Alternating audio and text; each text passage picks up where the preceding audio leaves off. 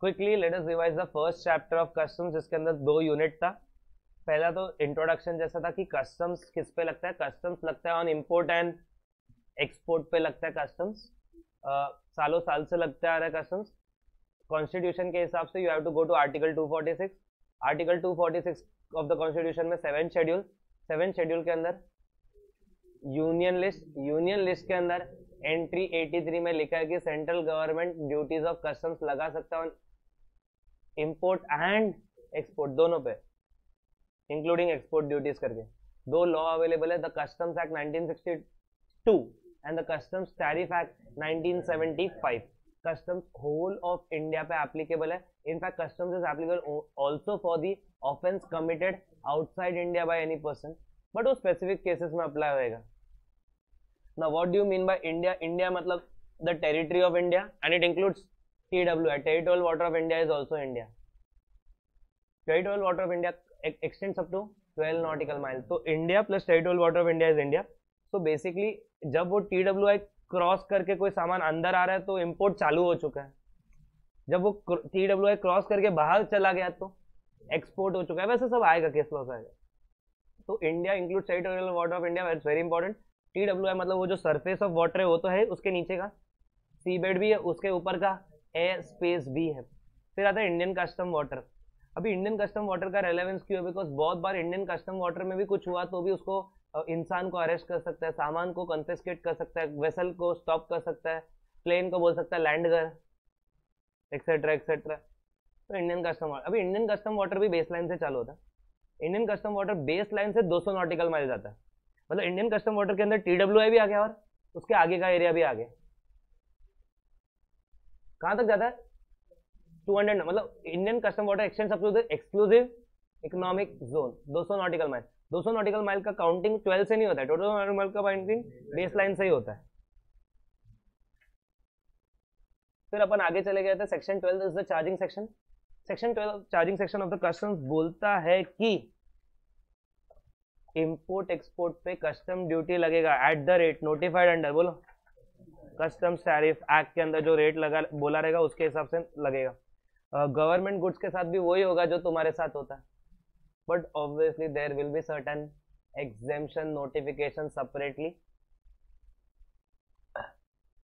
तो goods imported और exported पे कस्टम ड्यूटी लगेगा रेट कस्टम टैरिफ एक्ट का ये चार्जिंग सेक्शन ने बोल दिया। Then we went to definition uh, conclusion कि what do you mean by import and what do you export. तो अपने केस लॉ के हिसाब से बता इंपोर्ट मतलब क्या होता है? जब वो territorial water of India cross होता है इंपोर्ट एक प्रोसेस है, वो चालू है। बट वो प्रोसेस चलता है चलता है चलता है, जब तक वो goods part of the mass of the goods within the country नहीं हो जाता तब तक। तो बेसिकली जब वो goods clear for home consumption होता है, तब तब तब वो इम्पोर्ट कंप्लीट होता है। And therefore taxable event is reach when the bill of entry for home consumption is filed export कब होता है? जब goods T W I cross करता है तो एक्सपोर्ट होता है, ऐसा वो बोलता है, ऐसा अपने पास डेटा अवेलेबल था। फिर अपन सेक्शन ट्वेंटी में चला गया डायरेक्टली सेक्शन ट्वेंटी बोलता था, तुमने गुड्स इंपोर्ट एक्सपोर्ट करके भी इंपोर्ट किया तो क्या हुआ? Goods will be treated like normal imported goods but फिर उसका एक्सेप्शन देने लग गया। एक्सेप्शन में नोटिफिकेशन इशू हुआ। नोटिफिकेशन में सबसे पहला नोटिफिकेशन इशू है notify forty five two thousand seventeen वो नोटिफिकेशन में पहला पॉइंट में ऐसा बोल के रखा था कि अगर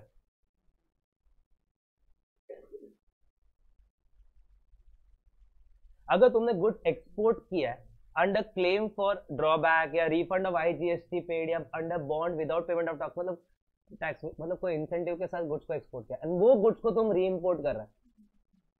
वही गुड्स को तुम क्या कर रहा है? री कंडीशन है सेम गुड्स होना चाहिए विद इन थ्री ईयर्स होना चाहिए मैक्सिमम टू ईयर्स एक्सटेंड हो सकता है मतलब मैक्सिमम फाइव ईयर्स हो सकता है, उसके अंदर री इम्पोर्ट होना चाहिए।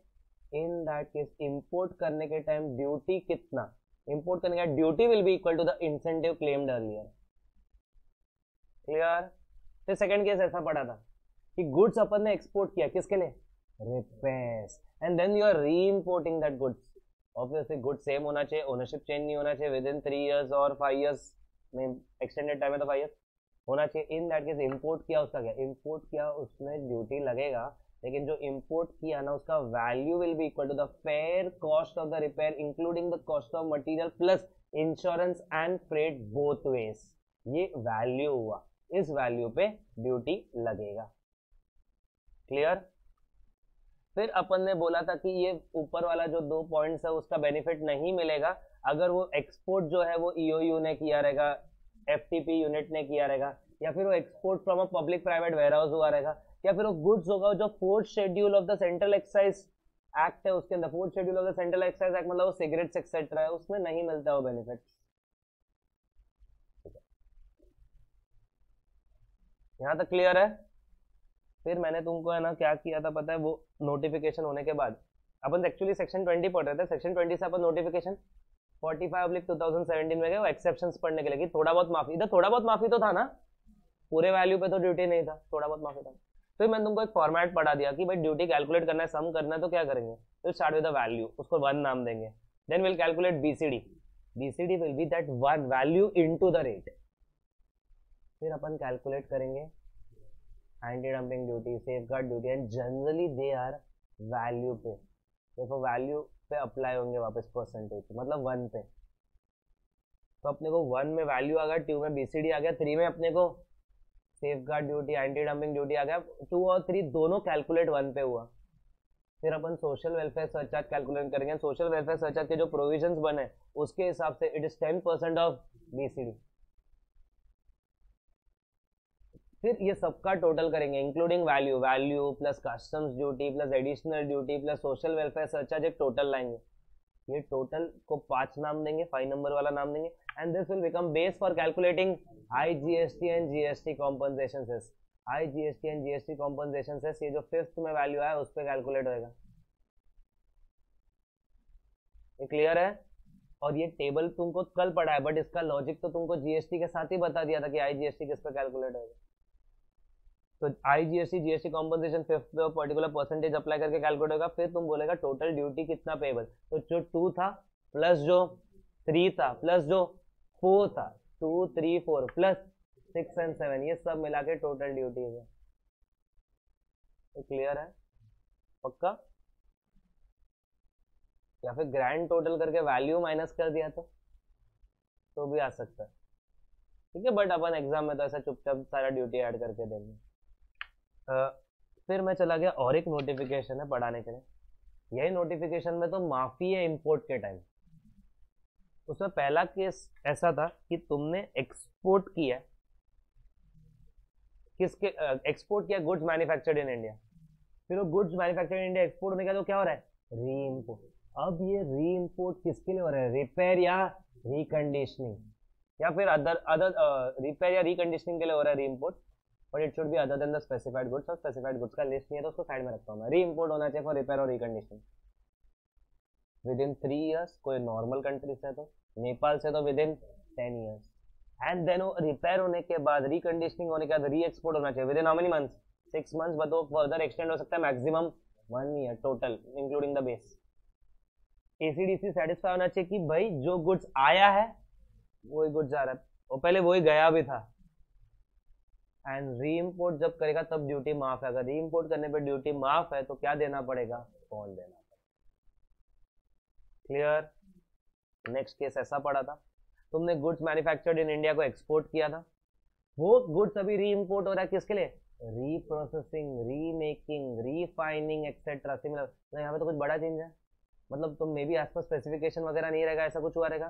तो इसमें तो कंपलसरी री इम्पोर्ट हो जाना चाहिए within one year and then उस सब प्रॉब्लम को रेक्टिफाई करके you need to reexport within six months plus the extended period maximum one year ACDC satisfy होना चाहिए about the identity of good जब री इम्पोर्ट करेगा तब ड्यूटी माफ़ था। तो उसके लिए बॉन्ड देना पड़ेगा। क्लियर अब जब तुम ये री प्रोसेसिंग रीफाइनिंग रीमेकिंग करेगा तो थोड़ा गुड्स लॉस होएगा। सौ किलो आया था तो जा, शायद जाएगा नब्बे किलो चलेगा। तो दस किलो को भी ड्यूटी माफ़ है। Provided you are satisfying home super इसमें वन एंड टू में एक एक्स्ट्रा पॉइंट था कि जो री इम्पोर्ट हो रहा है उसका नेचर एंड वैरायटी सेम होना चाहिए। जो पहले भेजा था उसके जैसा होना चाहिए था। इवन इफ़ थोड़ा सा क्वालिटी क्वांटिटी क्वालिटी में लो है चलेगा but nature and variety same होना चाहिए जो रीइम्पोर्ट है। जो अपन ने भेजा वही रीइम्पोर्ट होना चाहिए। आइदर फॉर पहले रिपेयरिंग रीप्रोसेसिंग दूसरे में remaking refining reprocessing etcetera etcetera पहले वाले में रिपेयर और रिकंडीशनिंग था सॉरी पहले वाले में रिपेयर रिकंडीशनिंग सेकंड वाले में रीप्रोसेसिंग रीमेकिंग रीफाइनिंग वगैरह था। क्लियर है? पक्का?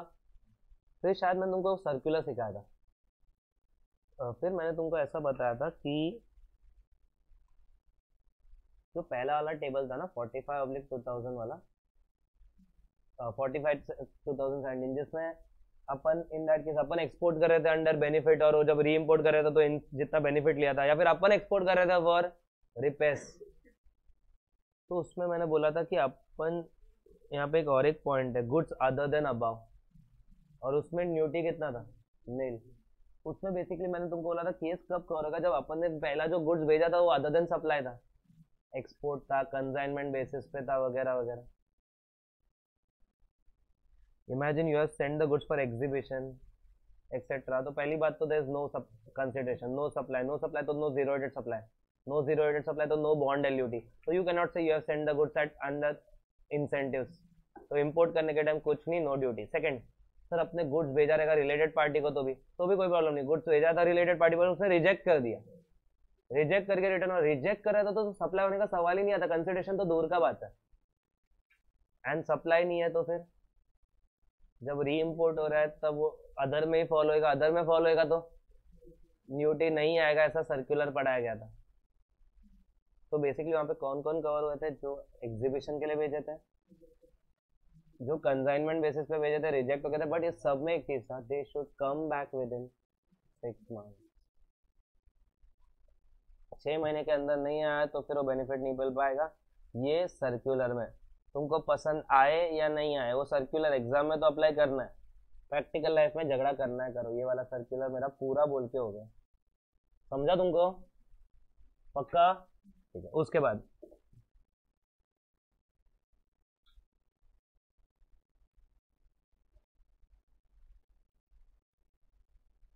फिर मैंने derelict wreck jetsam flotsam का बात किया था। बोला डेरीलिक्ट तो व्रैक हो जेट सैम हो फ्लोट सैम हो।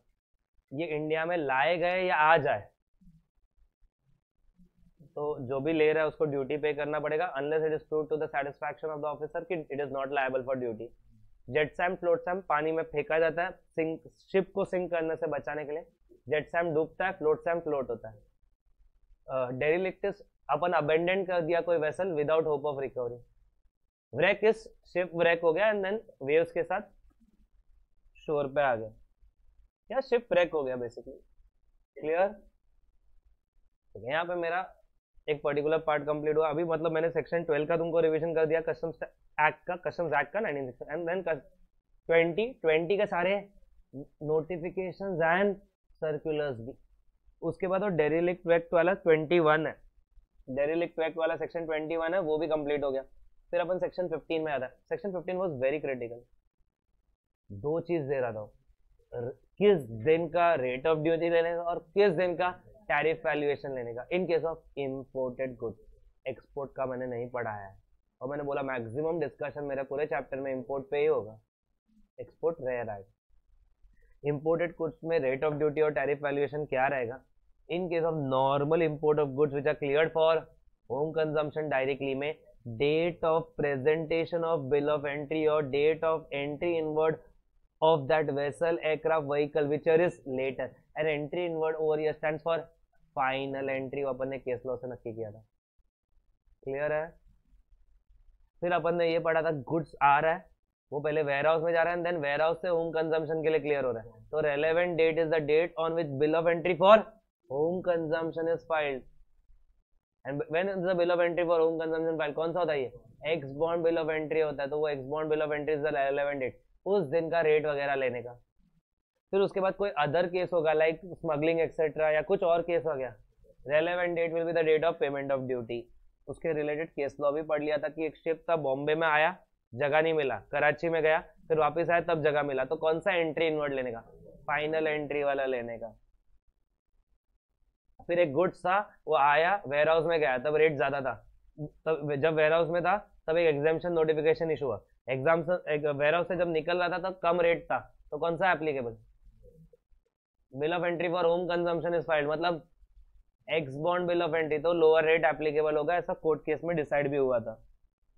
फिर अपन सेक्शन थर्टीन ट्वेंटी थ्री और ट्वेंटी टू पढ़ने के लिए चले गए। हाँ कि ना? Thirteen twenty three twenty thirteen ध्यान से सुनो, सिर्फ़ पिल्फर कवर्ड था पेटी थेफ्ट चिंदी चोर कवर्ड था टोटल लॉस कवर्ड नहीं था। थर्टीन कब अप्लाई होता है? After unloading but before clearance for home consumption और before clearance for warehouse उसका ऑर्डर पास होने तक। मतलब अनलोडिंग के बाद बट ऑर्डर पास होने तक। कौन सा ऑर्डर पास होने तक? होम कंजम्पशन क्या या ऑर्डर पास होने तक। वेयर हाउसिंग का। उसके बीच में अगर पिल्फरेज हुआ तो उसके ऊपर नो ड्यूटी ये क्लियर है? अगर ऑर्डर पास हो गया एक बार वेयर हाउसिंग का ऑर्डर पास हुआ या फिर होम कंजम्पशन का ऑर्डर पास हो गया, उसके बाद पिल्फरेज हुआ तो कोई माफ़ी नहीं मिलेगा। मतलब वेयर हाउस में पिलफरेज हुआ तो भी माफ़ी नहीं है। क्लियर है? उसके बाद सर इसी फ़ेज़ में पिलफरेज हुआ। After unloading but before order pilferage उसी फ़ेज़ में हुआ बट पता बाद में चला। तो एक काम करो स्टीमर एजेंट या इंश्योरेंस सर्वेयर का रिपोर्ट लाओ सबमिट करो, जो ड्यूटी पे किया उसका रिफंड क्लेम करो। बट पिलफरेज तो वही फ़ेज़ में होना चाहिए। पिलफरेज आफ्टर ऑर्डर हुआ तो तो तो ड्यूटी भरना पड़ेगा। सर जब पिलफरेज इस फ़ेज़ में होता है तो after unloading but before order तो गुड्स का ज़िम्मेदारी कस्टोडियन के पास होता है। सेक्शन 45 के हिसाब से कस्टोडियन ड्यूटी को लायबल हो सकता है। But section 13 and question 45 are independent section 45 में कस्टोडियन लायबल हो या ना? 13 में माफ़ है तो है। सुपर डन विद 13 बस। एंड देन कौन सा है? 20 23 में दो चीज़ कवर्ड है। पहले 23 में लॉस डिस्ट्रक्शन कवर्ड है। Loss destruction any time before clearance for home consumption अगर वो लॉस्ट और डिस्ट्रॉयड हो गया तो ड्यूटी रेमिट हो सकता है। रेमिट हो सकता है मतलब they are liable but duty remit but यहाँ पे you have to prove to the satisfaction of ACDC की ऐसा कुछ लॉस डिस्ट्रक्शन लॉस डिस्ट्रक्शन मतलब total loss destruction which can not be recovered pilferage के केस में ऐसा अगर वो पिल्फरेज में गुड्स रिस्टोर किया तो ड्यूटी बनना है। बट लॉस डिस्ट्रक्शन में it can not be restore ये क्लियर है? सर 23 में और एक पॉइंट है। You can also abandon the goods you can abandon the goods any time before order for clearance for home consumption order for clearance of warehousing but अपन ने पढ़ा warehousing में भी provision है. You can abandon the goods even when the goods are in warehouse but एक case में abandon नहीं कर सकता where offence appears to have been committed ठीक है? थर्टीन uh, में you need not prove thirteen में तो ब्लैंक स्पेसेस दिख के पता चल जाता है. ऑफिसर जब एग्जामिन करता है.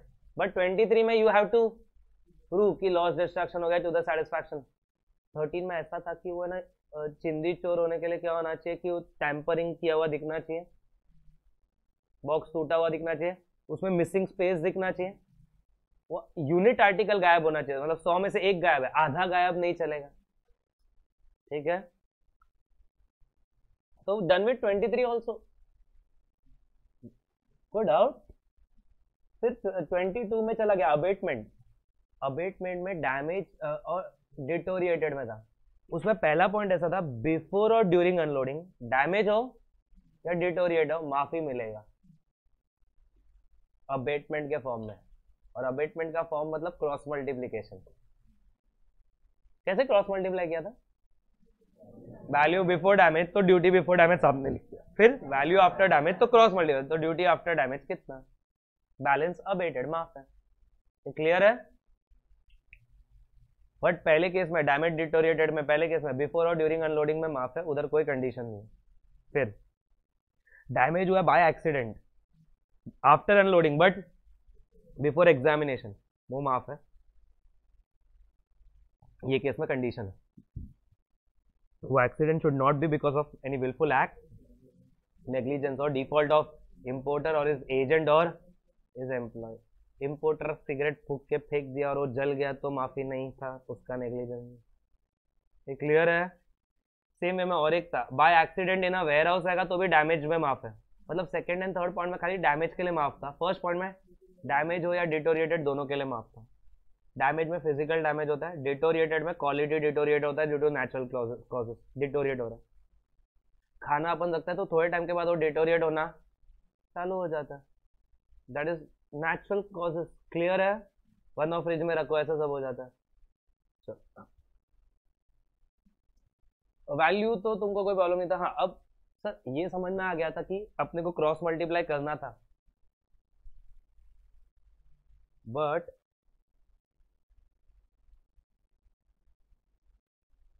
ये जब क्रॉस मल्टीप्लीकेशन करते हैं वैल्यू बिफोर डैमेज कोई प्रॉब्लम नहीं होगा। ड्यूटी बिफोर डैमेज कोई प्रॉब्लम होगा। What do mean the value after damage deteriorated ये कैलकुलेट करना पड़ेगा। ये कैलकुलेट कौन करेगा? प्रॉपर ऑफिसर या फिर प्रॉपर ऑफिसर तुम्हारे प्रॉपर ऑफिसर सेल करेगा, जो भी ऑप्शन में सेल कर सकता है या फिर टेंडर से जो भी प्राइस आएगा अगर इंपोर्टर एग्री करेगा तो कोई और मेथड से भी सेल कर सकता है जो भी सेल कंसिडरेशन रियलाइज्ड है that will be considered as value clear उसके ऊपर काफ़ी क्वेश्चंस वगैरह कवर किए थे अपन ने। उधर ही तुरंत इलिस्ट्रेशन फाइव वगैरह किया था। याद आता है? सिक्स किया था। सिक्स में ऐसा था, छह हज़ार मेट्रिक टन इंपोर्ट किया था, पाँच सौ मेट्रिक टन गया। तो उसको क्या बोलू पिल्फर लॉस्ट और डिस्ट्रॉय क्लियर है? फिर अपन नेक्स्ट सेक्शन में चले गए। तो ये तो मेरा तीन सेक्शन साथ में हो गया, बोलो थर्टीन ट्वेंटी थ्री और ट्वेंटी टू फिर आ गया twenty four twenty four it's denaturing बहुत बार कोई गुड्स इंपोर्ट किया रहता है तो उसके ऊपर जो यूज़ होता है, उसके हिसाब से ड्यूटी लगता है। और बहुत बार वो गुड्स मल्टीपल यूज़ के लिए होता है। तो अभी तब तुम क्लियर करेगा, बहुत लफड़ाएगा। तो you can request the government to make the goods regarding denaturing goods अगर गवर्नमेंट ने रूल्स बना दिया डी नेचरिंग में तो ऐसा होगा कि सर्टन प्रोसेस कैरी आउट होगा जिससे वो अनफिट फॉर अदर पर्पज होगा, एक ही पर्पज के लिए यूज़ हो पाएगा। एंड अगर वो एक ही पर्पज के लिए यूज़ हो पाएगा तो रेट वही हिसाब से लगेगा। तो टेंशन नहीं, ना तुमको, ना डिपार्टमेंट को, ना कोई रिकॉर्ड मेंटेन करना, ना कुछ। इथाइल एल्कोहल मल्टीपल पर्पज के लिए यूज़ हो सकता है बट उसमें बेटर केमिकल डाल दिया तो उसके यूज़ कम हो जाता है, एक ही यूज़ बचता है तो अकॉर्डिंगली रेट लग सकता है। क्लियर है? एग्जेम्पन एग्जेम्पन सर अपने को है क्या? एग्जेम्पन नोटिफिकेशन नहीं है बट एक सेक्शन है जो बोलता है कि एग्जेम्पन नोटिफिकेशन इशू हो सकता है, वो सेक्शन है section 25 general exemption is via exemption notification public interest में होना चाहिए उसमें होली एग्ज़ाम हो पार्शली एग्ज़ाम हो कंडीशनल हो अनकंडीशनल हो एग्जेम्पन आ सकता है।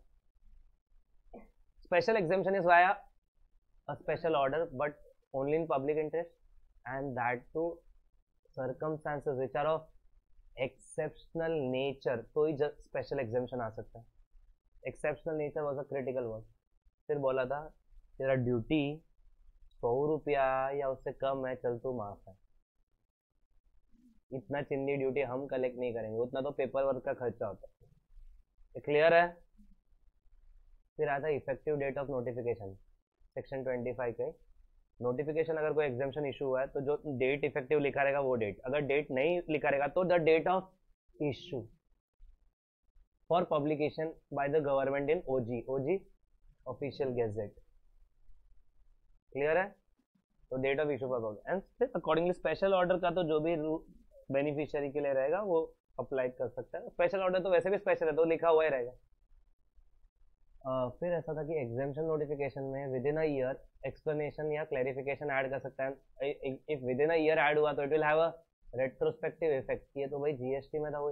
इनफैक्ट ये एग्जामेशन के प्रोविजंस जितने भी हैं wordings are same as GST के प्रोविज़न बस फ़र्क इतना है कि अपने को एग्जामेशन नोटिफिकेशन इंडिविजुअली नहीं है एग्ज़ाम में। क्लियर नेक्स्ट फिर सेक्शन 25 ए 25 बी मैंने बोला it all depends upon notification तो कोई खास इंपॉर्टेंस नहीं है उसका।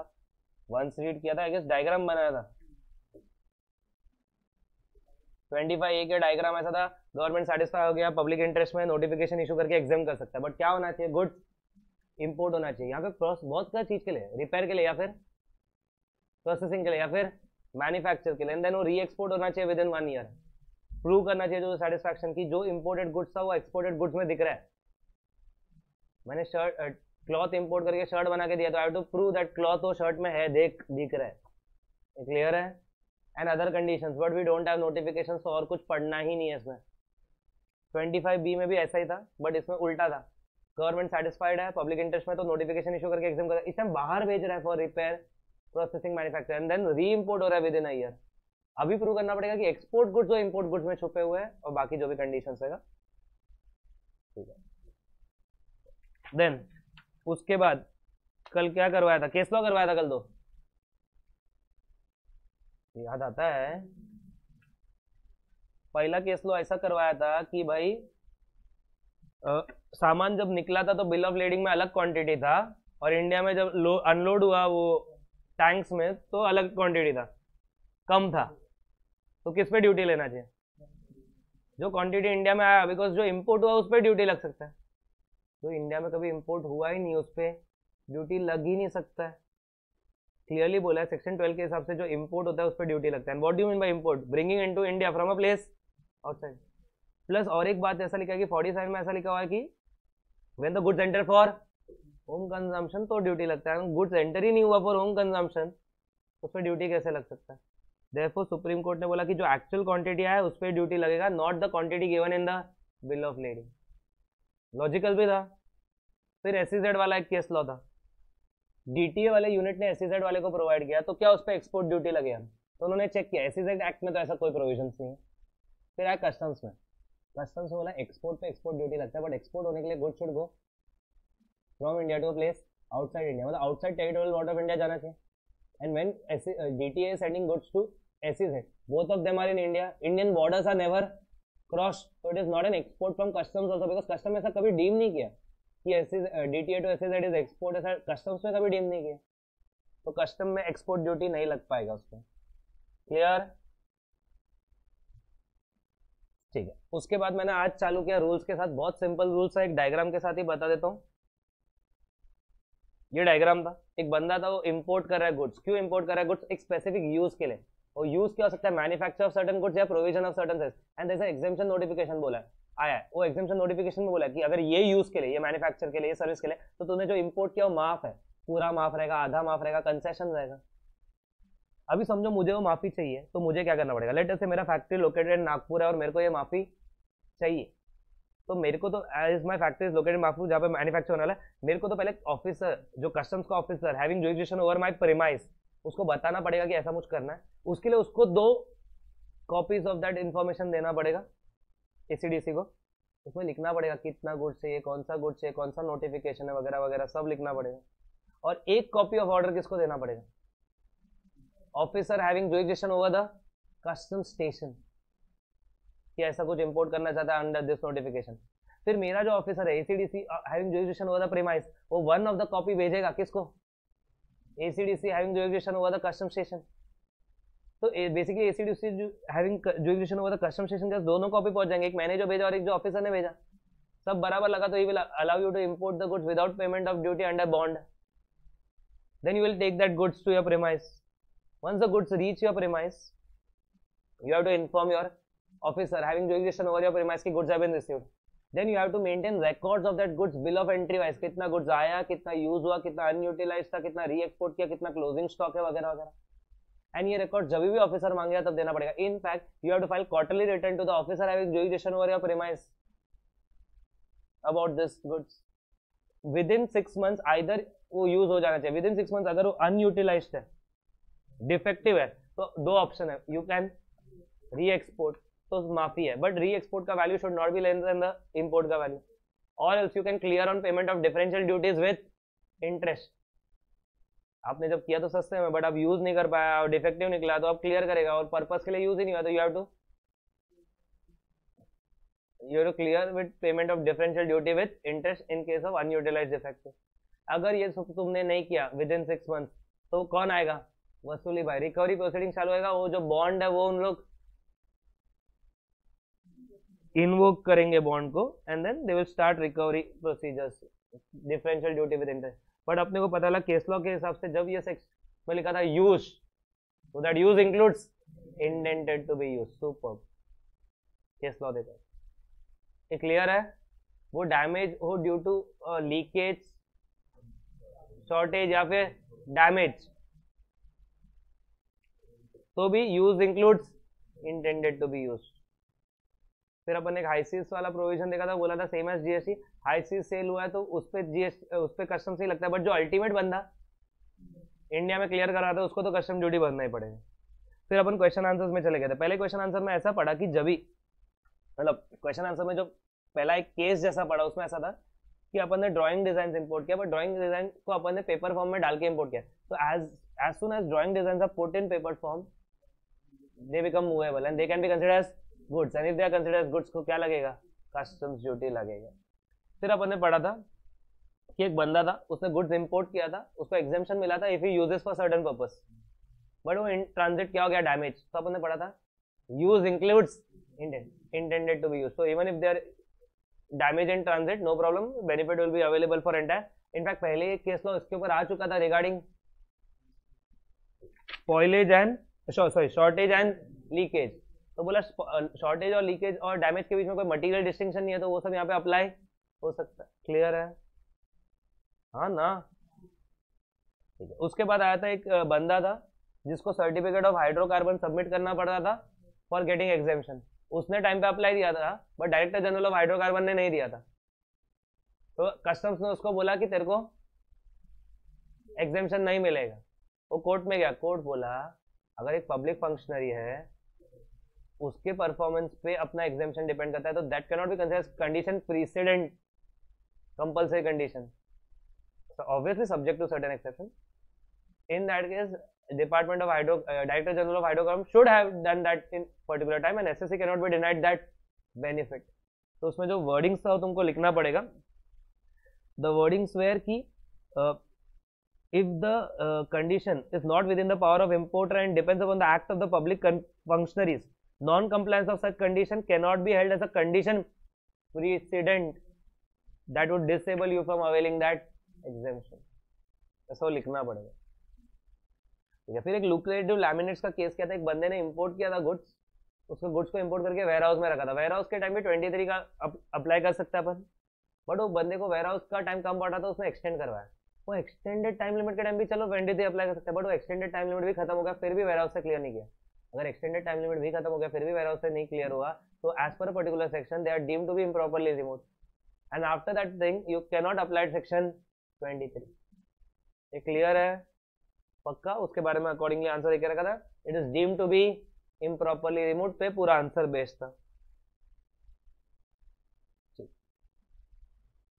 फिर दूसरा एक केस तो ऐसा था, एक बंदे ने डीजी सेट्स इंपोर्ट किया था फर्नेस ऑयल इंपोर्ट किया था, उससे वो इलेक्ट्रिसिटी पावर मैन्युफैक्चर करना वाला वो पावर यूज़ करने वाला था for manufacture of other goods जो एक्सपोर्ट करने वाला था, वो सब उसने किया। वो सरप्लस पावर जो बच गया, उसने डीटीए में बेचा। और एग्जामेशन नोटिफिकेशन में ऐसा किधर भी नहीं लिखा था कि सरप्लस पावर नहीं बेच सकता। तो बोलो, ऐसा बेचा तो कोई प्रॉब्लम नहीं, उसको एग्जामेशन मिलेगा। बाकी सब सिमिलर क्वेश्चन था और एक चीज़ अपने बताया ट्वेंटी थ्री के लिए। डिस्ट्रक्शन कवर्स लीकेज क्लियर है? पक्का? We are done with the revision of that chapter. Also, i move to the next chapter. Super चलो रिवाइज करते हैं सेकंड चैप्टर क्या था? नाम क्या था उसका? टाइप्स ऑफ़ ड्यूटीज़ कल से पढ़ रहे सर एक्ट बोलो। कस्टम्स टैरिफ एक्ट 1975 वो तो लिखना पड़ेगा भाई। कस्टम्स टैरिफ एक्ट 1975 उसमें दो शेड्यूल होता है। First schedule and the second schedule first schedule import duty देता है। सेकेंड शेड्यूल एक्सपोर्ट ड्यूटी देता है। उसमें स्टैंडर्ड रेट भी होता है और प्रेफरेंशियल रेट भी होता है। प्रेफरेंशियल रेट तब भी एप्लीकेबल होगा जब all of the following conditions are fulfilled भाई प्रेफरेंशियल रेट तेरे को चाहिए तो तू क्लेम करेगा कि मेरे को प्रेफरेंशियल रेट चाहिए। फिर तू क्लेम करेगा कि उसी कंट्री में प्रोड्यूस मैन्युफैक्चर हुआ है जो प्रेफरेंशियल एरिया है। वो एरिया नोटिफाई होना चाहिए। अंडर पर्टिकुलर सेक्शंस नोटिफिकेशन भी होना चाहिए उसका। And then determination of origin करना चाहिए based on the rules made there कि भाई वो वहाँ से आया, अगर सब कंडीशन फुलफिल हुआ तो तेरे को प्रेफरेंशियल रेट नहीं तो स्टैंडर्ड रेट लगेगा। फिर सर ये I G S T G S T compensation cess लगता है तो सर ये टेबल से पढ़ के कंप्लीट करें। आई जी एस टी लगता है। Basically I G S T leviable था section five of the I G S T act but फिर उसने और कुछ नहीं बोला कि इम्पोर्ट पे। कस्टम्स लॉ आया। कस्टम्स लॉ में कस्टम्स टैरिफ एक्ट का section three sub section seven बोला। जो आईजीएसटी तेरे को उधर लेवी करना था, अपन इधर लगाते हैं। मैक्सिमम कितना परसेंट फोर्टी परसेंट तो section three sub section seven के हिसाब से आईजीएसटी लेवी होगा in the import of goods sir, कौन से वैल्यू पे इम्पोर्ट होगा वैल्यू जो लिखा गया है section three sub section eight में। और section three sub section eight में लिखा गया है कि base value plus BCD plus और कोई भी duties of customs like anti dumping duty safeguard duty social welfare surcharge वो सबका टोटल करने का that is the base for calculating IGST clear है?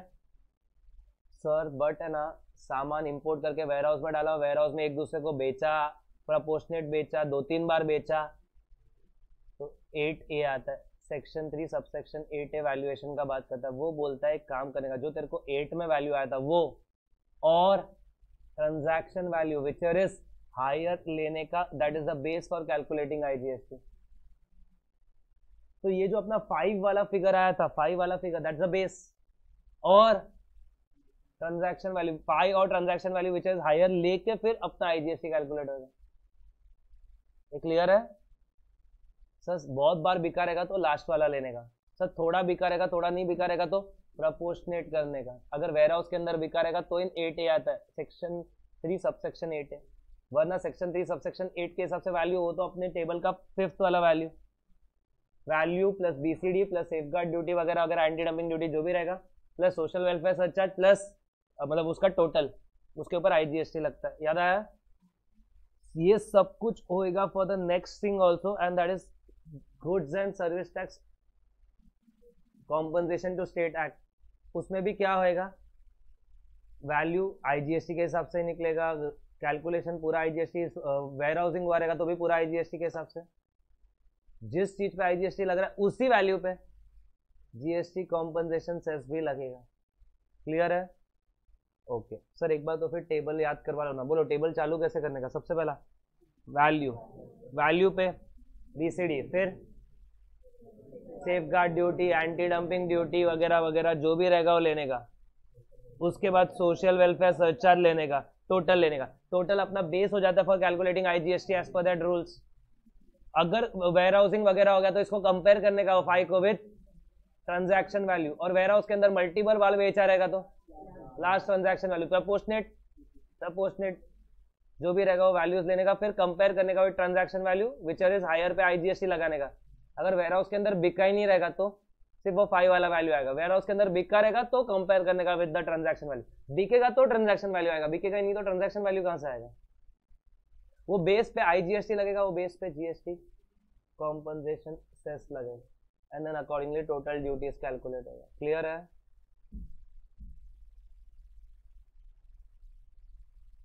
तो मेरा, तुम्हारा ये सब सेक्शन सिखा के कंप्लीट हुआ। फिर अपन चले गए थे सेक्शन थ्री वन के अंदर section three one of the custom tariff act section three five of the custom tariff act आज सब कस्टम टैरिफ एक्ट का बात चालू टाइप्स ऑफ़ ड्यूटी है three one of the custom tariff act three five of the custom tariff act के अंदर भी duties लगता है। Three one is to compensate excise three five to compensate VAT but three five maximum कितना हो सकता है?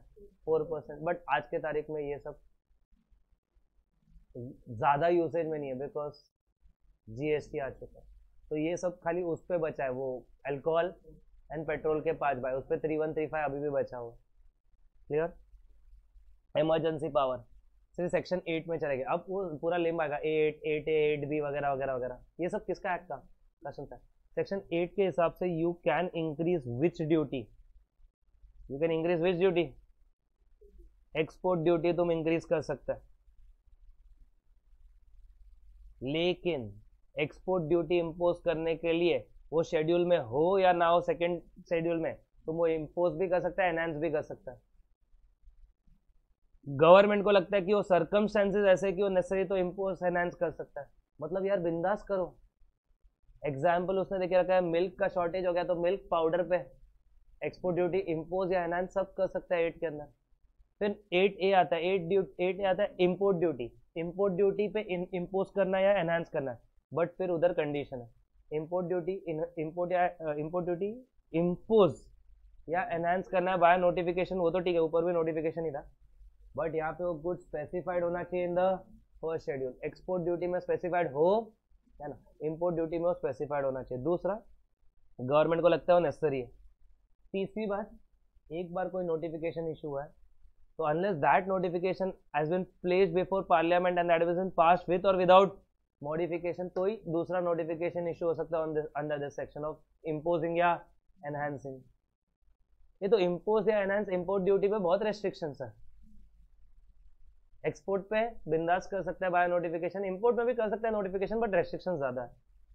उसके बाद, फिर अपन पूरा लिम में चला गया। अलग अलग type of duty safeguard duty eight B में आया। Countervailing duty on subsidize article nine में आया। Anti dumping duty nine A में आया। फिर नाइन और नाइन ए को थोड़ा सा बैलेंस करने के लिए नाइन बी एक कॉमन सेक्शन आया। फिर नाइन सी में अपन ने नया पढ़ा अपील्स वो सब गया था। सोशल वेलफेयर से अच्छा तो पढ़ के हो गया था अपना। फिर एक प्रोटेक्टिव ड्यूटी आया, वो लास्ट में उसको ज़्यादा इंपॉर्टेंस नहीं दिया। बट ये सब इंपॉर्टेंट था सेफ़ ड्यूटी तो एट ए वो सेफ़ ड्यूटी सेफ़ ड्यूटी कब इम्पोज होता था? इंक्रीज क्वांटिटी में अगर इंपोर्ट हो रहा है which is causing or threatening to cause serious injuries to domestic industry protecting son of domestic industry was the main criteria objective कितना ड्यूरेशन uh, होगा? पहले यहाँ पे फोर ईयर्स एंड वो एक्सटेंड भी हो सकता है but subject to total ten somewhere five plus five ten था somewhere four plus something ten था. तो सेफ़ में फोर प्लस था. फिर सेफ़ में ऐसा था कि uh, अगर कोई आर्टिकल इंपोर्ट हो रहा है and that is originating from a domest developing country upon article import कर रहे हैं बट वो आ रहा कहाँ से? कोई डेवलपिंग कंट्री से. And share of that developing country not exceeding three percent of the total imports of that article in India तो भाई डेवलपिंग कंट्री से जो सामान आ रहा है, उसका ऊपर का सेफ़ गार्ड ड्यूटी माफ़। सर ऐसे बहुत सारे डेवलपिंग कंट्रीज़ भेज हैं। इंडिविजुअली सब लोग नॉट मोर देन थ्री है। तो टोटल सब लोग not more than five nine percent होना चाहिए। तो वो सारे डेवलपिंग कंट्रीज़ से जो सामान आ रहा है, वो किससे माफ़ हो जाएगा? सेफ़ गार्ड ड्यूटी से माफ़ हो जाएगा। सर हंड्रेड परसेंट ई या एस ने अगर कुछ सामान इंपोर्ट किया रहेगा तो उन लोग सेफ़ गार्ड ड्यूटी से माफ़ रहेगा unless that is specifically made applicable या फिर वो हंड्रेड परसेंट ई या एस वो सामान को डीटीए में रिमूव कर रहा है तो वो ऐसे ड्यूटी लगा रहा है, ऐसे कि पहले से ड्यूटी लगा हुआ था विद इंटरेस्ट या फिर वो हंड्रेड परसेंट ई या एस सामान बना रहा है सामान बनाने के बाद एक्सपोर्ट करने के बदले वो सामान डीटीए में रिमूव कर रहा है तो तेरे को पहले काय को एग्जामेशन दिया? देना ही नहीं चाहिए था. तो ऐसे ड्यूटी लगेगा as if there was no exemption sir provisional safeguard duty लग सकता है yes provisional safeguard duty लग सकता है pending the determination but preliminary determination हुआ रहना चाहिए। यहाँ का provisional duty can not be levied for more than 200 days तो यहाँ का प्रोविजनल ड्यूटी मैक्सिमम 200 डेज़ आगे प्रोविजनल ड्यूटी इसमें टाइम लिमिट नहीं था, कितना डेज़ इधर है। क्लियर है? और फाइनल डिटर्मिनेशन होने पे पता चला कि प्रोविजनल ड्यूटी लेवी किया तो ज़्यादा हो गया तो रिफंड दे देंगे अपन प्रोविजनल ड्यूटी का। और वहाँ पे मेरा सेफ़ गार्ड ड्यूटी कंप्लीट हुआ। तुमको ऑब्ज़र्व करेगा थोड़ा थोड़ा slide slide plus minus differences है। उस slide slide plus minus differences थोड़ा सा संभाल लेना चाहिए तुमको, चाहिए तो उसका नोट कर लेना चाहिए, उसका कुछ मार्किंग कर लेना चाहिए या टेबल जैसा कुछ कर लेना चाहिए तो दैट एग्ज़ाम में तुम अच्छे से लिख पाओ। बाकी जो सेम पॉइंट्स है वो तुमको ईजी हो जाएगा। क्लियर है? स्लाइड चेंज जैसा इसमें प्रोविजनल ड्यूटी मैक्सिमम कितना डेज़ 200 डेज़ वो इसमें स्पेशल था सेफ़ गार्ड में ही था तो आगे नहीं था। क्लियर है? भावना पूछ लिए next countervailing duty on subsidize article section nine के अंदर इंपोज हुआ था। सामने वाला कंट्री टेरिटरी उनको सब्सिडी दे रहा है। बराबर? वो आर्टिकल इंडिया में आ रहा है। वो डायरेक्टली मे और may not come direct may or may not directly be coming from that country may be in same condition or may be in change condition but सामने वाले ने मस्ती किया है। है सब्सिडी दिया है तो हम countervailing duty on subsidize article subsidy कब होता है? जब वहाँ का गवर्नमेंट फाइनेंशियल कॉन्ट्रीब्यूशन करता है like fund transfer loan waiver price support या फिर कोई फंडिंग मैकेनिज्म को उन लोग पेमेंट करता है, वो फंडिंग मैकेनिज्म ऐसे बिहेव करता है जैसे कि गवर्नमेंट है। या फिर कोई प्राइवेट बॉडी ऐसे बिहेव करता है जैसे कि एक नॉर्मल गवर्नमेंट का फ़ंक्शन हो। मतलब समवेयर उसके पीछे गवर्नमेंट का हाथ है। नॉर्मली क्या होता है सब्सिडी अगर पब्लिक अथॉरिटी वगैरह ने गवर्नमेंट ने दिया तो लगा सकते हैं अपन यहाँ पे countervailing duty on subsidy but कोई प्राइवेट कंपनीज़ भी फॉरेन कंट्री में प्राइवेट बॉडीज भी फॉरेन कंट्री को सब्सिडीज दे रहा है। एज इफ़ की जैसे एक नॉर्मल गवर्नमेंट ही देता हो तो भी अपन यहाँ पे countervailing duty on subsidize article लगा सकता है। फिर anti circumvention measure anti circumvention measure मतलब अपन समझो एक्स वाई जेड गुड्स पे एंटी डंपिंग ड्यूटी लाया वो भाई साहब उसको unassembled form disassembled form description change वगैरह करके ला रहा है। तो डिस्क्रिप्शन चेंज करके ला नेम चेंज करके ला कॉम्पोजिशन चेंज करके ला तो अनअसेंबल्ड डिसम्बल्ड फॉर्म में ला तो ओरिजिन चेंज करके ला, हम तेरे को पकड़ेंगे। और उसके ऊपर भी हम काउंटर वेलिंग ड्यूटी को एक्सटेंड कर देंगे। समझा? ओके सर ये countervailing duty on subsidize article maximum कितना हो सकता है? जितना सब्सिडी उधर दिया रहेगा। मैक्सिमम उतना है countervailing duty on subsidize article इधर हो सकता है। ठीक है। ये काउंटर वेलिंग ड्यूटी जो भी है, वो in addition to the normal duties है।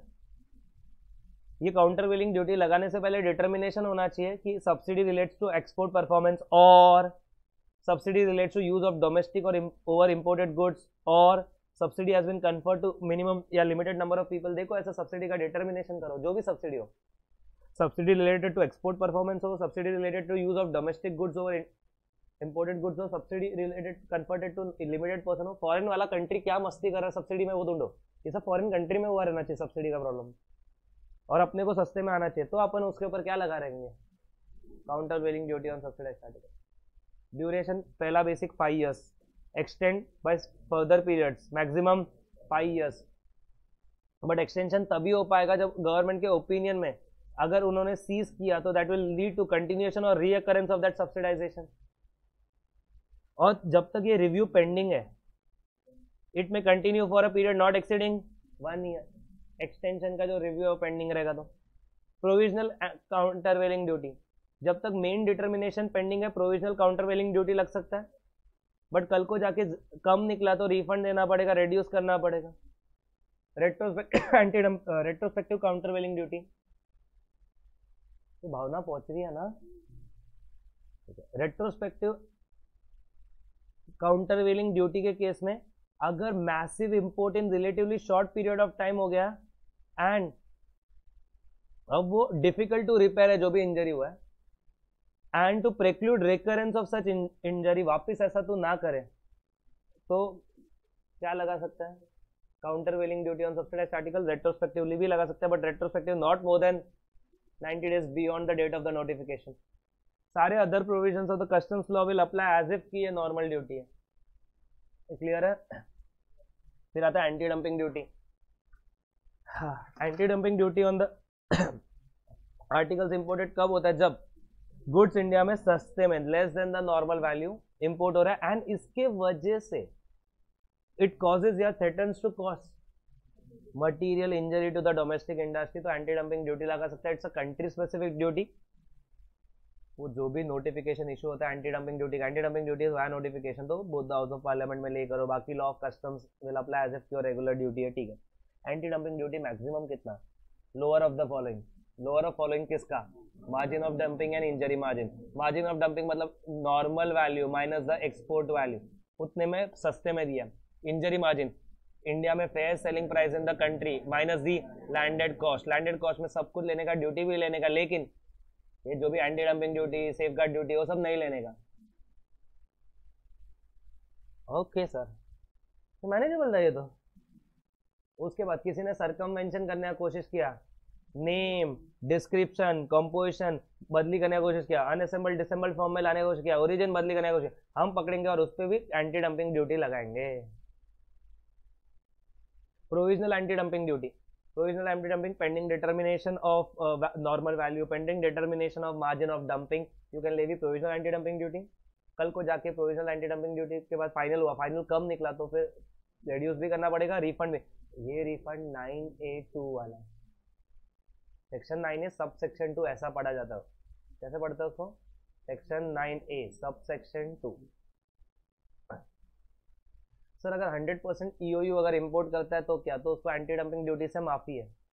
बट अगर उसको स्पेसिफिकली मेड एप्लीकेबल है तो उसको देना पड़ेगा।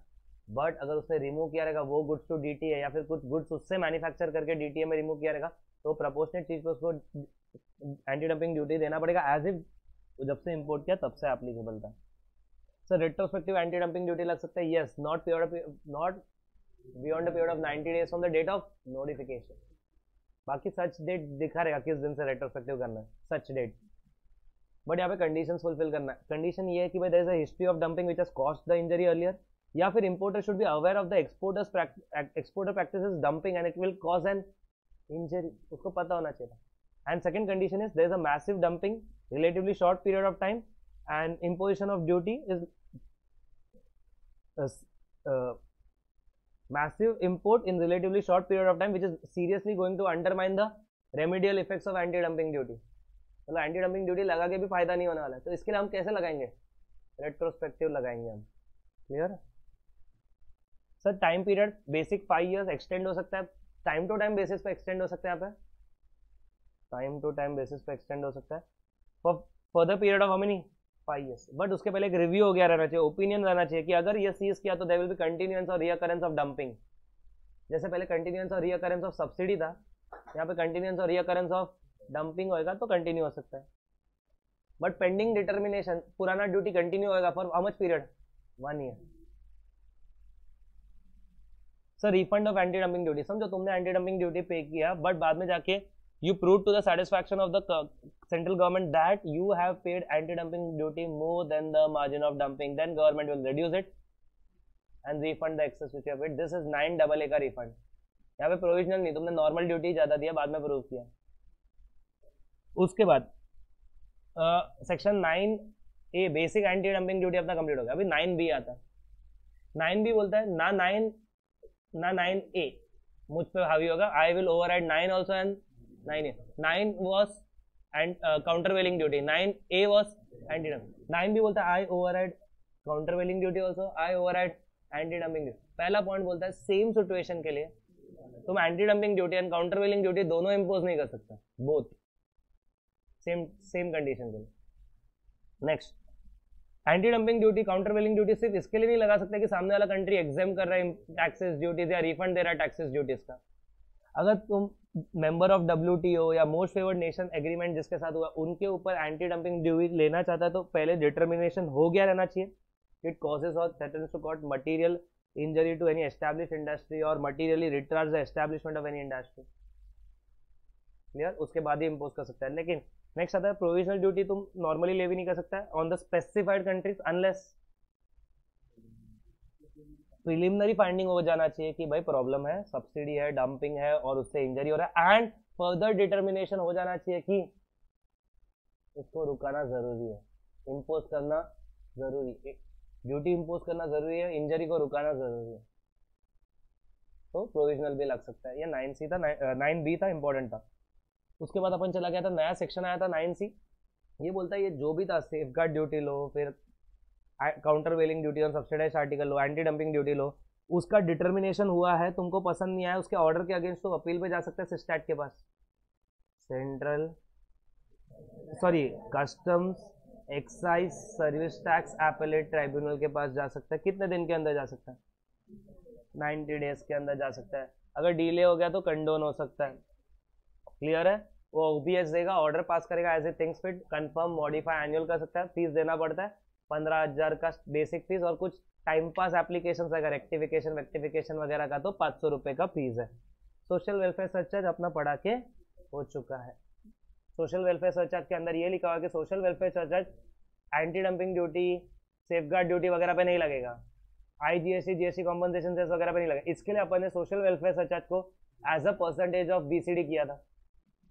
एंड कितना परसेंट टेन परसेंट ठीक है। फिर protective duties government protective duty levy कर सकता है। आ, अगर गवर्नमेंट को लगता है कि इंडिजीनियस इंडस्ट्री को प्रोटेक्ट करना है तो एंड उसको लगता है कि अगर वो प्रोटेक्टिव ड्यूटी नहीं लिया तो they will be very high import of cheap import goods and which will spoil the indigenous industry in that case वो ले भी कर सकता है प्रोटेक्टिव ड्यूटी ज़्यादा स्टिफ भी नहीं होना चाहिए। सफिशेंटली अट्रैक्टिव भी होना चाहिए। जो टैरिफ कमीशन बोलेगा, और गवर्नमेंट सेटिस्फाई हो गया। टैरिफ कमीशन ने रिकमेंड किया और सेंट्रल गवर्नमेंट सेटिस्फाई हो गया। टैरिफ कमीशन ने रिकमेंड किया और सेंट्रल गवर्नमेंट सेटिस्फाई हो गया कि भाई वो नेसेसरी है इमीडिएटली लेवी करना चाहिए टू प्रोटेक्ट द इंडस्ट्रीज़ तो लेवी करेगा। पीरियड वगैरह स्पेसिफाइड होगा। गवर्नमेंट कम ज़्यादा कर सकता है। अगर उसको लगता है कि इफ़ेक्ट इनइफेक्टिव या एक्सेसिव है, अगर ज़्यादा किया तो पार्लियामेंट में ले करने का। पार्लियामेंट सिटिंग है तो तुरंत ले होगा पार्लियामेंट सिटिंग नहीं है तो जब वो पार्लियामेंट का सेशन चालू होगा उसके सेवन डेज़ के अंदर। और एक बार ले हो गया तो पंद्रह दिन के अंदर ऑर्डर पास करवा देने का विथ और विदाउट मॉडिफिकेशन अगर कुछ चेंजेस हो गया रहेगा तो उसका प्रोस्पेक्टिव इफ़ेक्ट होगा पार्लियामेंट ने कुछ चेंजेस करेगा सब लिखा था प्रोटेक्टिव ड्यूटी में।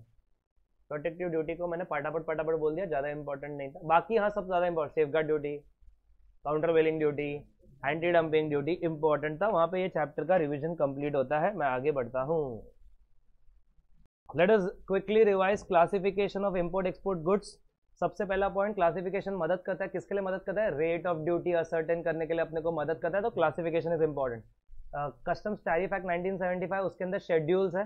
फ़र्स्ट शेड्यूल में इंपोर्ट ड्यूटी के रेट है सेकंड शेड्यूल में एक्सपोर्ट तो अपने को क्लासीफाई करना पड़ता है। वो शेड्यूल के अंदर किधर फॉल होता है तो कौन सा रेट पड़ता है? ठीक है? उसके लिए अपन एचएसएन का कॉन्सेप्ट सीखते हैं। तो सबसे पहले पता था जो अपना कस्टम्स टैरिफ है, जिसके अंदर ये सब शेड्यूल्स वगैरह है, जो हेडिंग्स है, अपने क्लासीफाई करना पड़ता है। ये customs tariff is based on harmonise system of nomen उसका पूरा नाम is harmonise commodity description and coding system which is commonly referred as harmonise system of nomenclature which is internationally standardise system of name and numbers which is internationally standardise system of name and numbers which is class maintain and develop by world customs corporation organisation world customs organisation ना अपना tariff भी उस पर based है। In same lines in our tariff we have general explanatory notes and interpretation rules जैसे H में है। This rules and notes are part of our schedule they have statutory binding they are legally enforceable they part of the statute itself ये clear है? Next sir schedule कैसा दिखता है India में? India में शेड्यूल जो दिखता है that is tariff item description units rates rate में स्टैंडर्ड रेट प्रेफरेंशियल फिर तुमको ऐसा फोर डिजिट मिलता है दैट इज़ हेडिंग उसके अंदर सिक्स डिजिट एट डिजिट तक जाता है. समवेयर डैश होता है समवेयर डबल डैश एक्सेट्रा होता है. यूनिट्स तो लिखा हुआ रहता है रेट कॉलम में परसेंटेज कभी होता है, कभी नहीं होता है. तो उसका इंटरप्रिटेशन कभी भी ये शेड्यूल होता है तो सबसे पहले सेक्शन होता है. ब्रॉड एकदम. Like live animals and animal products उसके अंदर चैप्टर होता है लाइक लाइव एनिमल खाली। तो chapter is basically a part of a section या section consist of more than one chapter numbering कैसा सिस्टम होता है? फ़र्स्ट सेक्शन के अंदर तीन चैप्टर है तो चैप्टर वन टू थ्री होगा। सेकेंड सेक्शन के अंदर दो चैप्टर है तो four and five so one chapter number chapter number is important chapter number को दो डिजिट दिया जाता है। चैप्टर नंबर को दो डिजिट देता है।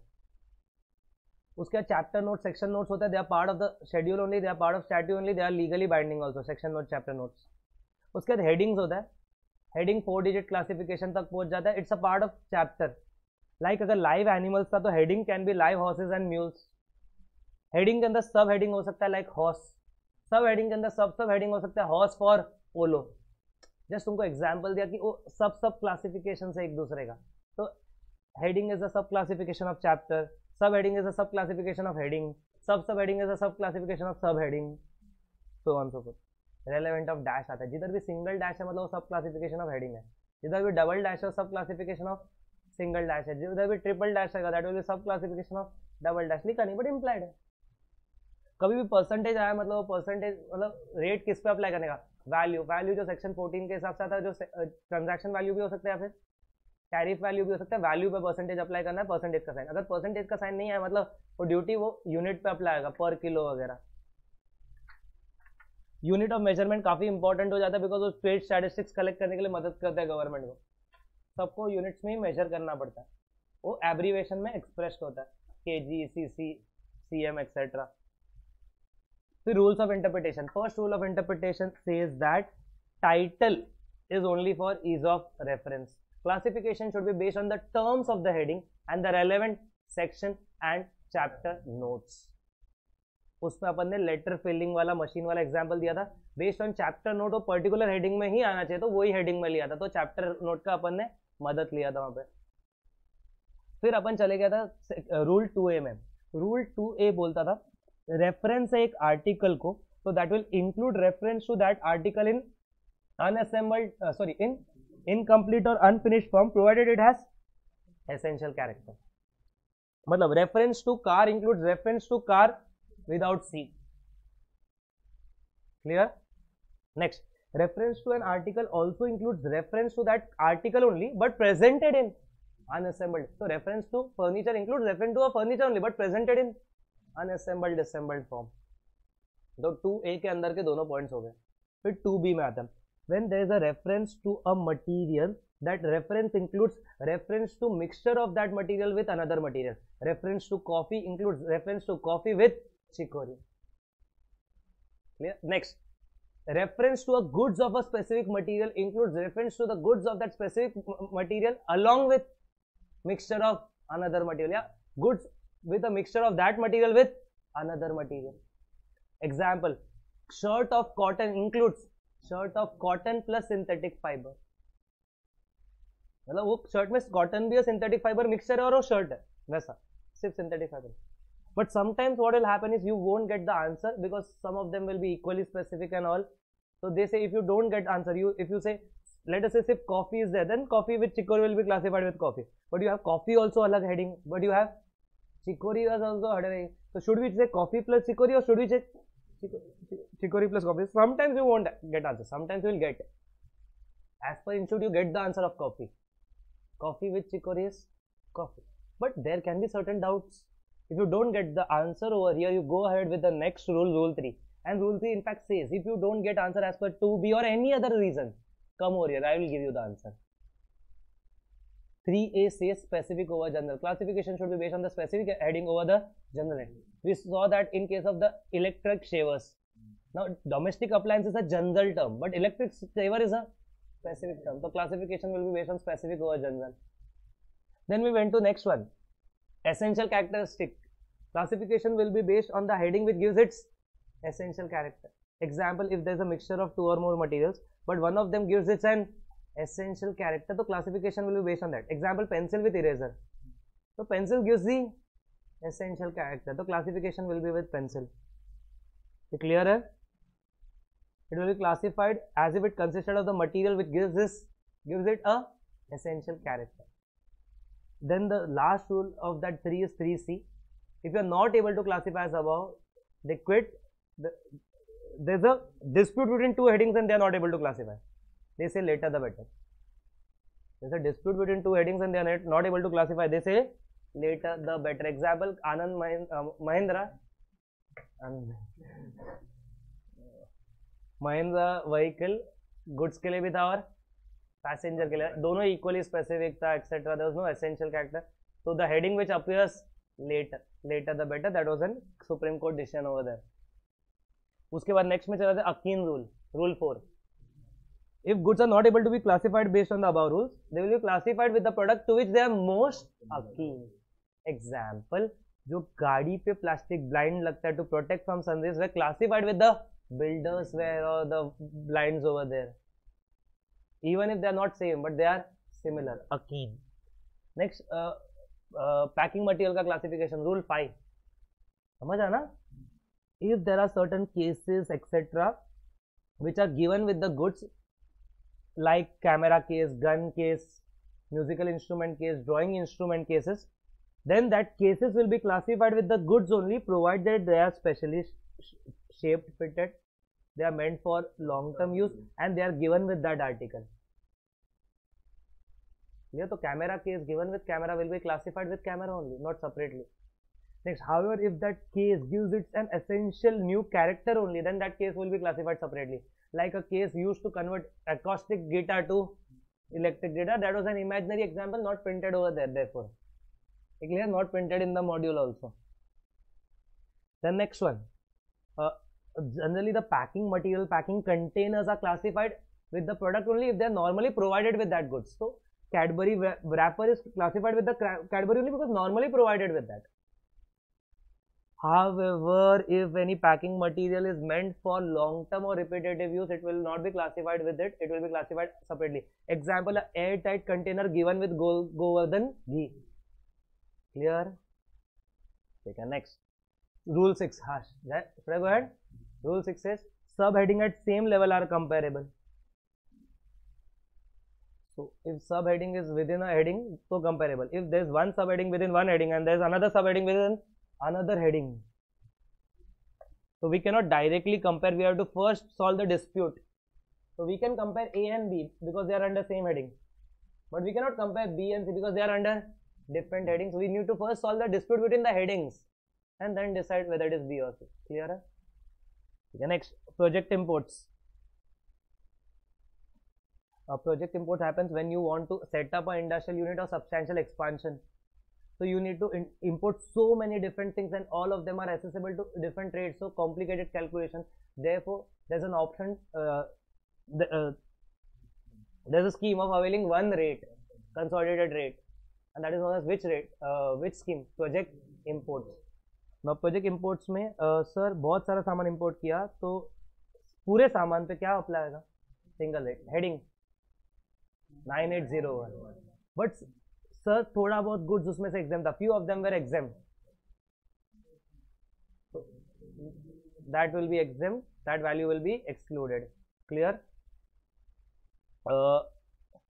what are covered is you import machineries instrument apparatus appliances raw material for setting up or expansion that is covered starting में one but raw material etcetera covered only up to ten percent and what are the projects which are covered industrial plants irrigation projects mine power projects mining projects oil exploration projects ये सब बड़े बड़े projects cover है। Clear है? ठीक है few case laws section and chapter notes have statutory binding they are part of statute only so they have to be use for classification if exemption notification states tariff heading कि this tariff heading is exempt then to interpret that exemption notification also you will have to use this classification tools. If a laptop is imported with soft, uh, operating system OS. So in that case, it will be classified as laptop only. It gives the essential. Uh, obviously, without OS, it cannot work. So OS laptop are one and the same. Next, there was a case where uh, I used to classify a goods as Y. Department used to classify it as X. There was a dispute going on. Disputed goods. after some time an exemption notification was issued that goods belonging to x this goods belonging to x are exempt. matlab government themselves agreed that they belong to x. So that interpretation should be applied earlier also. Exemption cannot be applied earlier but that interpretation they can be classified as x should be applied earlier because there is no change or amendment in the schedule. Clear? Next. Uh, mobile charger should be considered as accessory or part. Mobile charger is not mandatory not compulsory for use you can charge to another source also so mobile charger is accessory clear if it is necessary so how will the classification of valuation happen it depends upon necessary rules but if it was a part like battery itself so part part will be classified with a component only clear and we are done with the chapter known as classification revision also. 12 minutes. Let start the revision of valuation chapter सबसे पहले section 14 section 14 के हिसाब से value क्या लेना चाहिए? तो value should be the transaction value अब ट्रांजैक्शन वैल्यू कैसे लेने का? एक्सपोर्ट गुड्स में the transaction value will be the price paid or payable for export from India at the time and place of exportation that will be the transaction value if the buyer and seller are not related and price is the sole consideration import के case में transaction value shall be again the price paid or payable for export to India above, at the time and place of importation where the buyer and seller are not related and price is the sole consideration ठीक है उसके बाद फिर मैं तुमको अलग एक section में लेके गया था सेक्शन 15 जहाँ पे तुमको बताया रेट ऑफ़ ड्यूटी और टैरिफ वैल्यूएशन का दिन। Rate of duty and tariff valuation in case of import में कौन से दिन का लेना चाहिए नॉर्मल इंपोर्ट के केस में? Date of presentation of filing of bill of entry or date of entry inward of vessel vehicle aircraft is later लेकिन अगर गुड्स है जो वेयर हाउस में गए देन वेयर हाउस से होम कंजम्पशन के लिए क्लियर हो रहा है। तो date on which presentation of bill of entry for home consumption ex bond bill of entry sir other cases है इंपोर्ट्स के। Date of payment of duty like smuggling अगर सर एक्सपोर्ट गुड्स है export goods में rate of duty और tariff valuation कैसे रहते हैं? उसमें rate of duty tariff valuation के सब normal export rate of order of the proper officer permitting clear let go बराबर? लेट शिप लेट गो ऐसा अलग अलग नाम है। लेकिन अदर गुड्स रहेगा तो? डेट ऑफ़ पेमेंट अभी sir exchange rate exchange rate मतलब वन डॉलर इक्वल टू वाला। अगर इंपोर्ट है तो exchange rate the date of filing bill of entry that is regular bill of entry अगर वेयर हाउसिंग है तो into bond bill of entry and export के case में the relevant date to decide the rate of duty is the date of filing shipping bill or bill of export CBIC का rate लेना है। That is normal transaction value and then relevant rate but अपने को पता है कि there is another valuation also tariff valuation tariff valuation तो तभी आएगा जब गवर्नमेंट टैरिफ नोटिफाई करेगा। तो इसके लिए और कुछ था ही नहीं। बाकी सब पूरा चैप्टर डिस्कशन ट्रांजैक्शन वैल्यू फिर मैं इम्पोर्ट्स का डिस्कशन चालू कर दिया।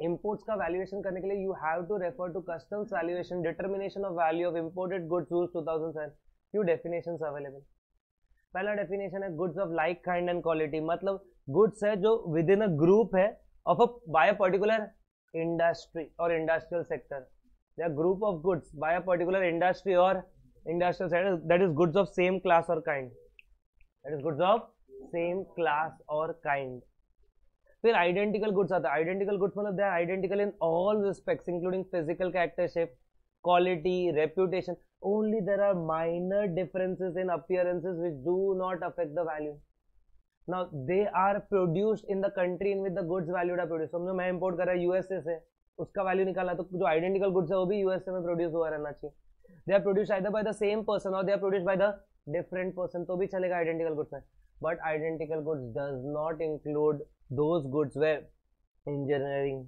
development artwork design plan sketch are completed in india and they are provided directly or indirectly by the buyer free of cost or at reduced rate for that production over there and then the export from there for export from there and import over here उसके लिए जो भी provide किया रहेगा तो India में अगर art work वगैरह डिज़ाइन वगैरह हुआ रहेगा तो वो आइडेंटिकल गुड्स में नहीं आ सकता सिमिलर गुड्स का डेफिनेशन पूरा सिमिलर है ऊपर जैसा ही बस खाली लिख के रखा they are not alike in all respect but like characteristic like component same functions and commercially interchangeable बाकी पूरा डेफिनेशन ऊपर जैसा उससे similar goods sir similar goods का वैल्यू और आइडेंटिकल गुड्स का वैल्यू क्यों दिया है? बिकॉज़ नॉर्मल वैल्यू नहीं मिला तो आइडेंटिकल गुड्स सिमिलर गुड्स का वैल्यू देगा.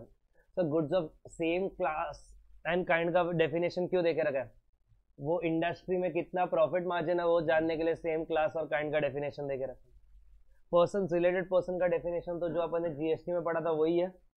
ओनली डिफरेंस इज़ जीएसटी में 25 परसेंट पढ़ा था, इधर 5 परसेंट हो गया। रेस्ट पूरा डेफिनेशन जीएसटी जैसा ही है रिलेटेड पार्टी का। उसमें प्लेस ऑफ़ इम्पोर्टेशन बहुत इंपॉर्टेंट है बिकॉज़ वैल्यू कब तक का लेना है इन ऑफ़ इम्पोर्टेशन में? अप टू द प्लेस या to the place of importation का लेना after that place of importation का वैल्यू नहीं लेना है। इसके लिए प्लेस ऑफ़ इंपोर्टेशन तो place of importation of custom port airport land custom station याद है तुमको? International courier terminal foreign post office कोई भी वो कस्टम स्टेशन हो सकता है। ठीक है। फिर अपन ने एक क्वेश्चन किया था। ये क्वेश्चन में पढ़ा था, एक कंपनी दूसरे कंपनी में थर्टी परसेंट होल्ड करता है। अगर एक कंपनी दूसरे कंपनी में थर्टी परसेंट होल्ड करता है तो क्या वो रिलेटेड पार्टी है? No no. क्यों? वो डेफिनेशन में ऊपर आता ही नहीं है। डेफिनेशन में वो फाइव परसेंट हो तो ही controls five percent or more of both of them वाला है। One control thirty percent of another तो है नहीं। तो but one control sixty percent of another तो तो कंट्रोल वाले में आ जाएगा। ठीक है नेक्स्ट रूल थ्री बोलता है ट्रांजैक्शन वैल्यू ही तुम्हारा वैल्यू रहेगा। Even if buyer and seller related तो भी ट्रांजैक्शन वैल्यू ही तुम्हारा वैल्यू रहेगा। मतलब रूल थ्री क्या बोलता है? कौन सा वैल्यू लेने का? ट्रांजैक्शन बट वो बोलता है, अगर buyer seller related transaction value तभी ले सकता है जब relationship did not influence the price and कौन प्रूव करेगा relationship did not influence the price import importer will prove that relationship did not influence the price how the importer will prove the relationship did not influence the price will say this his value is approximate or closely approximates any of the following transaction value of identical similar goods deducted value of identical similar goods or computed value of identical good इस same से कोई भी value से approximately close है तो बोलेगा, मेरा value सही है। तो even if buyer seller related तो भी ट्रांजेक्शन वैल्यू आएगा। मतलब बायर सेलर रिलेटेड नहीं है तो तो ट्रांजैक्शन वैल्यू ही लेना है। Provided price is the sole concern sir लेकिन समझो ऐसा हो गया कि बायर सेलर रिलेटेड था प्राइस सोल कंसिडरेशन नहीं था, वो प्रूव भी नहीं कर पाया कि वैल्यू करेक्ट है इंपोर्टर बायर सेलर रिलेटेड तो इंपोर्टर को प्रूव करना पड़ता है इस values correct closely approximate importer prove भी नहीं कर पाया तो आगे रूल्स में चला जाएगा। रूल फोर रूल फोर बोलता है transaction value of which goods identical goods transaction value of identical goods जो तुम लेगा they are imported at or about the same time when the goods being valued are imported if there are more than one transaction then lowest should be considered they should be at same commercial level and same quantity level if there is a differences अगर same commercial level वाला available ही नहीं है तो different ले सकता है. But you need to adjust adjust for what commercial levels and quantity levels commercial level मतलब क्या? होलसेलर टू रिटेलर या मैन्युफैक्चर टू होलसेलर वो कमर्शियल लेवल अगर मेरा ट्रांजैक्शन मैन्युफैक्चर टू होलसेलर तो कंपेरेबल ट्रांजैक्शन भी मैन्युफैक्चर टू होलसेलर वाला चीज़ फिर आता क्वांटिटी लेवल्स मेरा क्वांटिटी सौ टन है, दूसरा दो टन कर रहा है, कैसा कंपेयर कर सकता है? नहीं कर सकता तो कमर्शियल पहले कोशिश करो same commercial level same quantity level मिले. नहीं मिले तो डिफरेंट लेके फिर एडजस्ट भी कर सकता है। In fact cost and charges जो टेन टू में रेफर किया, उसका भी एडजस्टमेंट्स करना पड़ेगा।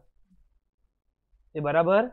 If there significant differences because of differences in distance means of transport तो तुमको टेन टू में अपन ने जो transport loading unloading handling up to the place of importation देगा इंश्योरेंस देगा वो सब एडजस्ट करना पड़ेगा। रूल फोर वाला कंप्लीट हो जाता है। समझो रूल फोर के हिसाब से आंसर मिल गया तो बेस्ट है। गेम ओवर रूल फोर में बहुत सारा वैल्यूज़ था तो लोएस्ट था, याद रखना। अगर नहीं मिला आंसर तो you go to rule five rule five is same thing but transaction value of identical के बदले सिमिलर गुड्स और बाकी जो भी रूल फोर में लिखा है as it is sir rule five के हिसाब से आंसर भी नहीं मिला तो रूल सिक्स बोलता है, आगे बढ़ो। सेवन में जाओ, नहीं मिला तो एट में जाओ। तो ठीक है, अपन सेवन में गए। सेवन वॉज़ डिडक्टिव वैल्यू बोलता है, वो गुड्स जो अपन ने इंडिया में लाए या आइडेंटिकल या similar goods are sold in India कब? At or about the time when we have imported the goods अपन ने जब इंपोर्ट किया at or about the time वो गुड्स इंडिया में क्या हुआ है? सेल हुआ है। तो जो unit price at which greatest aggregate quantity sold वहाँ से चालू करने का। तो मैंने गुड्स इंपोर्ट किया है, मेरा गुड्स का वैल्यू नहीं मिला या तो मेरा गुड्स या तो आइडेंटिकल गुड्स या तो सिमिलर गुड्स इंडिया में बिका एट और अबाउट द सेम टाइम जब मैंने इंपोर्ट किया। तो unit price at which greatest aggregate quantity sold वो निकालने का। So how to calculate unit price at which greatest aggregate quantity sold किधर गेला रे हाँ ये रहा। मैंने तुमको एग्ज़ाम्पल दिया कि बहुत सारे क्वांटिटीज थे। चालीस यूनिट सौ रुपए में पर यूनिट में भेजा तीस यूनिट नब्बे रुपया पर यूनिट में भेजा ऐसा बहुत सारे यूनिट्स बेचे। तो एक काम करने का हर प्राइस पे टोटल कितने यूनिट्स बेचे वो निकालने का। ऑब्ज़र्व करो मैंने इतने अलग अलग प्राइसेस पे भेजा था। किसी को सौ रुपया पर यूनिट किसी को नाइन्टी रुपीज़ पर यूनिट किसी को नाइन्टी फाइव पर यूनिट किसी को वापस सौ रुपया पर यूनिट हर प्राइस पे, एक प्राइस पे सौ रुपया पर यूनिट एक प्राइस है तो उस पर टोटल यूनिट निकालो। कि पहले वाले को भी सौ रुपया पर यूनिट था, दूसरे वाले को भी सौ रुपया पर यूनिट था तो टोटल यूनिट्स कितना हो हर प्राइस पे टोटल यूनिट्स मिलने के बाद उसका एग्रीगेट में जो टोटल है उसका हाईएस्ट निकालो। तो हर एक प्राइस पे टोटल यूनिट्स होगा, उसका क्या निकालो? हाईएस्ट और वो हाईएस्ट के सामने जो वैल्यू होगा that is unit price at which greatest aggregate quantity so अपने केस में, तुम देखेगा तो सौ रुपया नब्बे रुपया सौ रुपया नाइन्टी फाइव रुपीज़ है वन ज़ीरो फाइव है नाइन्टी हंड्रेड मतलब इफ़ यू से अलग अलग प्राइजेस में तो ninety ninety five hundred and hundred and five है। नाइन्टी पे जितने भी यूनिट्स बेचे, सबका टोटल करके लिखो। नाइन्टी फाइव में जितने भी यूनिट्स बेचे, सबका टोटल करके लिखो सो सो ये यूनिट्स लिखने का ये यूनिट्स का क्या निकालो? एग्रीगेट क्वांटिटी का क्या निकालेगा? ग्रेटेस्ट मतलब हाईएस्ट निकालेगा aggregate quantity highest sixty five units है। तो price at which greatest aggregate quantity sold 65 units कितने में बिके? 90 and the 90 is that price उससे चालू करने का। बट सर वो प्राइस तो अपन ने किसी और को बेचा, वो वाला है। और अपन ने कोई अनरिलेटेड पार्टी को बेचा हुआ रहना चाहिए। वो भी अनरिलेटेड पार्टी को बेचा हुआ रहना चाहिए। तो अब क्या करने का? अगर समझो अपन ने अनरिलेटेड पार्टी को बेचा बट अपने को इम्पोर्ट का वैल्यूएशन चाहिए। इम्पोर्ट का वैल्यूएशन मतलब सीआईएफ तक का वैल्यू चाहिए।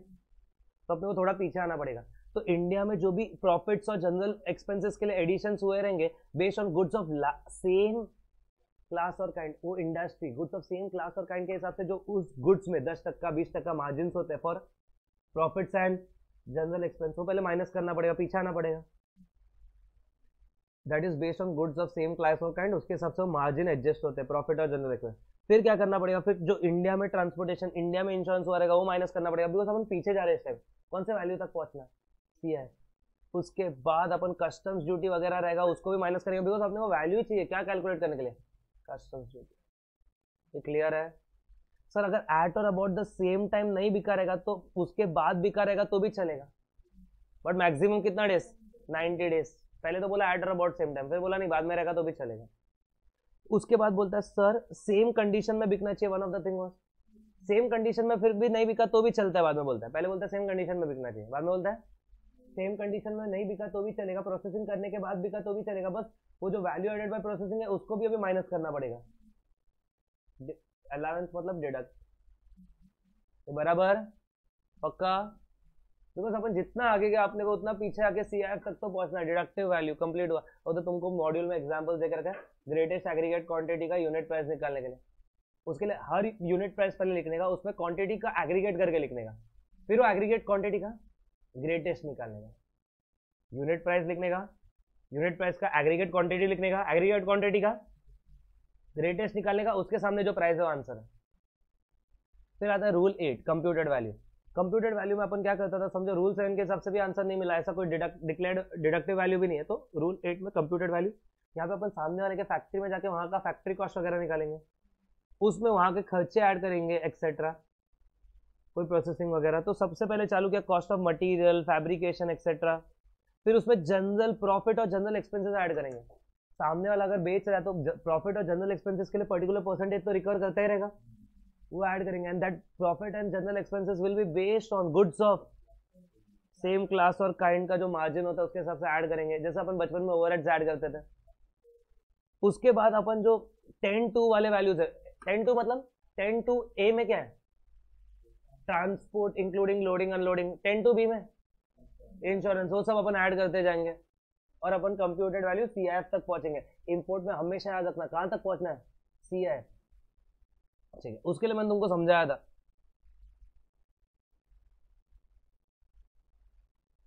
सर सी आई एफ़ क्या होता है?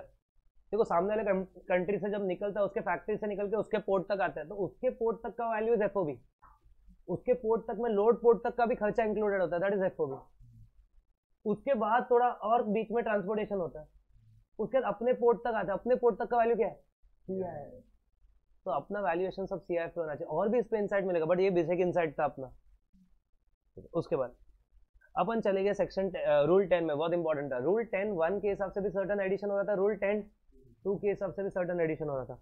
रूल टेन वन के हिसाब से जो एडिशन हो रहे थे they were generally as a condition of sale etcetera and not already added तो ऐड करना चाहिए, ऐसा सब था।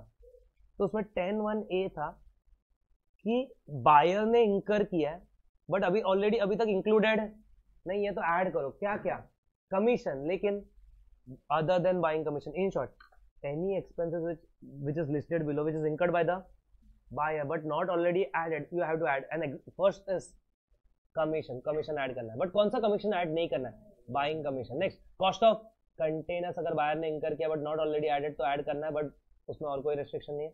And then third वाला, cost of packing वगैरह buyer ने incur किया, but already added नहीं है तो add करना है। तो टेन वन ए के हिसाब से टेन वन ए के हिसाब से बोलो।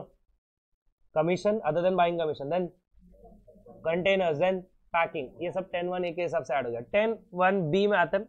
ऐसा टेन वन बी में अभी क्या बाहर खर्चा नहीं कर रहा है? बाहर क्या कर रहा है? गुड्स और सर्विसेज़ प्रोवाइड कर रहा है। किसको? वहाँ के सप्लायर को either free of cost or at reduce rate goods or services provide कर रहा है बायर वहाँ के सप्लायर को फ्री ऑफ़ कॉस्ट या फिर रेड्यूस रेट पे सप्लाई कर रहा है। सर क्या क्या सप्लाई कर रहा है? Material component parts etcetera supply कर रहा है। Tool dies moulds etcetera supply कर रहा है। Material consumed in production supply कर रहा है। अपन ये सब बिंदा सप्लाई कर रहे हैं, अपन बाहर है। तो भाई, अपन इतना सब फ्री ऑफ़ कॉस्ट और रेड्यूस रेट को दे रहे टू द सप्लायर तो सप्लायर अपने को जब सामान देता रहेगा, सस्ते में देता रहेगा तो अपना इंपोर्टेड वैल्यू अफेक्टेड रहेगा तो ये सब वैल्यू में ऐड होना चाहिए। पर एक बात याद रखो, और एक चीज़ ऐड होता है that is development work engineering art work design work plan etcetera but they should be undertaken elsewhere in India तो ही ऐड होएगा। अगर समझो ये development work undertaken in India रहेगा तो ऐड नहीं होएगा। क्लियर है? पक्का? फिर ऐसा है royalty licence fees buyer pay कर रहा है। किसको पे करेगा? ऑब्वियसली बायर सामने वाले को पे करेगा। कैसे? As a condition of sale अगर रॉयल्टी टेक्निकल फ़ीस एक्सेट्रा या कुछ पे कर रहा है, तुम लाइसेंस फ़ी पे कर रहा है as a condition of sale pay कर रहा है तो ऐड होगा। But imagine you are paying some technical fee which is not as a condition of sale but वो अलग से separately after two months transaction कर रहा है तो वो ऐड नहीं होगा। सम आया था शायद? क्लियर है? तो यहाँ पे रॉयल्टी टेक्निकल फ़ीस या लाइसेंस फ़ीस वगैरह ऐड होगा only when it is as a condition of sale in fact उसने क्लियरली बोल दिया नेक्स्ट में। हाँ नेक्स्ट पॉइंट तो वो वाला था। कि अगर समझो प्रोसीड्स ऑफ़ सब्सिक्वेंट रीसेल है डिस्पोजल या यूज़ है सब्सिक्वेंट रीसेल का डिस्पोजल या यूज़ है, उससे मैं कुछ प्रोसीड कर रहा है, उसमें से मैं शेयर दे रहा है किसको? वहाँ के सेलर को। तो मैं उसको बोला, तेरे पास से मशीन आए, मशीन में से जितना भी बिकेगा उसका दस टक्का तेरा। ना, वो भी तो ऐड करना पड़ेगा किसमें? वो मशीन के वैल्यू में। उसके बाद लास्ट में तो बोल दिया, कोई भी पेमेंट हो as a condition of sale हो बायर करना चाहिए टू द सेलर या बायर करना चाहिए to the third party to discharge the obligation of seller and वो अभी भी इंक्लूडेड नहीं है तो ऐड होएगा। इन शॉर्ट लास्ट पॉइंट में तो सब कुछ ऐड हो जाता है। ये क्लियर है? उसके एग्जाम्पल्स अपन ने पढ़ लिए थे। uh, उसमें एक पॉइंट ऐसा था प्राइस इंक्रीज हो गया। Between the contracted date and actual importation तो कौन सा प्राइस लेना चाहिए? अगर कुछ और नेगोशिएशन नहीं हुआ तो। मैंने कॉन्ट्रैक्ट किया था सौ डॉलर में। और मैंने जब इम्पोर्ट किया था एक सौ पचास डॉलर गया, बस सामने वाले मेरे को सौ डॉलर में ही दिया। सौ डॉलर ही लेना पड़ेगा। पोस्ट इंपोर्टेशन प्रोसेस का वैल्यू ऐड होएगा क्या? अगर as a condition of sale अगर वो कंडीशन ऑफ़ सेल रहेगा तो। लिखा है क्वेश्चन में लिखा है पोस्ट इम्पोर्टेशन ऐड होएगा क्या? If it is condition of sale any payment made which is as a condition of sale by the buyer to the seller or buyer by the buyer to the third party to decide the obligation of the seller add होएगा sir लेकिन यही post importation process का payment as a condition of sale नहीं रहेगा तो add नहीं होएगा ten two आ गया। बहुत क्रिटिकल था। टेन टू यहाँ से पढ़ने का कि चार्ट में से। Chart chart chart chart ten two में दो था, टेन टू ए और ten two B. Ten two A क्या है? ध्यान से समझो, ten two A is cost of transport उसमें transport loading unloading handling till the time of delivery to the place of importation तक सब आएगा। उसका मतलब है सामने वाले के फैक्ट्री से लेके उसके लोड पोर्ट तक, वो भी ए में कॉस्ट ऑफ़ ट्रांसपोर्टेशन में आएगा। उसके लोड पोर्ट पे जो लोडिंग अनलोडिंग हैंडलिंग होएगा, वो भी ए में आएगा। उसके बाद उसके पोर्ट से लेके अपने पोर्ट तक वो शिप वगैरह में गया, वो भी आएगा। इनफैक्ट अपने पोर्ट से पहले, पहुँचने के पहले शिप डिमोरेज लाइट रेज बाज ये सब पोर्ट ऑफ़ इंपोर्टेशन में पहले से पहुँचने से पहले होता है। शिप डिमोरेज लाइट रेज बाज ये सब ऐड होएगा। ये क्लियर है? और ये मैंने तुमको एकदम माइक्रोस्कोपिक व्यू दिया था। अपन वो उसके फैक्ट्री से निकला, बीच में का ट्रांसपोर्टेशन बीच में का ट्रांसपोर्टेशन ऐड हुआ। वो अदर कंट्री में। उसके लोड पोर्ट पे, उसके लोड पोर्ट पे भी खर्चा आएगा, वो सब भी ऐड होगा और यहाँ तक तुमको एफओबी नॉर्मली मिलेगा। उसके बाद बीच में का ट्रांसपोर्टेशन ऐड होगा अपने यहाँ पे लाइट रेज बाद शिप डिमोरेज आएगा तुम पोर्ट ऑफ़ इंपोर्टेशन तक पहुँच गया। उसके बाद पोर्ट डिमोरेज ऐड नहीं होगा because you are already reach port of importation unloading loading associated with the delivery at port of importation वो ऐड नहीं होगा। ट्रांसशिपमेंट ऐड नहीं, और ये ये काफ़ी क्रिटिकल हो गया था बाद में। तो अपन ने कॉस्ट ऑफ़ ट्रांसपोर्टेशन का मतलब समझा। अब एक बार मेरा कॉस्ट ऑफ़ ट्रांसपोर्टेशन का मतलब समझ के हो गया एम है। It's not just transport it's transport loading unloading handling सब। That is ten two a अब टेन टू ए सर सब में क्या करने का? अगर वो शिप रिलेटेड है एंड एक्चुअल पता है तो एक्चुअल लेने का। अगर वो शिप रिलेटेड है एक्चुअल पता नहीं है तो ट्वेंटी परसेंट ऑफ़ एफ़ लेने का। सर एफओबी नहीं पता है बट एफ़ प्लस इंश्योरेंस पता है तो? Twenty percent of F plus insurance लेने का। क्लियर है? नेक्स्ट एयर एयर में पहला एक्चुअल पता है तो? एक्चुअल और twenty percent of F O B which is lower और यहाँ पे अपने को समझ में आया था एक समय क्लासिक केस था मे एटीन का आरटीपी का question because even if actual पता था तो एक्चुअल और twenty percent of F O B entire a तो अपने को करना पड़ा था एफ़ अलग से निकालना पड़ा था, जिसमें थोड़ा बिफोर पोर्ट था, थोड़ा आफ्टर वो पूरा निकाल के एक्चुअल लो या ट्वेंटी परसेंट ऑफ़ एफ़ लो, वो दोनों में से एक फिगर करके ऊपर ऐड करना पड़ा था अपना नॉर्मल वैल्यूएशन से मशीन के वैल्यूएशन में। और शिप एयर के केस में पता नहीं है तो नॉर्मल बोलो। ट्वेंटी परसेंट ऑफ़ एफ़ तो सर उसमें एफ़ नहीं पता बट एफ़ प्लस इंश्योरेंस पता है। तो एफ़ प्लस इंश्योरेंस का ट्वेंटी परसेंट अभी ये एकदम मैनेजेबल लगता रहेगा। इंश्योरेंस पहले एक्चुअल पता है तो। एक्चुअल उसमें एयर और शिप इंश्योरेंस एक्चुअल पता तो एक्चुअल इंश्योरेंस एक्चुअल नहीं पता है तो 1.125 percent of FOB but sir FOB नहीं पता बट एफओबी प्लस ट्रांसपोर्टेशन पता है तो 1.125 percent of FOB plus transportation clear है?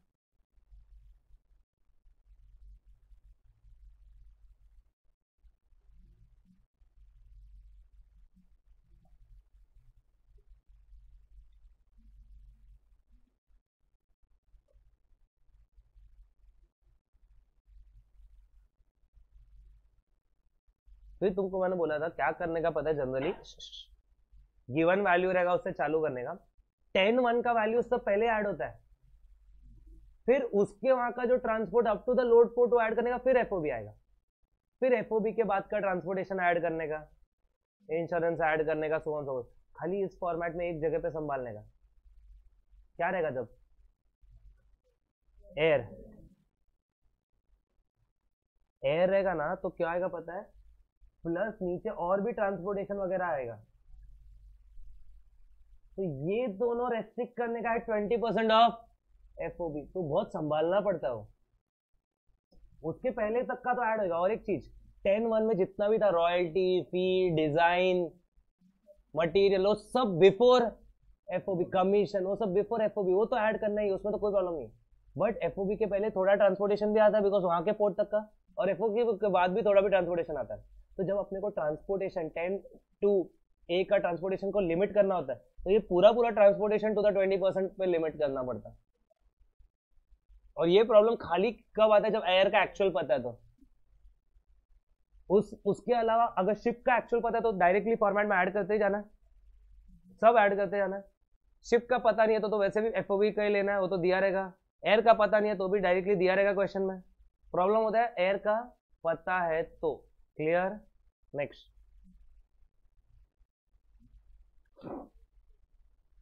फिर अपन ने भर भर के सम्स किए।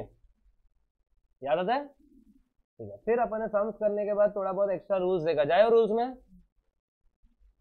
ठीक है। रूल इलेवन देखा था अपन ने आज। क्या पता चल रहा था रूल इलेवन जो भी ऑफिसर इंफॉर्मेशन मांगेगा वो देने का। रूल ट्वेल्व में ये पता लगा, अगर ऑफिसर को रीजन टू डाउट रहेगा ना, वो तुम्हारा वैल्यू रिजेक्ट कर सकता है। बट तुमको बोलेगा, क्यों रिजेक्ट कर रहा है? तुमको अपॉर्चुनिटी ऑफ़ बीइंग हर्ट मिलेगा, तुम आंसर्स देगा हियरिंग होएगा। और फिर फिर भी लगता है कि तुम्हारा वैल्यू गलत है तो क्या करेगा? रिजेक्ट और वो अपने हिसाब से वैल्यू करके देगा। तुमको नहीं पसंद आता है तो अपील्स में जाना बाद में। बट तुमको ओबीएच मिलना चाहिए। अगर वो खुद से मन से बोले, नहीं, तुम्हारा वैल्यू पसंद ये नया वैल्यू तो नहीं चलेगा। He has to give reasonable opportunity of being sir क्या क्या रीजन हो सकता है जब ऑफिसर हमको डाउट कर सकता है? अब इंपोर्ट का केस है। इंपोर्ट ही पढ़ रहे अभी तक। ऑफिसर कब तुमको डाउट कर सकता है? जब बाकी लोगों का इंपोर्ट बहुत हायर वैल्यू पे और तुम्हारा इम्पोर्ट कम वैल्यू पे। दूसरा तुम तुम्हारे केस में अब नॉर्मल डिस्काउंट या स्पेशल डिस्काउंट है। देन वो दो पॉइंट हो गया एक्चुअली तुमने डिस डिक्लेयर मिस डिक्लेयर किया।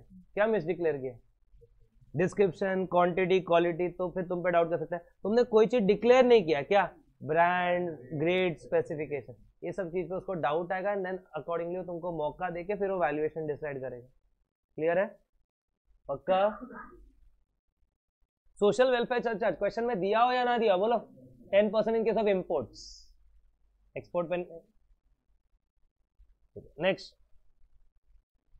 सर एक बार सामान इंपोर्ट हो रहा था। सामान इंपोर्ट हो रहा था। सामान रास्ते में था। मार्केट में प्राइस गिर गया। अपन ने बायर के साथ सेलर के साथ नेगोशिएट किया रीनेगोशिएटेड प्राइस कम हो गया। फिर सामान इंपोर्ट हुआ। Renegotiate because price at the time and place of importation is considered तो रीनेगोशिएटेड कम वाला प्राइस कंसिडर होगा सर लेकिन ऐसा हो गया। मेरा कॉन्ट्रैक्टेड वैल्यू था। सामान आने में थोड़ा लेट हो गया प्राइस बढ़ गया, कोई रीनेगोशिएशन नहीं है। कॉन्ट्रैक्टेड वैल्यू ही लगा। तो कॉन्ट्रैक्टेड वैल्यू ये क्लियर है? और वही सामान आने के टाइम रीनेगोशिएट हो गया, कम हो गया तो? कम वाला वैल्यू फाइन दे दो दे दो उसको आपको मस्ती कम नहीं है।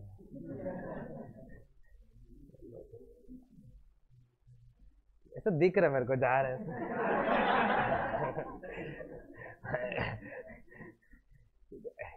चलो। फिर नेक्स्ट वाला पॉइंट लाइट्रेज बाज वगैरह वो सब किसमें आएगा? बिफोर इंपोर्टेशन वाला। Ship डिमोलेट lighterage barge. Ten two a ten two के ए ठीक है नेक्स्ट फिर रूल नाइन ऑफ़ का इंपोर्ट वैल्यूएशन रूल्स था, उसको इग्नोर किया। अगर तुम वैल्यू नहीं कर पा रहा नॉर्मली तो बोलता है रीजनेबल मीन्स के हिसाब से consistent with the principles of this rule value कर लेना भाई। ठीक है। फिर एक्सपोर्ट रूल्स में चले गए। एक्सपोर्ट रूल्स में definition are goods of same नहीं, अभी क्या है? लाइक काइंड एंड क्वालिटी हो गया। और जब goods of like kind and quality हो गया तो बोला वो आइडेंटिकल गुड्स भी हो सकता है सिमिलर सिमिलर और identical in physical characteristic, quality, reputation and perform either the same function or are commercially वो सब goods of like kind and quality हो गया। मतलब अल, अभी इनको अलग से ना एक्सपोर्ट के केस में ना आइडेंटिकल का डेफिनेशन देने का ज़रूरत है ना सिमिलर का डेफिनेशन देने का ज़रूरत है। फिर rule three of export valuation rules मतलब customs valuation determination of value of export goods rules 2007 में लिखा गया रूल थ्री में कि गुड्स का एक्सपोर्ट गुड्स का वैल्यू ट्रांजैक्शन वैल्यू ही होगा। Even if buyer and seller related है तो भी ट्रांजैक्शन वैल्यू होगा provided relationship did not influence the price अगर नहीं मिलता है तो आगे बढ़ो।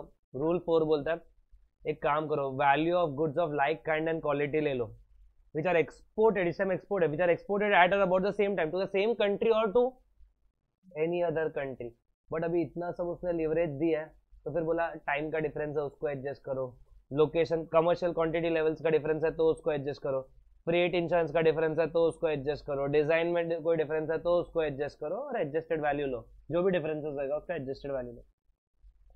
उसके बाद बोलता है, फिर भी आंसर नहीं मिल रहा है तो कंप्यूटेड वैल्यू अपना खुद का कॉस्टिंग करो। Cost of production manufacture plus कोई चार्जेस वगैरह तो ऐड करो प्लस प्रॉफिट ऐड करो।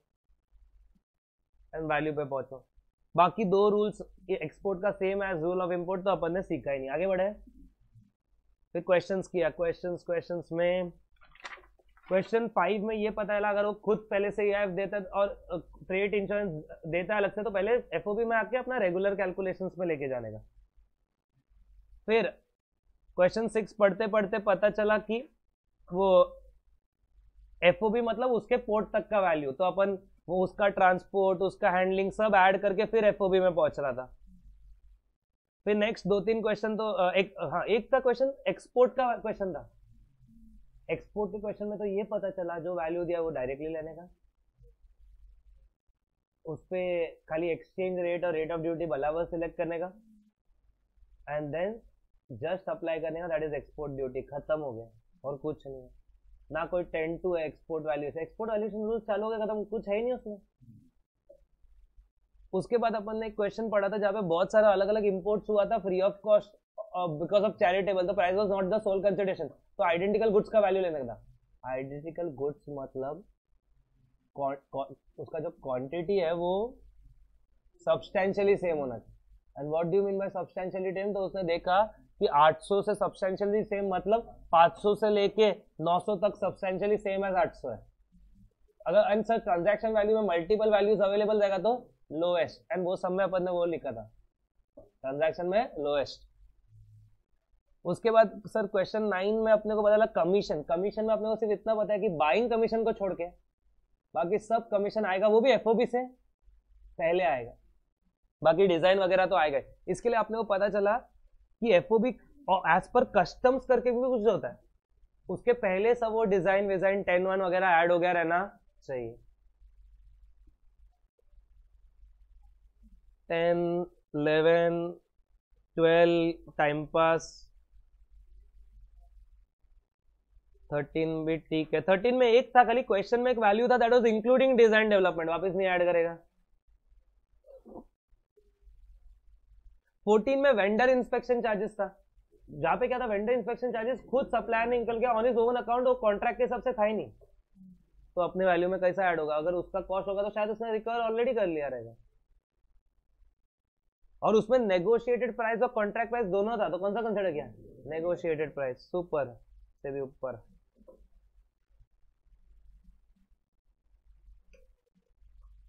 फिफ्टीन में कुछ नहीं था यस मतलब अलग. हाँ फिर अपन ने ये वाला पढ़ा एसेसरीज वाला. अगर सेट ऑफ़ आर्टिकल्स इंपोर्ट हो रहा है और सेम ही वैल्यू है.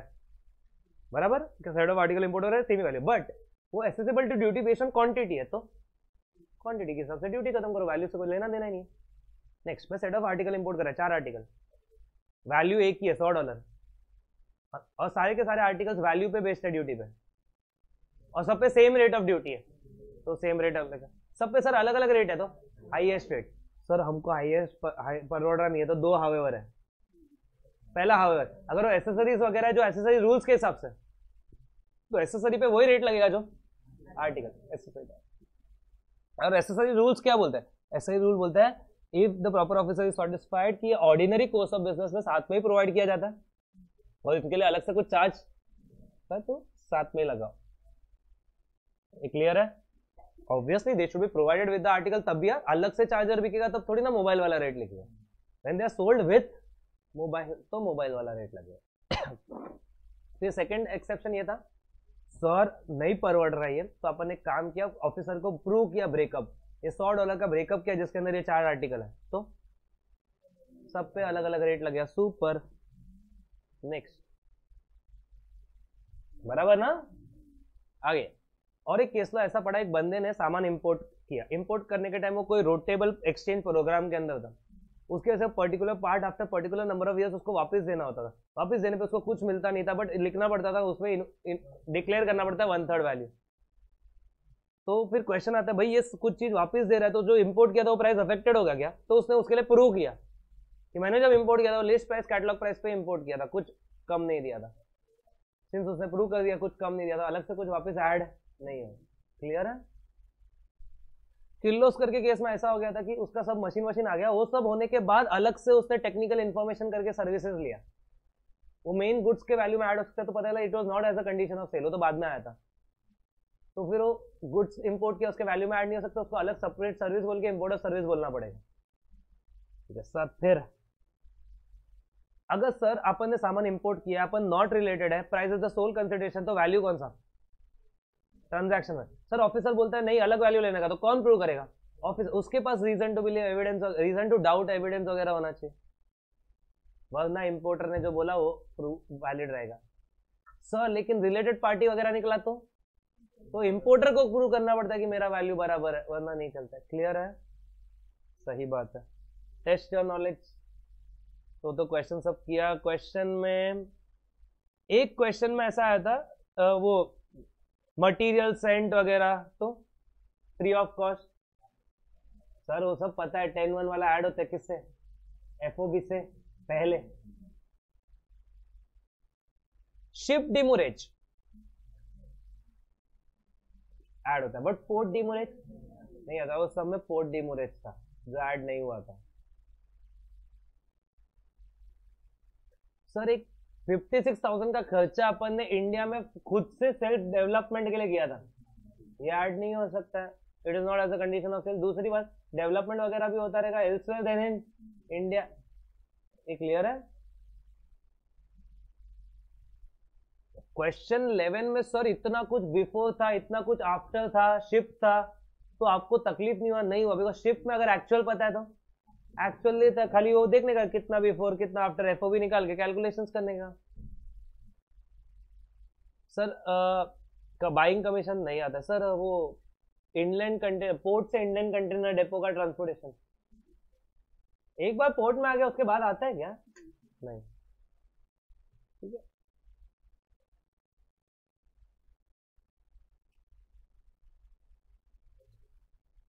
कावेरी का एक केस पड़ा उसमें ऐसा हो गया कि एसएससी ने एक वैल्यू बोला डिपार्टमेंट बोला, नहीं, ज़्यादा वैल्यू है, हमारे पास प्रिंट आउट है। एसएससी बोला, बता ना, मैं काउंटर आर्ग्यू करता हूँ सेम क्वालिटी वगैरह। बताया ही नहीं डिपार्टमेंट ने। और बोला, नहीं हायर रेट लगेगा तो। रीजनेबल आरओबीएच नहीं दिया। क्लियर ओके आरओबीएच नहीं दिया। नेक्स्ट वेयर हाउसिंग के केस में रेट ऑफ़ ड्यूटी कब का लेता है? Rate of duty ex bond बराबर बोल मतलब bill of entry for home consumption ex bond okay and rate of exchange filing of bill of entry मतलब into bond bill of entry हो गया चैप्टर रिविजन चलो आगे बढ़ते next super. Revise the refund chapter quickly refund कौन सा है भाई? जीएसटी का है कि कस्टम्स का कस्टम्स का रिफंड है। कस्टम्स का रिफंड सेक्शन 27 कस्टम्स में आता है। सबसे पहला बोलता है कि कौन कौन रिफंड क्लेम फ़ाइल कर सकता है? जिसने वो ड्यूटी इंपोर्टर हो एक्सपोर्टर जिसने वो ड्यूटी इंटरेस्ट पे किया रहेगा, वो। या फिर जिसने बोर या बोन किया रहेगा, वो रिफंड एप्लीकेशन कर सकता है।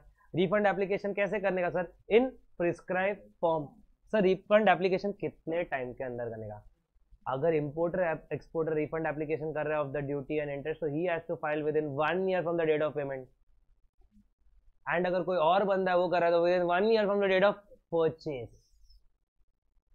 sir लेकिन रिफंड ड्यू हो रहा है on account of special order तो within one year from the date of the special order अगर रिफंड ड्यू हो रहा है because of any order decree judgment of any appellate tribunal appellate authority court within one year from the date of judgment order decree sir refund due हो रहा है because of finalisation of provisional assessment तो date of adjustment after finalisation sir अगर duty paid under protest रहेगा तो time limit apply होएगा क्या? One year का नहीं. नेक्स्ट मिनिमम रिफंड हंड्रेड उससे कम रिफंड नहीं मिलेगा. सर रिफंड के साथ कोई documentary evidence yes documentary evidence में पहला तो ये जाएगा कि आइदर वो ड्यूटी इंटरेस्ट जो भी था, वो मेरे से कलेक्ट हुआ था या तो मैंने पे किया था। I am the person eligible for refund दूसरी बात I have not pass on the burden to any other person मतलब I have borne the burden वो प्रूव करना पड़ेगा, उसका डॉक्यूमेंट्री एविडेंस देना पड़ेगा। In fact a section in customs 28 D वो एक प्रिजम्पशन क्रिएट करता है कि normally a person has pass on the incidents to the buyer so, he cannot claim the refund, doctrine of unjust enrichment but it is rebutable assumption तुम्हारे पास proof है कि तुमने पास ऑन नहीं किया तो प्रूव करो। And that there come section 27 section 27 बोलता है 27 टू बोलता है। नॉर्मली अगर तुमने कंप्लीट एप्लीकेशन किया है ऑल एंड ऑफिसर को लगता है कि रिफंडेबल है तो ऑर्डर पास करके बोलेगा, चल refund due consumer welfare fund को. तुम बोला, नहीं नहीं, मेरे को. तो in certain cases refund will also be due to the applicant and the list is as follows पहला इम्पोर्टर है, उसने पास ऑन नहीं किया रहेगा इंसिडेंस ऑफ़ ड्यूटी इंटरेस्ट तो क्लेम कर सकता है। अगर तुमने इंपोर्ट किया रहेगा फॉर पर्सनल पर्पस तो तुम क्लेम कर सकते हैं। अगर तुम बायर है एंड तुमने किसी और को इंसिडेंस पास ऑन नहीं किया रहेगा तो तुम रिफंड क्लेम कर सकते हैं, तुमको मिल सकता है एप्लीकेंट को मिल सकता है। सर सेक्शन 26 में एक्सपोर्ट ड्यूटी रिफंडेबल हुआ सकता है। सेक्शन 26 का एक्सपोर्ट ड्यूटी अपना पढ़ के हो गया। तो पढ़ेंगे वापस भी रिविजन में भी। 26 का जो एक्सपोर्ट ड्यूटी उसका रिफंड आ सकता है, उसमें और कुछ करने की ज़रूरत नहीं। सर सेक्शन 74 75 का ड्रॉबैक ड्रॉबैक 74 75 का अपन आगे पढ़ने वाला है। वो भी बंदे को मिल सकता है, वहाँ पे भी बंदे को ही मिलेगा। कंज्यूमर वेलफेयर फंड में ट्रांसफ़र नहीं होगा और कोई नोटिफाइड केसेस रहेगा तो भी पर्सन को एप्लीकेंट को रिफंड मिलेगा। उसके दो केसेस और ऐड हुए कि तुमने एक्सेस ड्यूटी पे किया and that excess is evident either from bill of entry और reassess bill of entry in that case refund तुमको मिलेगा। क्लियर उसके डॉक्टर ऑफ़ अनजस्ट एनरिचमेंट ये बोलता है if you import goods and pay the duty and then you sell the goods to another person and you pass on that burden to another person you collect the money from other person and then you also ask refund from the government. You cannot ask from two sources. That will be unjust enrichment. So excess amount whatever you have collected you have to pay to the government. But government also cannot keep it. Government has to transfer to consumer welfare fund. And whosoever claims the refund he has to prove that he has not passed on the burden. Because section 28d assumes that he has passed on the burden. Clear? That is doctrine of unjust enrichment then we went to certain important decisions of mafatlal industry mafatlal industry mein nine member bench of the supreme court decided the following first unjust enrichment concept that if i have passed on the duty i cannot claim the refund is valid and constitutional second thing they decided is Section 27 is a self-contained code. If Section 27 says you have to apply within one year, then you have to apply. You cannot apply another law of limitations like three years, etc. When it is refund of duty. But still, there's a way out. If it is not refund of duty, it's refund of wrongly paid amount, which is not section duty. So there's a option. There are different way out. So बाद में पढ़ेंगे अपन. Then next, uh, if the incidence of duty has been passed on, all courts must refuse to give the refund clear and then the last one was any excess amount which government gets government has to transfer you have to pay to the government and government has to transfer to consumer welfare fund ठीक है उसके बाद अगर कोई inputs है वो inputs पे मैंने ड्यूटी पे किया है उसको कैप्टिवली कंज्यूम किया है वो इनपुट्स पे ज़्यादा ड्यूटी पे किया है तो उसका रिफंड क्लेम कर सकता है क्या? नहीं उस पर भी doctor of unjust because inputs अगर कैप्टिवली कंज्यूम हुआ तो समवेयर वो पास ऑन हुआ ही आगे। नेक्स्ट सर कैपिटल गुड्स है। आ, ये वाला वो था मेरा। मैंने कैपिटल गुड्स इंपोर्ट किया कैपिटल गुड्स इंपोर्ट करने के बाद मैंने उसको यूज़ किया है एंड उसका इंपोर्ट ड्यूटी पे किया बट बाद में इंपोर्ट ड्यूटी का रिफंड मांगा है। और ये मैं बोलता हूँ कि कैपिटल गुड्स का इम्पोर्ट ड्यूटी पास ऑन नहीं होता तो सही है कि गलत? गलत है। कैपिटल गुड्स का भी इंपोर्ट ड्यूटी पास ऑन हो सकता है because it somewhere your cost और कॉस्ट अपोर्शन करके कस्टमर को जाएगा प्रिजम्पशन है। So but I tell that price before and after the import of capital goods is my same, selling price, so i am not passed on ज़रूरी नहीं कि price before and after the import of capital good same है because तुमने pass on नहीं किया। It can be due to other factors also देखो तुमने pass on किया है, ऐसा ही डीम होगा। Clear next duty paid under protest again तो भी doctor of unjust enrichment applicable time limit applicable नहीं but doctor of unjust enrichment तो एप्लीकेबल है उसके बाद ऐसा था प्रोविजनल असेसमेंट फाइनल होने पर रिफंड आ रहा है। Still doctor of unjust enrichment is applicable फिर अपन ने पढ़ा था इंटरेस्ट uh, अगर आपको रिफंड जो है आपको एप्लीकेशन करना एप्लीकेशन करने के फुल एप्लीकेशन प्रॉपर एप्लीकेशन करने के विद इन थ्री मंथ्स के अंदर तुमको रिफंड आना चाहिए। थ्री मंथ्स के अंदर रिफंड नहीं आया तो थ्री मंथ्स के बाद से इंटरेस्ट मीटर चालू होगा। कितना? Six percent till the date of payment application से थ्री मंथ्स देखना बट सर ऑर्डर पास हुआ है। तो ऑर्डर से विद इन थ्री मंथ्स के अंदर रिफंड आना चाहिए। कौन सा वाला वो आप कोई ऑर्डर पास हुआ एपेलेट अथॉरिटीज का तो? बहुत ऑर्डर पास हुआ एपेलेट अथॉरिटी का तो एप्लीकेशन नहीं करना पड़ता in that case order pass हुआ उसके within three months refund आना चाहिए, वरना उसके बाद छः टक्का इंटरेस्ट मीटर चालू होगा फिर दो और सेक्शन था। 26 एंड 26 ए 26 के अंदर ऐसा था you are exporting goods are not as per specification defective etcetera the other person is sending it back तो you are reimporting first thing is the reimport should be other than why was मतलब resale नहीं होना चाहिए कुछ defective बोल के वापस आना चाहिए। Next reimport should be within one year and एक बार with in one year re import वगैरह सब हो गया। इंपोर्ट होने के बाद within six months import का ऑर्डर परमिटिंग क्लियरेंस पास होने का विद इन सिक्स मंथ्स उनको एप्लीकेशन करके उसका रिफंड मांगना है।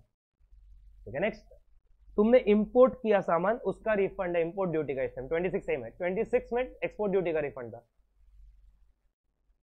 ट्वेंटी सिक्स में export duty and twenty six A में इंपोर्ट ट्वेंटी सिक्स ए बोलता तुमने इंपोर्ट किया इंपोर्ट ड्यूटी पे किया, उसका रिफंड मांग रहा है। क्यों? बिकॉज़ वो सामान डिफेक्टिव या नॉट एज पर स्पेसिफिकेशन निकला। तो बोलता है, बट एक काम होना चाहिए सामान पे वर्क अपॉन या यूज़ नहीं होना चाहिए unless that use is indispensable to find out the defect secondly you have to prove to the satisfaction of ACDC की ये वही सामान है जो इम्पोर्ट हो गया वही ये सामान है जो डिफेक्टिव या not as per the specification निकला है। देन तुमको उसके ऊपर का कोई और ड्रॉबैक वगैरह क्लेम नहीं करना चाहिए।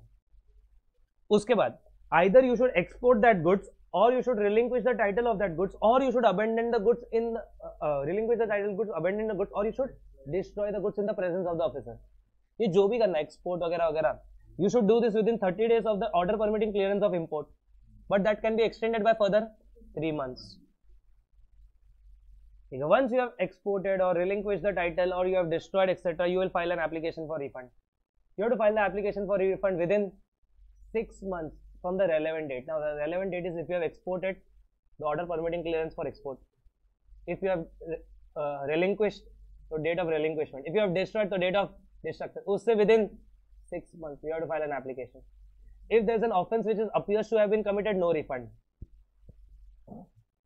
If the goods are goods have exceeded their shelf life, तो भी नो रिफंड वो केस में रिफंड नहीं देता next refund claim cannot substitute the appeal let us say there's an order passed which was payable you have to pay it unless that or, the till the time that order is cancelled revised that order stands if you don't pay vasuli by comes vasuli by aega but you feel it is not payable and you file a refund claim it does not make sense. Refund is a totally different process and appeals is totally different process. If you don't like an order you have to go for appeals. In refund the officer will not sit again and do the calculations again the reassessment again. It's not an appeal. So re appeal app uh, refund application cannot substitute a appeal. Clear? Next one. Few more judgments.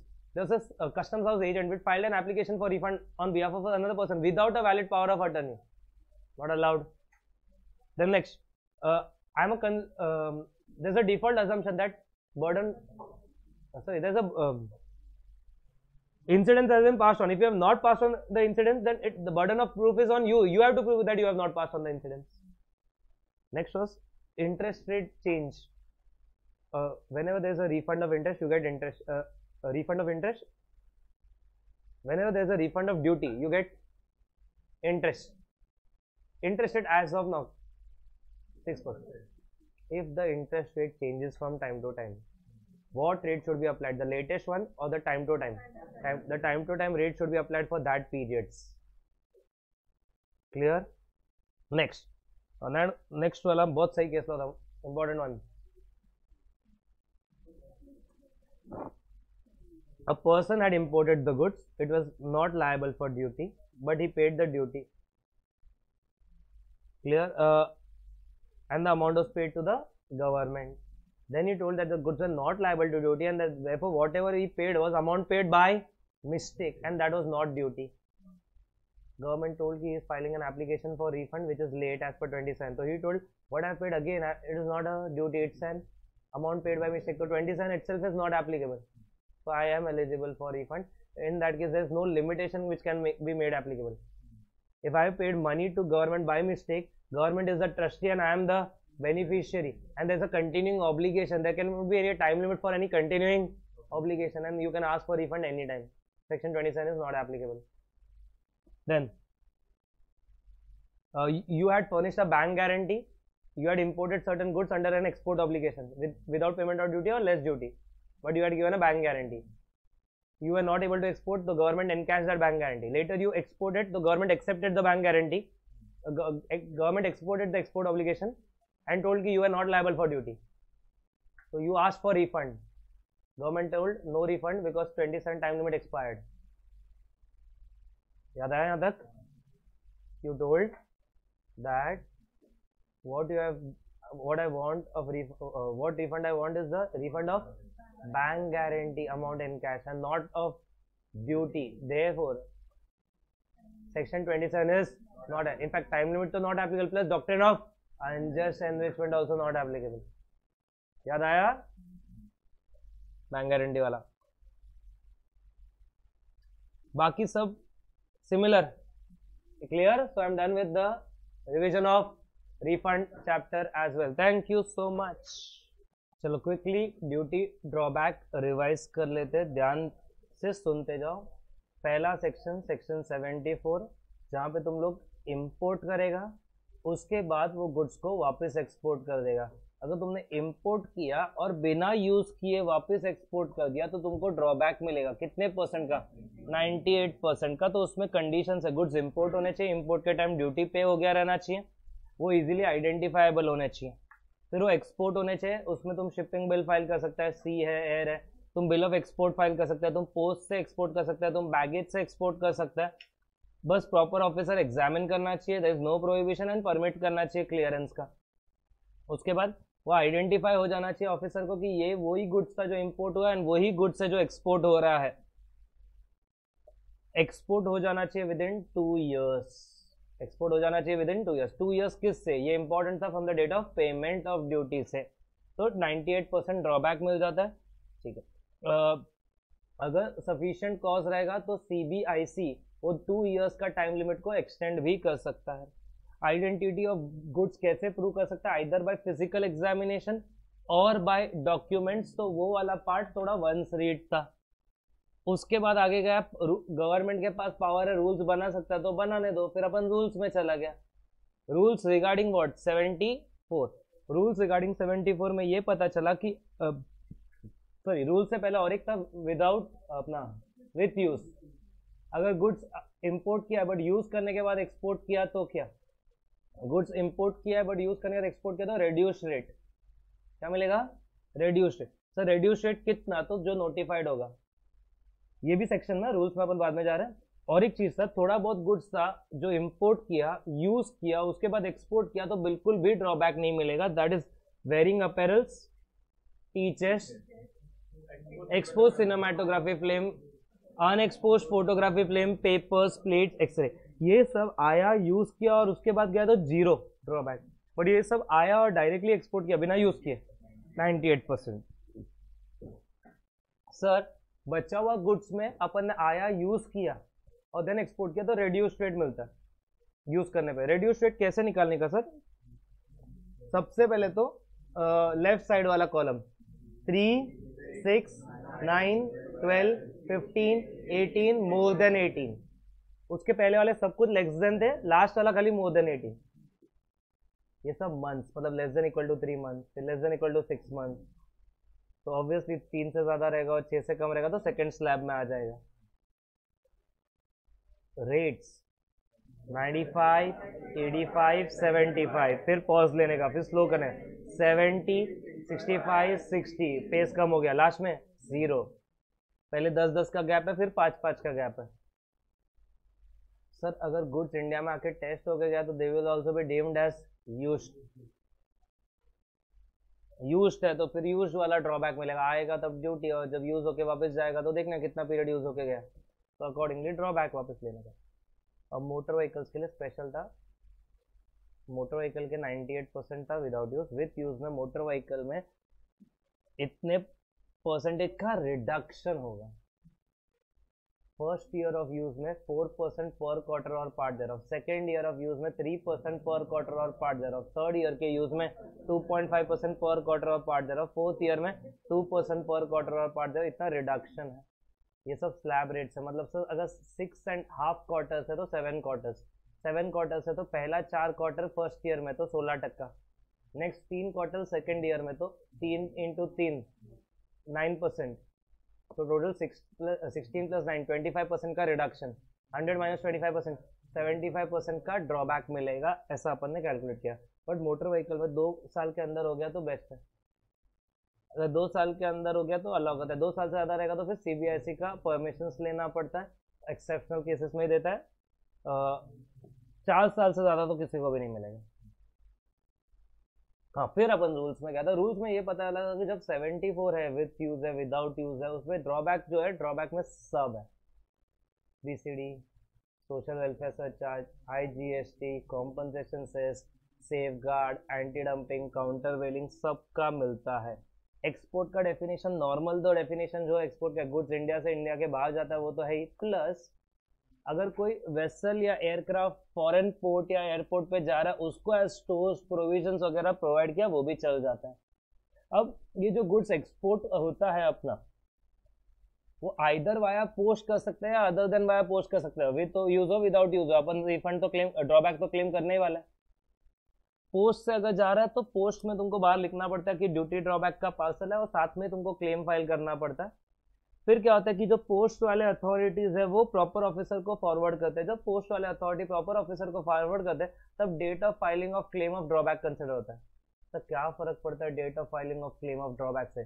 जब अपन ना date of filing of claim of drawback final हो जाता है, उससे with in one month government को अपने को ड्रॉबैक देना ही पड़ता है। गवर्नमेंट ने अगर वन मंथ के अंदर ड्रॉबैक नहीं दिया तो विद इंटरेस्ट आता है। कितना परसेंट सिक्स परसेंट कब से? वन मंथ होने के बाद से लेके जब तक वो गवर्नमेंट अपने को देता नहीं है तो date of filing of claim important होता है। सर अपन ने तो क्लेम फ़ाइल कर दिया बट डेफिशिएंसी निकला तो डेफिशिएंसी मेमो भेजा डेफिशिएंसी मेमो भेजा मतलब अपन ने कभी क्लेम फ़ाइल ही नहीं किया। तो अपन उसको रेक्टिफाई करता है। जब अपना रेक्टिफाई करके हो जाता है तो अपने को एक एक्नोलेजमेंट मिलता है। Date of acknowledgement date of filing of claim deem होता है। क्लियर है? उसके बाद next sir other than post से भी तो भेज सकते हैं। हाँ अदर देन पोस्ट से भी अपन भेज सकते हैं। उसमें डिक्लेरेशन वगैरह भेजना देना होता है और सब डॉक्यूमेंट सबमिट करना होता है। ठीक है। कब तक क्लेम फ़ाइल करना होता है? अदर देन में क्लेम फ़ाइल करना होता है विद इन थ्री मंथ्स कितने टाइम के अंदर? Three three months of the date of order permitting clearance के अंदर मैं क्लेम फ़ाइल करेगा रिफंड का? वो थ्री मंथ्स एक्सटेंड हो सकता है by further three months AC DC कर सकता है by further six months commissioner वगैरह कर सकते हैं, वो एप्लीकेशन फ़ी वगैरह भरना पड़ता है एक्सटेंशन का। पहला लेवल ऑफ़ एक्सटेंशन जब लेगा तब वन परसेंट ऑफ़ एफओबी और one thousand whichever less second time वापस एक्सटेंशन लेगा तो एक्स्ट्रा और टू परसेंट ऑफ़ एफओबी और टू थाउज़ेंड विचार्स ले सिर्फ़ एक्सटेंशन फ़ीस भरना पड़ता है, इसके अंदर क्लेम फ़ाइल करना पड़ता है। मतलब सेवेंटी फोर का जब मैं क्लेम फ़ाइल करता है तो अलग से क्लेम फ़ाइल करता हूँ। ये क्लियर है? पक्का? 74 में भी दो कर लिया। एक्सपोर्ट में अलग से, अपना पोस्ट में अलग से क्लेम नहीं जाता है वो पोस्ट के साथ ही जाता है। बट पोस्ट के अलावा जो होता है, उसमें अलग से क्लेम जाता है, उसका टाइम लिमिट लिख के रखा हुआ है। डॉक्यूमेंट्स वगैरह क्लेम के साथ फर्निश करना पड़ता है, ठीक है। जब अदर देन पोस्ट में अपना क्लेम फ़ाइल होता है इन दैट केस जब, जहाँ पे अपने को अपन क्लेम फ़ाइल करते हैं तो वहाँ पे डेटेड स्टैम्प मिलता है रिसिप्ट स्टैम्प वो जो डेटेड रिसिप्ट स्टैम्प है, वो there is the date of filing of claim तो उससे विद इन वन मंथ का काउंटिंग चालू होता है। सर उसमें भी डेफिशिएंसी निकला तो डेफिशिएंसी मेमो की क्लेम फ़ाइल ही नहीं किया। तो वापस रेक्टिफाई करो एंड जब तुम रेक्टिफाई करेगा तो it will be treated as कि तुमने अभी क्लेम फ़ाइल किया, नया क्लेम है क्लियर उसके बाद। अपन 75 में चले गए। 74 इतना ही था। 75 में क्या हो गया कि गुड्स अपन मैन्युफैक्चर कर रहा है प्रोसेस कर रहा है ऑपरेट कर रहा है। फिर उसके बाद अपन एक्सपोर्ट कर एक्सपोर्ट कर नॉर्मल एक्सपोर्ट प्रोसेस से जहाँ पे वो शेप एयर वगैरह proper officer passing order under section 51 export करो। जा लेके जा लेट गो ऑर्डर या फिर अपन पोस्ट वगैरह से एक्सपोर्ट कर रहे हैं तो गवर्नमेंट ड्यूटी ड्रॉबैक दे सकता है। रेट जो रहेगा वो गवर्नमेंट डिसाइड करेगा generally based on the average amounts etcetera और उसको बोलता है all industry rate all industry rate के हिसाब से अपने को ड्रॉबैक मिलता है। नाउ थोड़े बहुत केस में ये 75 में ड्रॉबैक नहीं मिलता। 75 था क्या गुड्स इंपोर्ट करो या समथिंग लाइक दैट या फिर इंडिया में खरीदो आप एक्साइज पे किया रहेगा। आज के तारीख में रेयर है एक्साइज या इंपोर्ट किया तब ड्यूटीज़ पे किया रहेगा एंड उसके बाद मैन्युफैक्चर वगैरह करके एक्सपोर्ट करो तो ड्रॉबैक मिलता है। ना, अभी पता लगा ड्रॉबैक कौन से रेट पर मिलता है? ऑल इंडस्ट्री रेट उसमें थोड़े बहुत केसेस में सेक्शन 75 बोलता है, मैं ड्रॉबैक नहीं देगा। If export value is less than the import value या फिर export value is not more than such percentage of the import value as may be notified by the government अगर notified रहेगा तो। या फिर उसका जो पैसा है that is not realise as within the time limit given under FEMA अगर फेमा के अंदर जो टाइम लिमिट दिया, उसके अंदर पैसा रियलाइज़ नहीं किया और तुमको समझो ड्रॉबैक उसके पहले पे हो चुका है तो it will be deem that वो ड्रॉबैक कभी अलाउड ही नहीं था। तो एरोनियस ड्रॉबैक है। एरोनियस ड्रॉबैक तुम्हारे पास से वापस रिकवर कर सकता है। जब एरोनियस ड्रॉबैक तुम्हारे पास से रिकवर करेगा तो विथ इंटरेस्ट रिकवर करेगा। इंटरेस्ट कितना परसेंट फिफ्टीन परसेंट कब से देखे? कब तक? Date of erroneous drawback to the date of recovery ठीक तो वसूली भाई सब आएगा। उसके बाद अपन उसके रिलेटेड रूल्स में चले गए।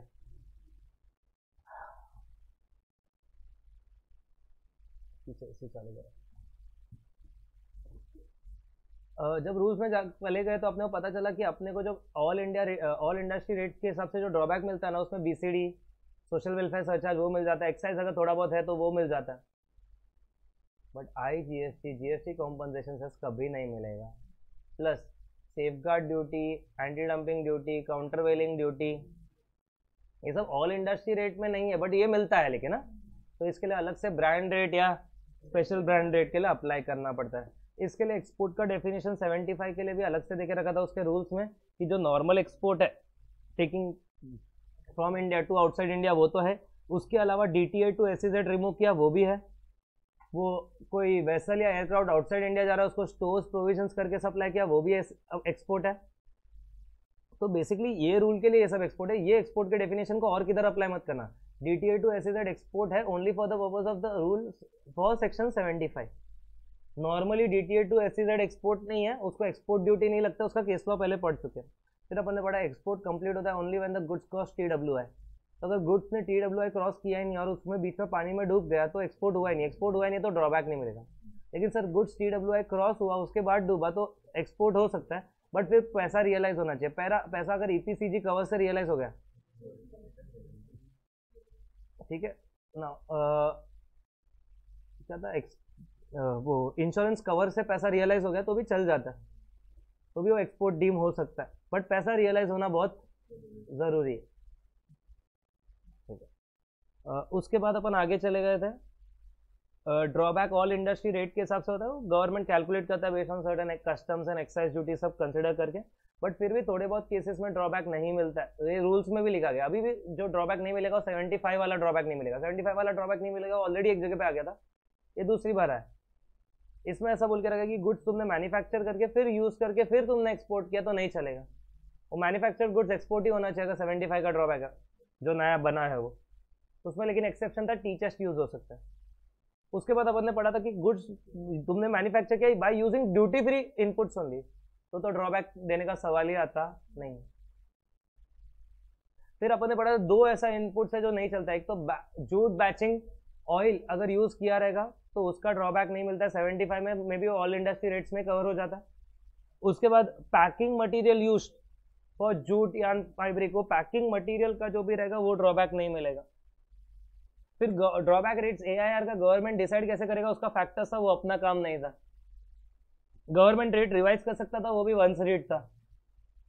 अभी ये ड्रॉबैक क्लेम कर सकता है आइदर यू एक्सपोर्ट अपना सॉरी ये ड्रॉबैक रेट गवर्नमेंट का वैलिडिटी भी देगा, उसको रेट्रोफेक्टिवली चेंज भी कर सकता है एक्सेट्रा गवर्नमेंट का काम है ड्रॉबैक रेट्स देना चेंज करना, कोई प्रॉब्लम नहीं था हाँ।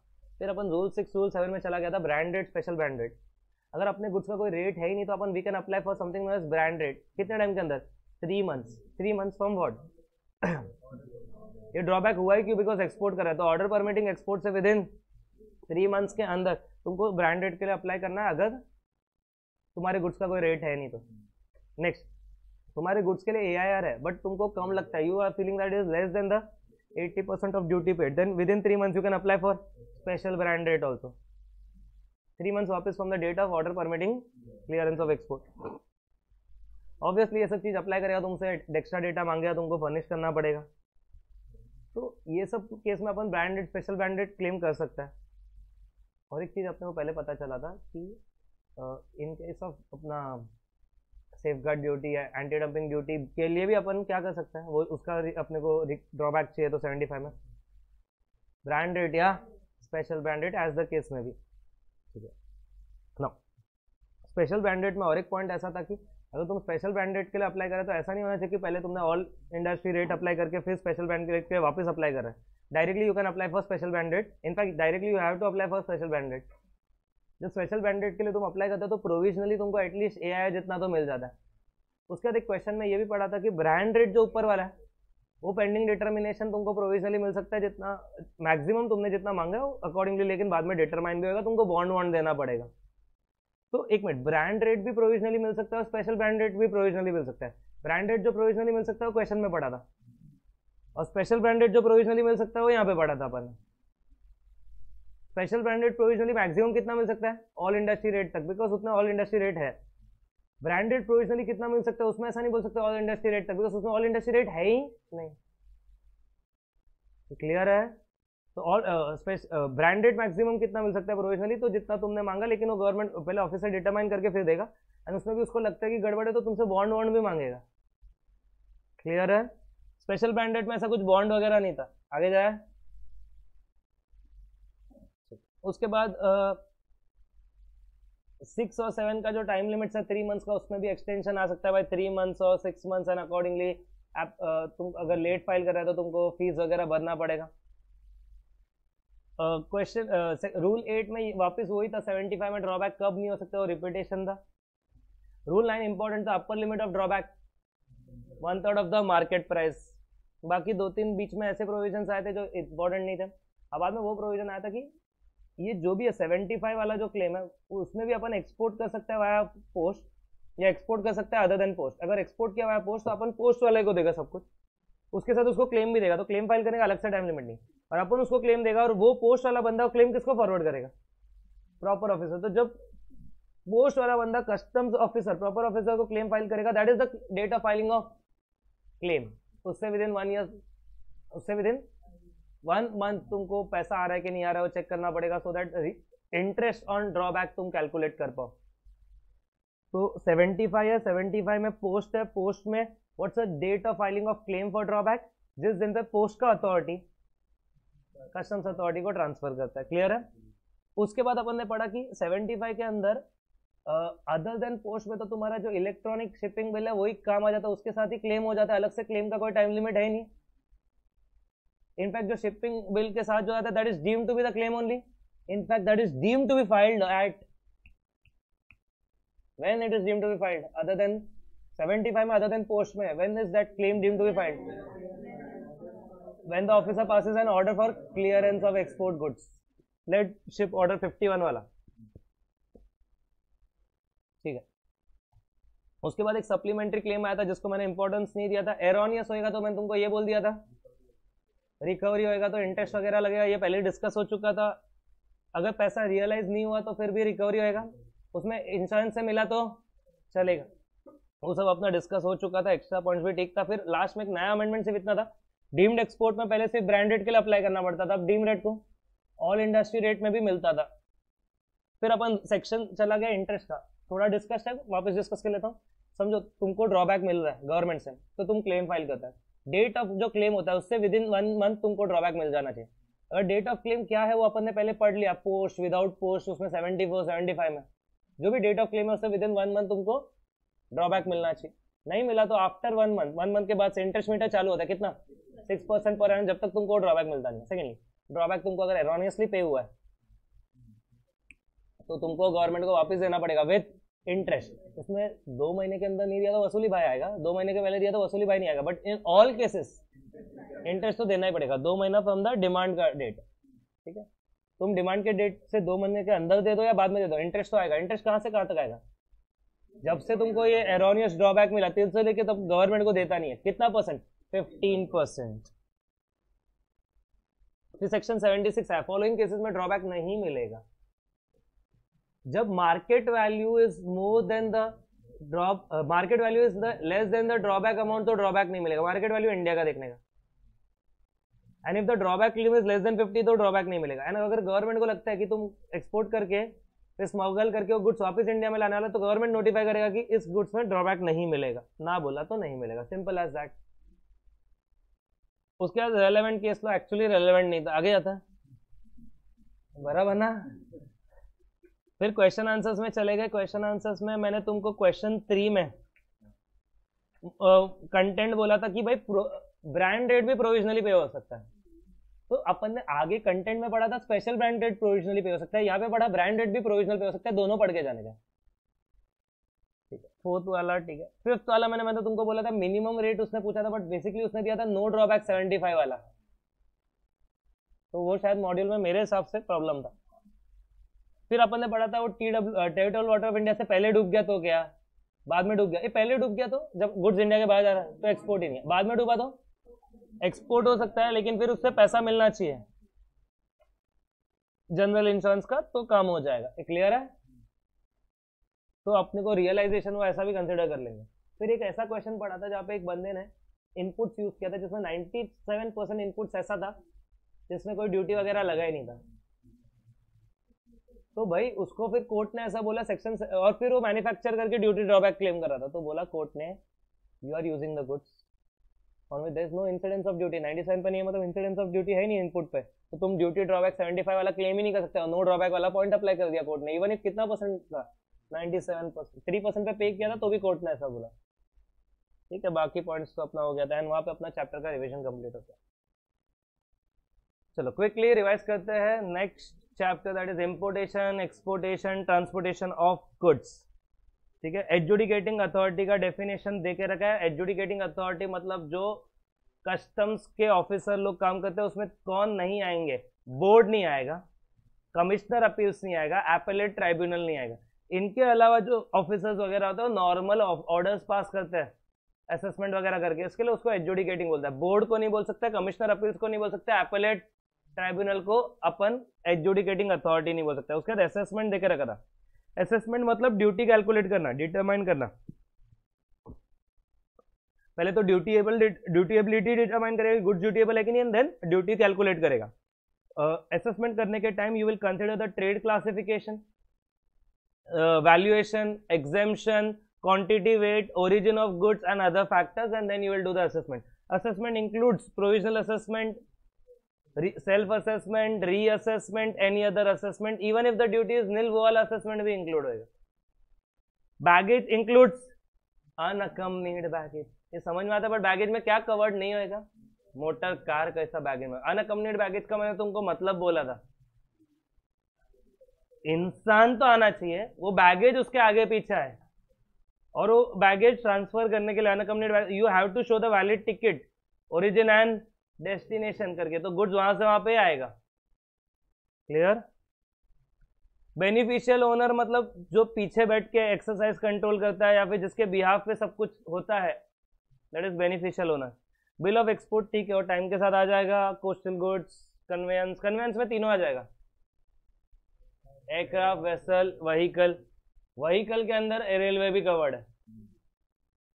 कस्टम स्टेशन मतलब custom port custom airport international courier terminal foreign post office and land custom station ये पाँचों चीज़ कस्टम स्टेशन में आता है। Customs area is broader customs area के अंदर कस्टम स्टेशन भी आ जाता है वेयर हाउस भी आ जाता है, कोई और प्लेस भी आ जाता है goods are stored before clearance import export goods are stored before clearance they are known as customs area dutiable goods का डेफिनेशन बहुत इंपॉर्टेंट था। सबसे पहले तो चार्जेबल टू ड्यूटी होना चाहिए, दूसरी बात ड्यूटी उस पर पे नहीं हुआ रहना चाहिए। तो उसको ड्यूटीएबल बोलता है। चार्जेबल टू ड्यूटी मतलब वो गुड्स होना चाहिए और टैरिफ में उसका मेंशन होना चाहिए तो ड्यूटीएबल टैरिफ में उसका नाम ही नहीं रहेगा तो ड्यूटीएबल ही नहीं है। क्लियर है? उसके बाद एंट्री मतलब वो bill of entry shipping bill bill of export जो भी तुम डॉक्यूमेंट फ़ाइल करता है for imports and export as a export है, उसको एंट्री बोलता है। जर्नल एंट्री वाला एंट्री नहीं है ये। ठीक है। डॉक्यूमेंट है entry stand for that document exporter मतलब जो गुड्स अपन लेके आते हैं फॉर एक्सपोर्ट से लेके एक्सपोर्ट होने तक। ब्रॉड फॉर एक्सपोर्ट से लेके एक्सपोर्ट होने तक बीच में जो बंदा खुद को ओनर बोलता है बेनिफिशियल ओनर बोलता है या खुद को बोलता है कि मैं एक्सपोर्टर है, वो सब कौन है? एक्सपोर्टर फॉरेन गोइंग वेसल और एयरक्राफ्ट मतलब क्या? जो गुड्स और पैसेंजर का ट्रांसपोर्ट करवाता है between port airport in India and port, airport, outside India, आता है, जाता है, वो सब फॉरेन गोइंग वेसल और एयरक्राफ्ट कवर होता है। उसमें अगर कोई फॉरेन गवर्नमेंट का नेवल वेसल है, जो नेवल एक्सरसाइज में पार्ट लेता है, वो भी foreign going vessel aircraft count होता है। कोई वेसल है एंगेज इन फिशिंग है, लेकिन वो फिशिंग में एंगेज किधर होना चाहिए? आउटसाइड टी डब्ल्यू आई तो भी उसको फॉरेन गोइंग वेसल एयरक्राफ्ट बोल सकता है। सर टी डब्ल्यू आई के अंदर रहेगा तो उसको फॉरेन गोइंग वेसल या एयरक्राफ्ट नहीं बोल सकता है। फिर वेसल और aircraft going outside India to place outside for any purpose other purpose whatsoever वो इवैक्यूएशन वगैरह, वो सब कवर हो सकता है, वो सब foreign going vessel aircraft consider हो सकता है। फिर गुड्स का डेफिनेशन बहुत वाइड था। गुड्स के अंदर वेसल एयरक्राफ्ट व्हीकल वो तो गुड्स था ही। उसके अलावा stores baggage currency negotiable instrument और कोई भी जात का movable property is goods import मतलब इंडिया में लेके आना bringing into India from a place outside India और अपने को पता था कि इंपोर्टेशन का प्रोसेस चालू होता है जब वो टी डब्ल्यू आई क्रॉस करता है। और ये इंपोर्टेशन का प्रोसेस बड़ा है कंप्लीट कब होता है? Goods become part of the mass of the goods within the land mass within the country फिर इंपोर्ट रिपोर्ट हो तो टाइम के साथ पढ़ेंगे। इंपोर्टेड गुड्स वो गुड्स है जो इंडिया में लाए बट अब तक क्लियर नहीं हुए। जो क्लियर हो चुके उसको इंपोर्टेड गुड्स नहीं बोल सकता। क्लियर फॉर होम कंजम्पशन को। क्लियर होने से पहले उसको इंपोर्टेड गुड्स बोलता है। इंपोर्टर मतलब जब अपन इंपोर्ट करता है any time before they are clear for home consumption मतलब इंपोर्टेशन होने से क्लियरेंस फॉर होम कंजम्पशन के बीच में कोई भी ओनर है बेनिफिशियल ओनर है या कोई भी पर्सन बोलता है, मैं इंपोर्टर है, सब लोग इंपोर्टर है। पर्सन इंचार्ज का डेफिनेशन बहुत इंपॉर्टेंट था। वेसल के केस में person in charge is the master of the vessel aircraft के केस में person in charge is the commander और पायलट इन चार्ज रेलवे के केस में कंडक्टर गार्ड पर्सन है the chief direction of the train is known as the person in charge of the train other conveyance में driver और other person in charge as the case में भी। Prohibited goods है मतलब जिसपे prohibition in force है। लेकिन ऐसा गुड्स है जिसपे कंडीशन फुलफिल हो जाता है, जो भी डाला है and then you are allowed to imported exported तो उसको प्रोहिबिटेड नहीं बोल सकता। अगर कंडीशन अनकंडीशन आपने फुलफिल कर दिया इम्पोर्ट एक्सपोर्ट का तो फिर उसके बाद उसको प्रोहिबिटेड नहीं बोल सकते, फिर तो अलाउड हो गया। स्टोर्स है स्टोर्स मतलब वो गुड्स यूज़ होने वाले इन वेसल और aircraft either as fuel spare part और other equipment whether or not for immediate fitting stores vessel aircraft का होता है? वहीकल का नहीं होता है। वहीकल में रेलवे भी इंक्लूडेड है। ये सब डेफिनेशंस में आया था, थोड़े बहुत डेफिनेशंस ही क्रिटिकल था। Foreign going vessel aircraft goods person in charge and dutiable goods वो सब तुम मार्क किया था। उसके बाद अपन ने प्रोविज़न चालू किया था। सेक्शन 29 बोल पहले तो अपन ने इंपोर्टेशन का प्रोसेस चालू किया, उसमें 29 से चालू किया इंपोर्टेशन में। सबसे पहले तो बोला वेसल और एयरक्राफ्ट है तो they can call or land only at customs port or airport if they want to land at another other than customs port airport which is approve then only with the permission but sir अगर emergency रहेगा तो land कर सकते हैं। Stress of weather accident unavoidable cost में they can call or land other that customs port or airport but सबसे पहला काम करना पड़ेगा, जो भी नियरेस्ट पुलिस ऑफिसर रहेगा या कस्टम्स ऑफिसर रहेगा, उसको इन्फॉर्म करना पड़ेगा। अनलोडिंग ऑफ़ गुड्स अलाउ नहीं करना चाहिए। पैसेंजर को विसिनिटी से बाहर जाने देना नहीं चाहिए unless for health safety reason या फिर प्रिजर्वेशन ऑफ़ लाइफ और प्रॉपर्टी बाद में जो भी ऑफिसर डायरेक्ट करेगा, वो डायरेक्शन को फॉलो करना चाहिए। अगर पर्सन इंचार्ज ने कुछ भी गड़बड़ किया तो उसको पेनाल्टी लग सकता है एंड द गुड्स और कन्वेंस कन्फिस्केट हो सकता है। ये 29 में था। बेसिकली कंक्लूजन इतना था 29 का। कि शुड एयरक्राफ्ट हो या वेसल हो लैंड या कॉल करना चाहिए। Only at customs port airport clear नहीं, अलग स्पेसिफिक इमरजेंसी में किधर और कर है बट उसमें भी कंडीशन है। नेक्स्ट uh, है जैसे वो आएगा तो इंपोर्ट मैनिफेस्ट और इंपोर्ट रिपोर्ट का रिक्वायरमेंट आता है। अभी import manifest import general manifest vessel और एयरक्राफ्ट के लिए इंपोर्ट रिपोर्ट वहीकल के लिए। जो इंपोर्ट जनरल मैनिफेस्ट है या इंपोर्ट मैनिफेस्ट जिसको बोलते हैं अपन वेसल और एयरक्राफ्ट के लिए वो इलेक्ट्रॉनिक फाइलिंग होना चाहिए बिफोर अराइवल होना चाहिए। जो इंपोर्ट रिपोर्ट है जो वहीकल के लिए वो आफ्टर अराइवल हो सकता है लेकिन विद इन ट्वेल्व आवर्स होना चाहिए एंड उसमें मैनुअल चलता है। सर ये सब कौन करता है? Import general manifest import manifest import report जो भी पर्सन इन चार्ज है, उसको फ़ाइल करना होता है। अभी import general manifest import report में क्या होता है? लेखा जोखा होता है। कौन सा गुड्स है, कितना है, उसमें सब। कौन सा अनलोड होएगा, कौन सा आगे जाएगा, क्या स्टोर्स है, क्या ट्रांजिट होएगा, क्या ट्रांसशिपमेंट होएगा, सब सब कुछ इम्पोर्ट रिपोर्ट इम्पोर्ट मैनिफेस्ट में लिखा रहेगा। ठीक है। उसके बाद सर, अगर टाइम पे इंपोर्ट रिपोर्ट या इंपोर्ट मैनिफेस्ट नहीं दिया तो पर्सन इन चार्ज पर पेनाल्टी लग सकता है अप टू फिफ्टी थाउज़ेंड सब बिलेटेड फाइलिंग अलाउ कर सकता है जस्टिफाइड ग्राउंड रहेगा तो अलाउ कर सकता है। सर, ये import report import general manifest या इंपोर्ट मैनिफेस्ट को अमेंड कर सकता है हाँ अमेंड कर सकता है। अगर वो बोनीफाइड रहेगा नो फ्रॉड्यूलेंट बोनाफाइड रहेगा नो फ्रॉड्यूलेंट इंटेंशन रहेगा तो उसको अमेंड भी कर सकता है। बट अमेंडमेंट को ऐसा नहीं करेंगे कि नया फाइलिंग है। अमेंडमेंट में जो ओरिजिनल फाइलिंग है, वही अमेंड हुआ है। मतलब वो डेट ऑफ़ फाइलिंग पहले वाला ही रहेगा। बहुत बार लोग क्या करते हैं लेट फाइलिंग अवॉइड करने के लिए आईजीएम ऐसे ही फ़ाइल कर देते हैं। फिर सोचते हैं, अपन अमेंड कर लेंगे, वैसा अलाउ नहीं करेंगे। माना तुम ऑफ़िस में डीटी में ऐसा करते रहोगे बट यहाँ पे आईजीएम में ऐसा अलाउ नहीं करेंगे। उनको अगर लगा कि तुम ऐसा टाइम पास कर रहे हो तो ये क्लियर है। और आईजीएम का प्रोविज़न वहाँ पे कंप्लीट हुआ। आईजीएम के प्रोविज़न के साथ फ्री में जो प्रोविज़न आता है, वो भी पर्सन इंचार्ज का ज़िम्मेदारी है। Passenger and crews arrival manifesto क्या है? Passenger and crew arrival manifest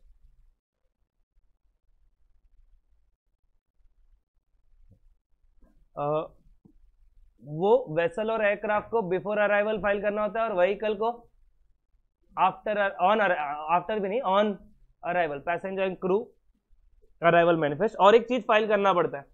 passenger name record information वो तो एज प्रिस्क्राइब उनको फ़ाइल करना पड़ेगा। ये दो चीज़ फ़ाइल करना पड़ेगा, वो नेक्स्ट सेक्शन में कवर्ड था, बस। यहाँ पे सब person in charge of the conveyance बोला था मतलब वेसल हो व्हीकल हो एयरक्राफ्ट हो, सबको फ़ाइल करना है। क्लियर फिर नेक्स्ट वाला ऐसा था कि भाई जब तक वो वेसल है वेसल का ही पॉइंट एक्चुअली नेक्स्ट वाला पॉइंट वेसल को एंट्री इनवर्ड नहीं मिलता ना, तब तक वो अनलोडिंग नहीं कर सकता। वेसल को क्या नहीं मिल जाता? है एंट्री इनवर्ड तब तक वो अनलोडिंग नहीं कर सकता है। ये पॉइंट सिर्फ़ वेसल के लिए थे एयरक्राफ्ट और वहीकल के लिए नहीं था। एंट्री इनवर्ड सर कब मिलता है? अभी वो जो भी वेसल आया था, उसके पर्सन इन चार्ज ने क्या दिया था? इंपोर्ट मैनिफेस्ट इंपोर्ट रिपोर्ट वगैरह, वो सब चेक करेंगे, बराबर है कि नहीं? बराबर रहेगा तो ही उसको एंट्री इनवर्ड मिलेगा he will be allowed to unload entry inward का डेट क्या होगा? जिस दिन पे vessel found berthing place for discharge of cargo discharge of cargo के लिए जिस दिन बर्थिंग प्लेस मिला that was entry inward entry inward मिलना मतलब कस्टम्स वाले एक्नोलेजमेंट कर रहे तू अनलोड कर, हम सुपरवाइज करने को तैयार है। तू अनलोड कर, हम सुपरवाइज करने को तैयार है। बस उसमें इतना ही था क्लियर है। उसके बाद, अब क्या आएगा? अनलोडिंग करना बट अनलोडिंग करना तो सामान का नाम होना चाहिए, किसमें? इंपोर्ट जनरल मैन्युफैक्चर इंपोर्ट अभी वो ऑफिसर के पास import general manufacture import report आ गया वो लेके खड़ा है। तुम बोलेगा, तू अनलोड कर। तो देखते रहेगा, ये आइटम है, वो अनलोड हो रहा है कि नहीं? अगर ऐसा कोई आइटम अनलोड किया जो इम्पोर्ट जनरल मैनिफेस्ट में है, नहीं है तो चलेगा क्या? क्या डीम करेंगे? स्मगल करने की कोशिश किया। तो पहले तो बोला imported goods can not be unloaded unless they are in import general manifest for being unloaded if they are not mention every reason to believe that they are being smuggled if they are properly mention then prime of as reason to believe that it is a straightforward transaction clear है? उसके बाद। Sir किधर भी unloading करे क्या? Loading unloading should take place only at the approved places इतना बड़ा custom station होता है, किधर भी अनलोड नहीं कर सकता। Only at approved places next loading unloading should be done only under the supervision of the proper officer generally proper officer के सुपरविजन में होगा बट समटाइम्स उन लोग अलाउ कर सकते हैं विदाउट द सुपरविजन भी अनलोडिंग लोडिंग अलाउ कर सकता है बट जनरली ऐसे होगा। फिर आता बोट नोट बहुत बार अगर बर्थ नहीं मिलता है एक शिप को पोर्ट पे, या फिर बहुत बार वाटर इतना शैलो होता है कि पहुँच नहीं पाता। इन दैट केस शिप से पोर्ट तक एंड पोर्ट से शिप तक ट्रांसपोर्ट होता है इन बोट्स उसके लिए शिप से अनलोड करके बोट में डालते हैं, फिर बोट से पोर्ट पे लेके आते हैं। पोर्ट से बोट में लेके आके शिप में डालते हैं बोथ वे अराउंड ये जो भी करेंगे it should be accompanied by something known as boat note किससे अकम्पनीड होना चाहिए साथ में? Boat note boat note prescribe form में रहेगा, लेकिन government by notification without boat note भी अलाउ कर सकता है।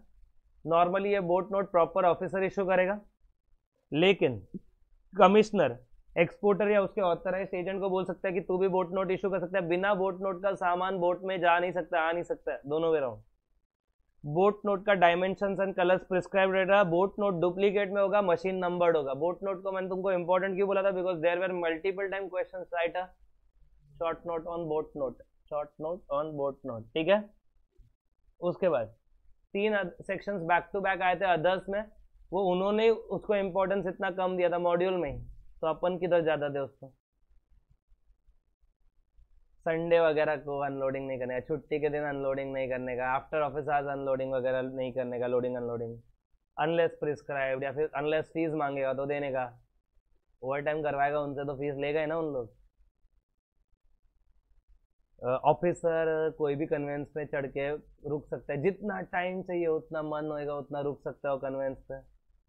ऑफिसर या ऑफिसर पर्सन इंचार्ज को डॉक्यूमेंट्स मांग सकता है क्वेश्चंस पूछ सकता है आंसर्स मांग सकता है। बहुत पावर होता पर्सन इंचार्ज ऑफिसर के पास। फिर सेक्शन 45 आ गया था। यहाँ तक कोई डाउट है? फोर्टी uh, फाइव में सामान अनलोड होने के बाद क्लियर होने से पहले किसका कस्टडी में रहेगा? Custodian before clearance for home consumption or warehouse they will remain in the custody of a person known as custodian and that person should be approved by commissioner. वो पर्सन कौन होना चाहिए? अप्रूव्ड बाय कमिश्नर वो important था तो उसको custodian बोलेंगे। If there is a custodian who is not approved by commissioner तो ये वो ये सेक्शन के हिसाब से वो कस्टोडियन नहीं हुआ फिर। कस्टोडियन है बट ये सेक्शन के हिसाब से नहीं ये सेक्शन के हिसाब से कस्टोडियन होने के लिए ही should be approved by commissioner custodian का रिस्पॉन्सिबिलिटी क्या सर प्रॉपर रिकॉर्ड मेंटेन करने का क्या आया, क्या गया? और कोई बंदा आता है गुड्स छोड़वाना चाहता है, बिना ऑर्डर का गुड्स छोड़ने का नहीं। समझो, मैं कस्टोडियन है, तुम्हारा इंपोर्ट गुड्स मेरे पास है, तुम छोड़वाना चाहते तुम बोले अल्लाह प्रॉपर ऑफिसर का ऑर्डर परमिटिंग क्लियरेंस फ्री में छोड़ेगा।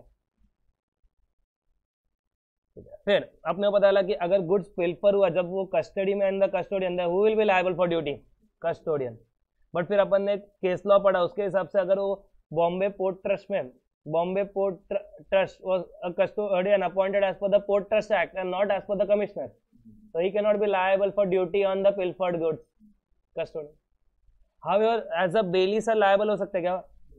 वो तो कोई भी कस्टोडियन हो या पोर्ट ट्रस्ट हो एज अ बेली लाइबल हो सकता है डिपेंडिंग अपॉन द बेलमेंट के provision in Indian contract act for the value of the goods not for the duty but for the value of the goods bailor bailee हो जाएगा। Duty के लिए section 45 में देखने का कि कस्टोडियन है कि नहीं? है अगर सेक्शन 45 का custodian approved by the commissioner है तो वो पिलफर्ड गुड्स पे ड्यूटी पे लायबल होगा। एंड एज अ बेली वो वैल्यू ऑफ़ द गुड्स के लिए लायबल होगा कि नहीं होता? बेलमेंट जो चैप्टर है, तुम्हारा इंडियन कॉन्ट्रैक्ट का, वो देखने का अब तुम इंपोर्टर पिक्चर में आया अभी तक इंपोर्टर पिक्चर में आया नहीं था। इंपोर्टर पिक्चर में आएगा, वो बिल ऑफ़ एंट्री फ़ाइल करेगा।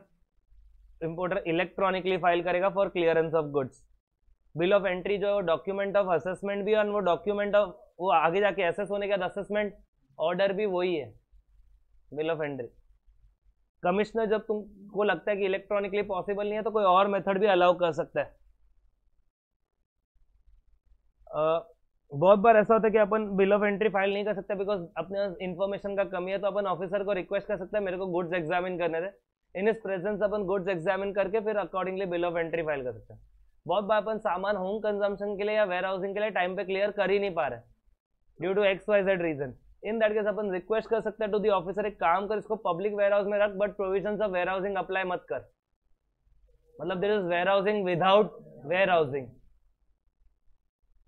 clear है? आई या तो तू होम कंजम्पशन के लिए क्लियर कर या तो वेयर हाउस के, के लिए क्लियर कर। डॉक पे ज़्यादा टाइम मत करना और डीमोरेज वगैरह। तो तुम्हारा ऐसा केस होगा तुम कुछ नहीं कर पा रहा हाथ तुम्हारे बंधे हुए। तो तुम उसको रिक्वेस्ट कर सकते हैं काम कर पब्लिक बॉन्डेड वेयर हाउस में अब भी टेम्पर रखने दे। But warehousing provision apply मत कर। That is warehousing without warehousing फिर आया बिल ऑफ़ लीडिंग क्या होता है बिल ऑफ़ लीडिंग और बिल ऑफ़ एंट्री को कंफ्यूज नहीं करने का। बिल ऑफ़ एंट्री अलग होता है बिल ऑफ़ लीडिंग अलग होता है। Bill of lading is importer's document showing title जिसके पास वो बिल ऑफ़ लीडिंग होगा, वो जाके वो देगा। शिपर को शिपिंग एजेंट को स्टीमर एजेंट को, वो गुड्स छुड़वा सकता है गुड्स उसका। तो बहुत इंपॉर्टेंट डॉक्यूमेंट है बिल ऑफ़ लीडिंग बट वो बिल ऑफ़ एंट्री नहीं है।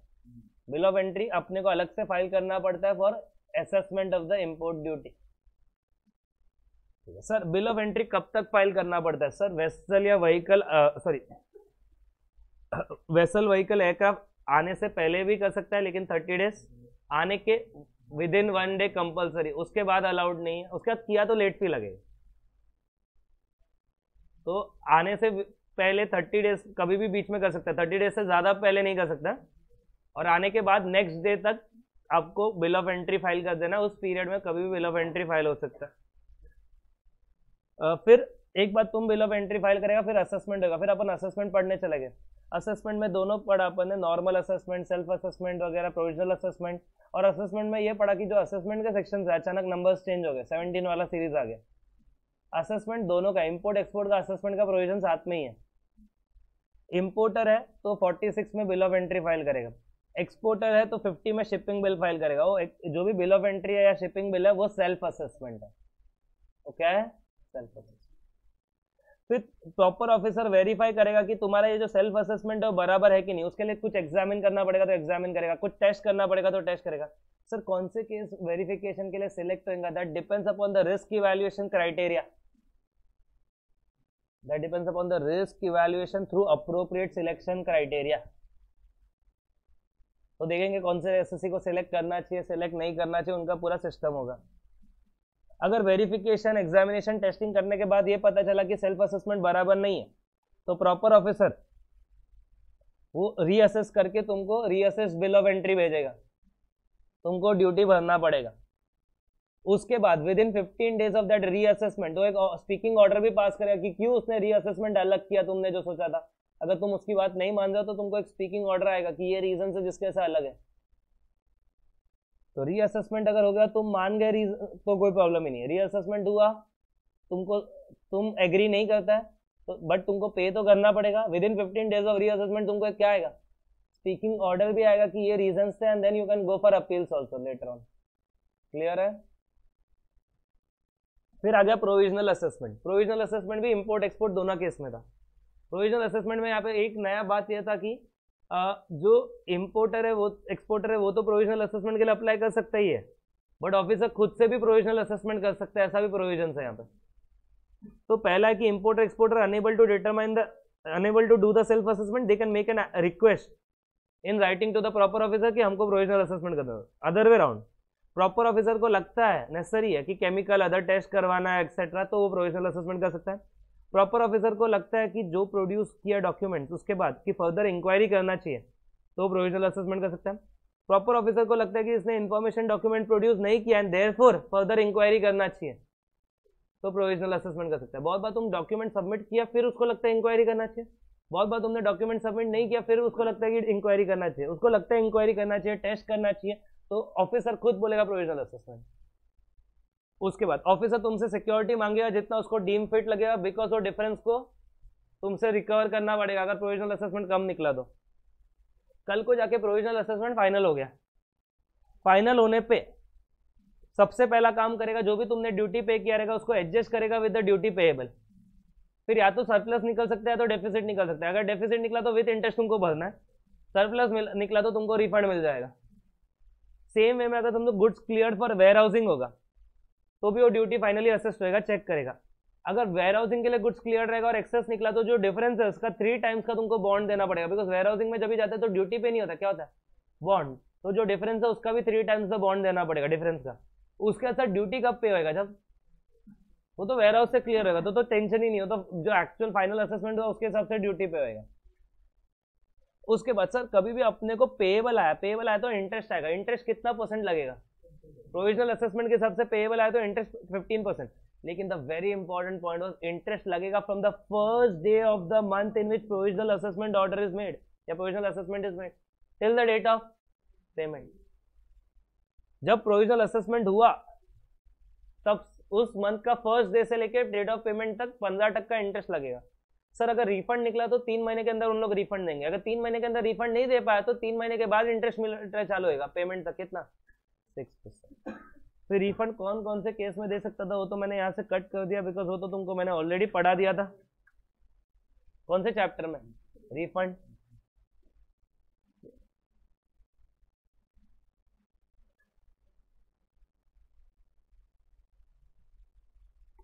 बराबर चल रहा है? ओके ओके ऐसा तुम देखा तो मेरे को लगा मैंने कुछ थ्री मंथ्स का अलग बोला क्या? थ्री मंथ बराबर बोला थ्री मंथ ओके ठीक है नेक्स्ट उसके बाद बॉन्ड अपन देना पड़ता है प्रोविजनल असेसमेंट के टाइम डिफरेंस के लिए डेफिशिएंसी के लिए. बॉन्ड एक अंडरटेकिंग की भाई डेफिशिएंसी है तो मैं देगा. बॉन्ड विथ सिक्योरिटी होना चाहिए. Security either can be in the form of bank guarantee और कैश डिपॉजिट यहाँ पे. फिर अपने को पता चला कि प्रोविजनल असेसमेंट तब करता है जब when you are unable to assess if you are unwilling to assess तो प्रोविजनल असेसमेंट नहीं होगा। There is a difference between unable and unwilling clear provisional assessment कब अलाउ होता है? अनएबल कोई बीमार होके नहीं आता तो अनएबल ऐसे नहीं आता तो अनविलिंग ठीक है? उसके बाद। प्रोविजनल असेसमेंट रिलेटेड थोड़े बहुत रेगुलेशंस बने कि देखो, सुनो प्रोविजनल असेसमेंट होता है तो उनको थोड़े टाइम के अंदर फाइनलाइज भी करना पड़ता है। तो तुमको क्या करना पड़ेगा? जो भी डेफिशिएंट इन्फॉर्मेशन है within one month of the provisional assessment देना पड़ेगा। इनफैक्ट प्रोविजनल असेसमेंट हुआ, उसके वन मंथ के अंदर डेफिशिएंट इन्फॉर्मेशन देना वन मंथ हुआ भी नहीं है, पंद्रह दिन के अंदर तुमको इंटीमेशन आ गया। भाई, पंद्रह ही बाकी अभी, दे दे। ठीक है? उसके बाद तुमको जो टाइम लिमिट दिया था कि वन मंथ के अंदर ही डेफिशिएंट इन्फॉर्मेशन देना है उसको एक्सटेंड कर सकते हैं by further three months and then further periods also तुमने जब इन्फॉर्मेशन दिया, तुम जो लास्ट इन्फॉर्मेशन फर्निश करेगा, उसके दो महीने के अंदर उन लोग असेसमेंट फाइनल करेगा। समझो तुम इन्फॉर्मेशन नहीं दे पाए तो last John which information ought to have been furnish उसके दो महीने के अंदर उन लोग तुम्हारा असेसमेंट फाइनल करेंगे। ये जो दो महीना लिख के रखा था, वो और तीन महीने से एक्सटेंड हो सकता है। कितना एक्सटेंड करेगा? ये क्लियर है? फिर उसके बाद जो भी फाइनल होगा शॉर्टफॉल होगा वो तुमको, तुम्हारा सिक्योरिटीज वगैरह में से एडजस्ट हो सकता है बॉन्ड तुम्हारा कैंसिल होगा। कुछ भी गड़बड़ हुआ तो कितना पेनल्टी फिफ्टी थाउज़ेंड फिर कस्टम्स ऑडिट आया। समझ रहे हैं यहाँ तक? कस्टम्स ऑडिट में दो चीज़ें कस्टम्स ऑडिट रेगुलेशंस 2018 बना एंड देन सेक्शन 99 ए आया कस्टम्स एक्ट के अंदर आ गया। यहाँ पे प्रॉपर ऑफिसर ऑर्डर कंडक्ट कर सकता है uh, किसका? असेसमेंट का। प्रॉपर ऑफिसर ऑडिट कंडक्ट कर सकता है। असेसमेंट जो ऑलरेडी हो गया उसका ऑडिट कंडक्ट कर सकता है। Audit at the premise of the auditee हो सकता है या फिर at the office of the proper officer हो सकता है। ऑडिटी कौन कौन लोग है जिसका यहाँ पे ऑडिट हो सकता है? जिसके असेसमेंट का ऑडिट हो सकता है। ऑलरेडी असेसमेंट हो चुका है। रीचेकिंग हो गया ये। यहाँ पे auditee can be importer exporter custodian जो सेक्शन 45 का licensee of the warehouse हो सकता है। और any other person concern directly और indirectly with clearing forwarding stocking carrying selling purchasing of imported goods और एक्सपोर्टेड गुड्स और ड्यूटीएबल गुड्स उसमें डील करता है तो तुम्हारे खिलाफ भी क्या हो सकता है? ऑडिट हो सकता है। एस एस सी को रिकॉर्ड मेंटेन करना पड़ेगा। For five year so that audit हो तो दे पाए। रिस्क बेस्ड असेसमेंट के सिस्टम के हिसाब से सिलेक्ट करेंगे कौन से कौन से लोग का ऑडिट होना चाहिए। ऑडिट प्रीमाइस ऑफ़ द अगर ऑडिट uh, में कंडक्ट हो रहा है तो at least fifteen days prior उसको इंटीमेट करना पड़ेगा कि हम आने वाले हैं ऑडिट के लिए। ऑफिसर विल इंटीमेट ऑडिट में कुछ फाइंडिंग्स मिला तो auditee will accept that and discharges liability pay the interest etcetera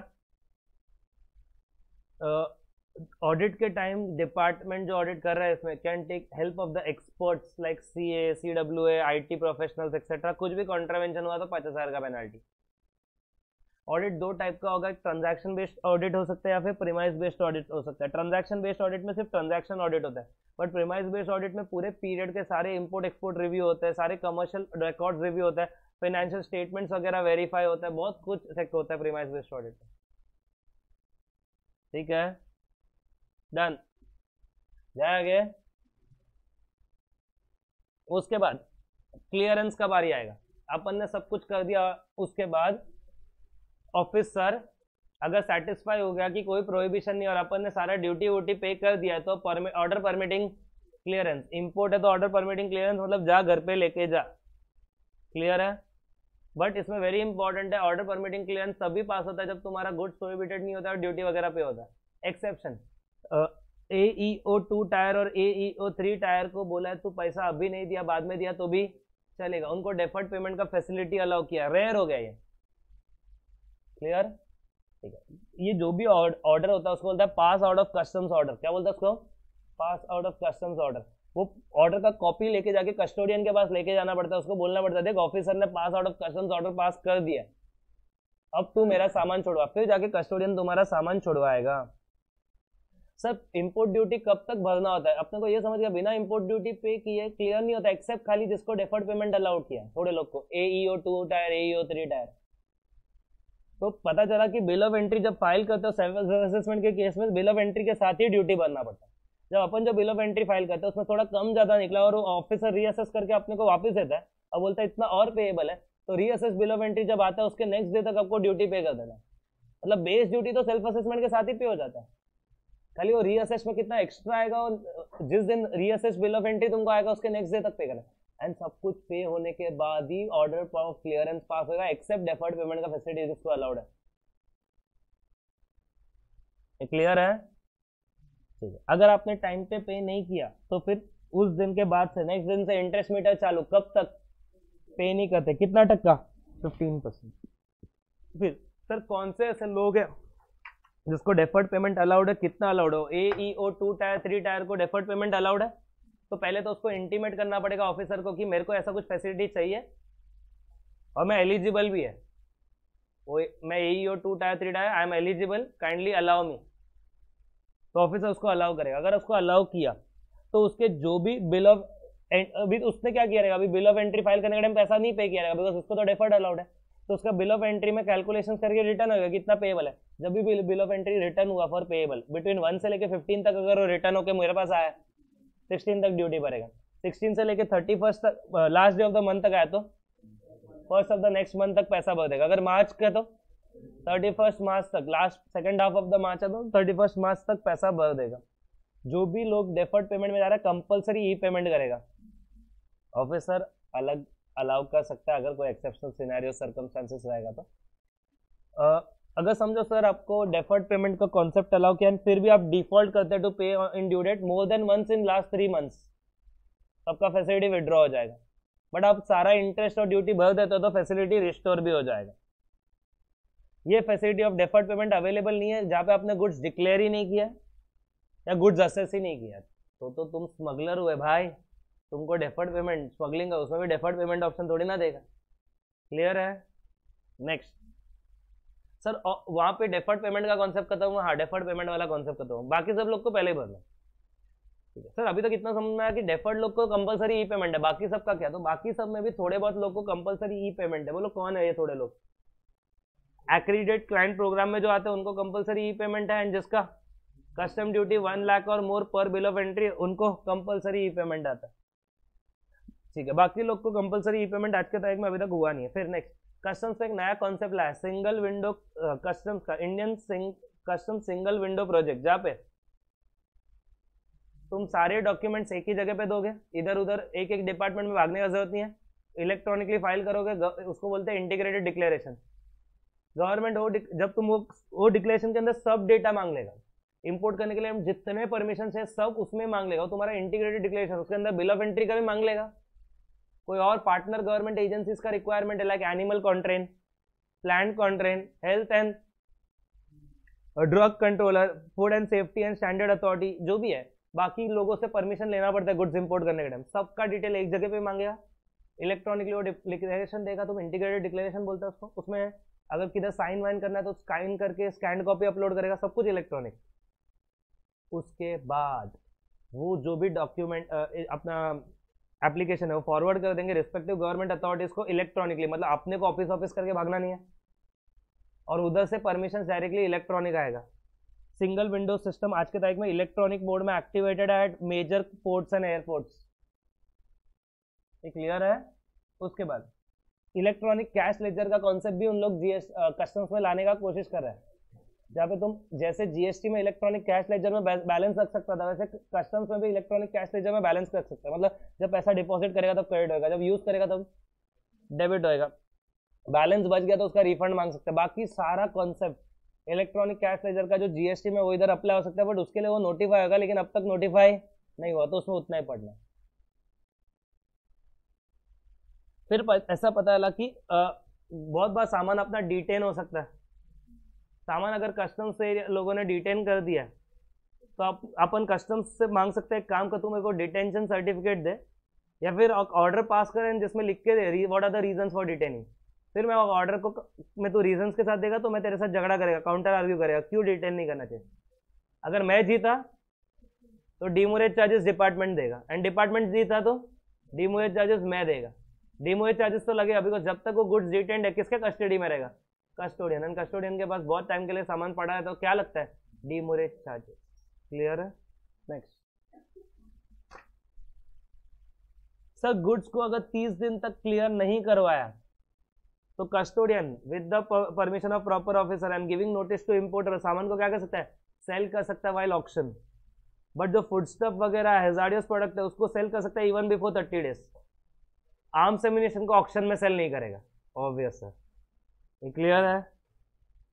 जब भी ये ऐसा कस्टोडियन तीस दिन के अंदर नहीं तुमने क्लियर किया तो जब वो बेच देता है तो बेचने के बाद जो खरीदता है उसको तो ड्यूटी भरना पड़ेगा।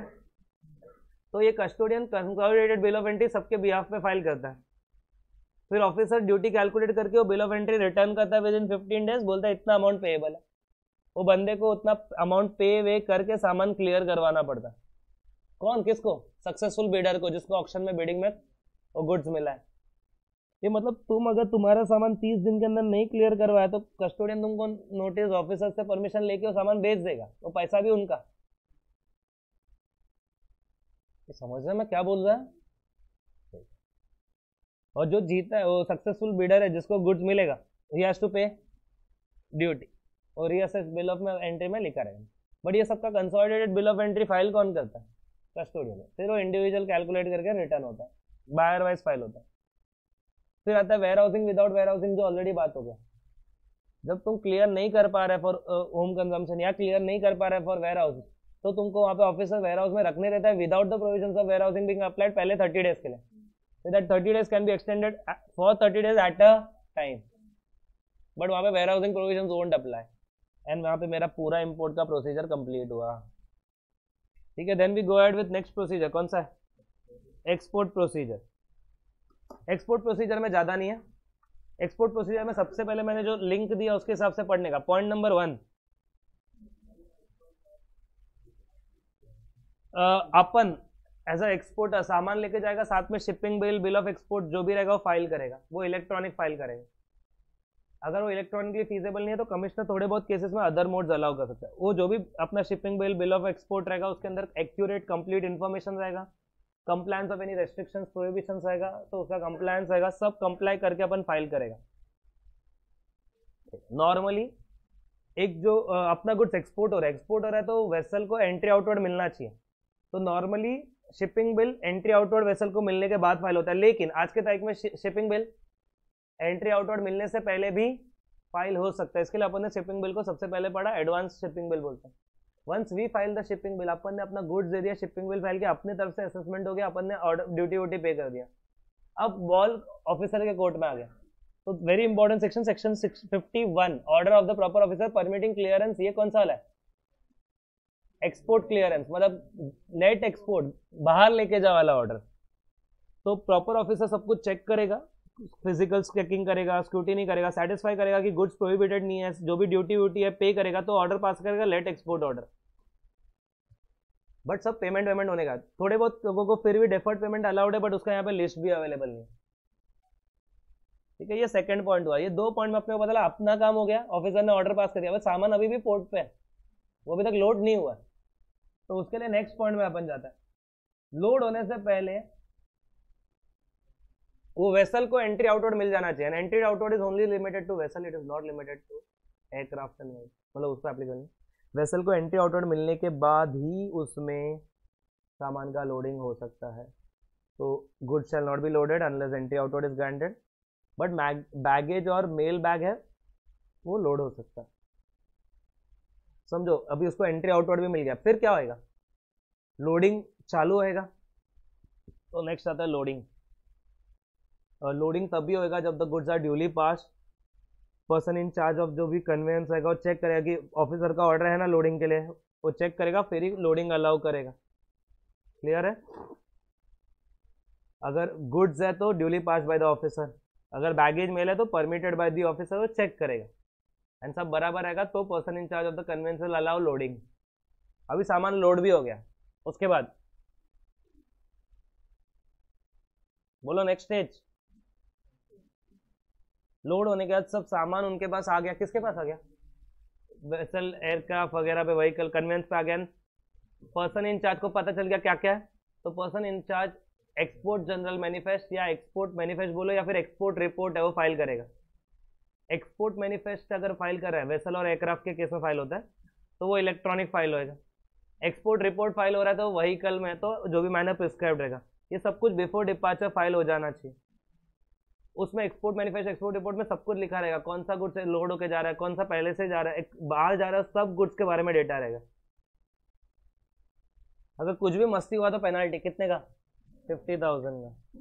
सर, ये जैसे आईजीएम था, वैसे ईजीएम एक्सपोर्ट जनरल मैनिफेस्ट तो अमेंड कर सकता है हाँ बिना फ्रॉड्यूलेंट इंटेंशन का रहेगा तो अमेंड कर सकता है। ये क्लियर है? Plus EGM export general manifest prepare कैसे होता है? अभी इतने सामान लोड हुए लोड होने पे आ तो बिल ऑफ़ लेडिंग इशू आ रहेगा, या तो एयर कंसाइनमेंट नोट इशू हुआ रहेगा, या फिर लॉरी रिसिप्ट रेलवे रिसिप्ट तो ये सब रिसिप्ट का कंसोलिडेट करके फिर वो पर्सन इंचार्ज देखते हैं, इतना इतना सामान आया है अकॉर्डिंग कंसोलिडेट करके export general manifest export report बना के गवर्नमेंट को देता है। अभी चलो, अपना गुड्स लोड भी हो गया वेसल वाले बंदे ने सब कुछ चेक करके export general manifest export report proper officer को भेज भी दिया, कि इतना गुड्स मेरे पास आ चुका है। अब मैं जाने के लिए तैयार है। फिर लास्ट में हाँ और एक चीज़ भी वो फ़ाइल कर देगा person in charge passenger and crew departure manifestation passenger and crew departure and then passenger name record information about the departing passengers भी फ़ाइल कर देगा बिफोर डिपार्चर उसके बाद सब फाइलिंग हो गया तो प्रॉपर ऑफिसर इस टाइम वेसल को एक परमिशन देगा, तू बाहर जा सकता है। पहले किसको परमिशन दिया था? गुड्स क्योंकि गुड्स को बाहर ले जा सकता गुड्स अभी लोड भी हो गया। अब वेसल रेडी है निकलने के लिए। तो वेसल में अगर कुछ भी गड़बड़ नहीं रहेगा तो person in charge sorry proper officer will pass a order and बोल सकता है कन्वेंस को कि now you can go outside India so person in charge of the conveyance who has bought imported goods और loaded exported goods shall not cause और permit to cause the conveyance to depart from the custom station until the order to that effect has been order pass होने के बाद ही बाहर जा सकता है। ठीक है। ऑफिसर कब ऑर्डर पास करेगा? जब उसको लगेगा कि सब कुछ ठीक है, अगर पर्सन इंचार्ज कुछ पेनाल्टी के लिए लाइबल है तो दे दिया या फिर उसके लिए उसने गारंटी या फिर बॉन्ड वगैरह सिक्योरिटी दिया है। जो भी ड्यूटीज़ ड्यूटीज़ है, सब पे हो चुका है। उसके बाद ही ये ऑर्डर पास करेगा कि भाई वेसल कन्वेंस एयरक्राफ्ट बाहर जा सकता है। एंड यहाँ पे एक्सपोर्ट का प्रोसीजर कंप्लीट हुआ। क्लियर है? उसके बाद। पोस्टल गुड्स आया था। पोस्टल गुड्स में क्या इंपॉर्टेंट पार्ट था?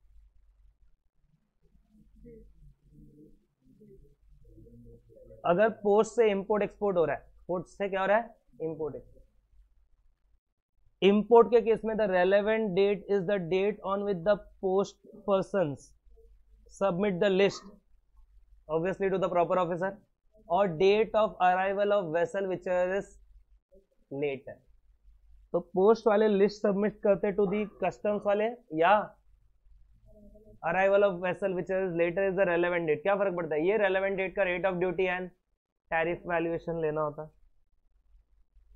एक्सपोर्ट के केस में जिस दिन अपन हैंडओवर करता है to the postal authorities of goods वगैरह, उस दिन को रेलेवेंट डेट लेना पड़ता है। तो काफ़ी अलग है। हो गया पोस्ट बस ना। पोस्ट इंडियन पोस्ट ऑफ़िस के सेक्शंस थे, पढ़ना था। अपने को पोस्ट मास्टर बनना था। नेक्स्ट स्टोस स्टोस के केस में थोड़े बहुत स्पेशल प्रोविज़न स्टोस का डेफिनेशन पहले हो गया था। स्टोस में पहला प्रोविज़न ऐसा था कि अगर कोई वेसल और एयरक्राफ्ट आ रहा है तो stores can remain on that vessel और aircraft when they are in transit in India while they are in transit while they are in India और रह सकता है ट्रांजिट बिकॉज़ बहुत बार वेसल एयरक्राफ्ट आएगा तो स्टोर्स रहेगा। जाएगा तभी भी रहेगा, वो रहेगा ही उसमें ना, उसको थोड़ी ना बोल सकते हैं, सब पे इम्पोर्ट ड्यूटी दे उसको तो लेके आना पड़ेगा एक्स्ट्रा थोड़ा सो दैट वो घर तक पहुँच पाए वापस। फिर इनफैक्ट एक स्टोर्स है, वो एक कन्वेंस से दूसरे कन्वेंस में भी ट्रांसफ़र करना अलाउ करेंगे विदाउट पेमेंट ऑफ़ ड्यूटी अगर वो फॉरेन गोइंग वेसल और एयरक्राफ्ट रहेगा तो। तो transit of vessel stores is also allowed transhipment of stores is also allowed without payment of duty clear उसके बाद, लेकिन सर जब एक वेसल एयरक्राफ्ट इंडिया में आता है एंड देन बोलता है, ये मेरा लास्ट जर्नी था, मैं अभी इंडिया में ही या फिर वो बोलता है कि, मैं वेसल एयरक्राफ्ट इंडिया में आ रहा अब मैं खाली डोमेस्टिक रन करेगा लोकल रन करेगा, अब फॉरन कभी नहीं जाएगा. तो जब वो लास्ट टाइम आता है, तब वो जितना स्टोर्स लेके आता है इट विल डीम दैट वो स्टोर्स इंपोर्ट हुआ है उसके ऊपर ड्यूटी लगेगा। क्लियर उसके बाद गुड्स अपन इंपोर्ट करके वेयर हाउस में रख सकते हैं विदाउट पेमेंट ऑफ़ ड्यूटी वो warehouse goods without payment of duty directly as a store supply हो सकता है to the foreign going vessel और aircraft without payment of duty because as if क्यों एक्सपोर्ट होता है, वैसा डीम होता है फॉरन गोइंग वेसल और एयरक्राफ्ट को प्रोवाइड करना। नेक्स्ट अगर किसी ने स्टोर्स इंपोर्ट किया इंपोर्ट ड्यूटी पे करके and then import duty pay करने का जो स्टोर्स है, उसको री एक्सपोर्ट कर रहा है तो 74 का ड्रॉबैक भी मिल सकता है अगर इम्पोर्ट ड्यूटी पे हुआ है तो। मतलब दो तरीका अगर इम्पोर्ट ड्यूटी पे ही नहीं करना तो स्टोर्स इम्पोर्ट करके वेयर हाउस में रखो। और वेयर हाउस से सप्लाई कर दो, किसको? फॉरेन गोइंग वेसल और अदर वे अराउंड स्टोर्स आया इम्पोर्ट किया इम्पोर्ट ड्यूटी पे कर दो। And then if you supply as a store तो ड्रॉबैक क्लेम कर सकते हैं। अगर विदाउट यूज़ आएगा तो 98 परसेंट फिर पता लगा ये सब तो ठीक था। इंडिया में जो मैन्युफैक्चर्ड गुड्स है वगैरह, वो भी तुम स्टोर सप्लाई कर सकता है to the foreign going vessel और aircraft without payment of duty free of duty but quantities वो रहेगा जो प्रॉपर ऑफिसर देगा उतना एक्सटेंड तक तुम इंडिया में मैन्युफैक्चर्ड स्टोर जो है, वो भी प्रोवाइड कर सकता है to a foreign going vessel और aircraft that too free of duty ये क्लियर है? मतलब free of basically export duties duty नहीं लगेगा मतलब कौन सा नहीं लगेगा? एक्सपोर्ट ड्यूटी जा रहा है ना बाहर जा रहा है इंडिया में मैन्युफैक्चर्ड है। ठीक है। उसके बाद अपन ने ऐसा पढ़ा था कि इंडियन नेवी है उनको स्टोर सप्लाई किया या स्टोर सप्लाई किया based by the government for the crew of that ship of Indian navy तो उस पर ड्यूटी नहीं लगेगा that can be supplied without payment of duty sir Indian navy को अलग से क्यों देना पड़ा? Because Indian navy foreign going vessel aircraft में नहीं आ पाया था। तो क्या फॉरेन गोइंग वेसल और एयरक्राफ्ट के डेफिनेशन में आ पाया था? फॉरेन गवर्नमेंट का नेवी वेसल वगैरह। तो इसको अलग से माफ़ कर दिया।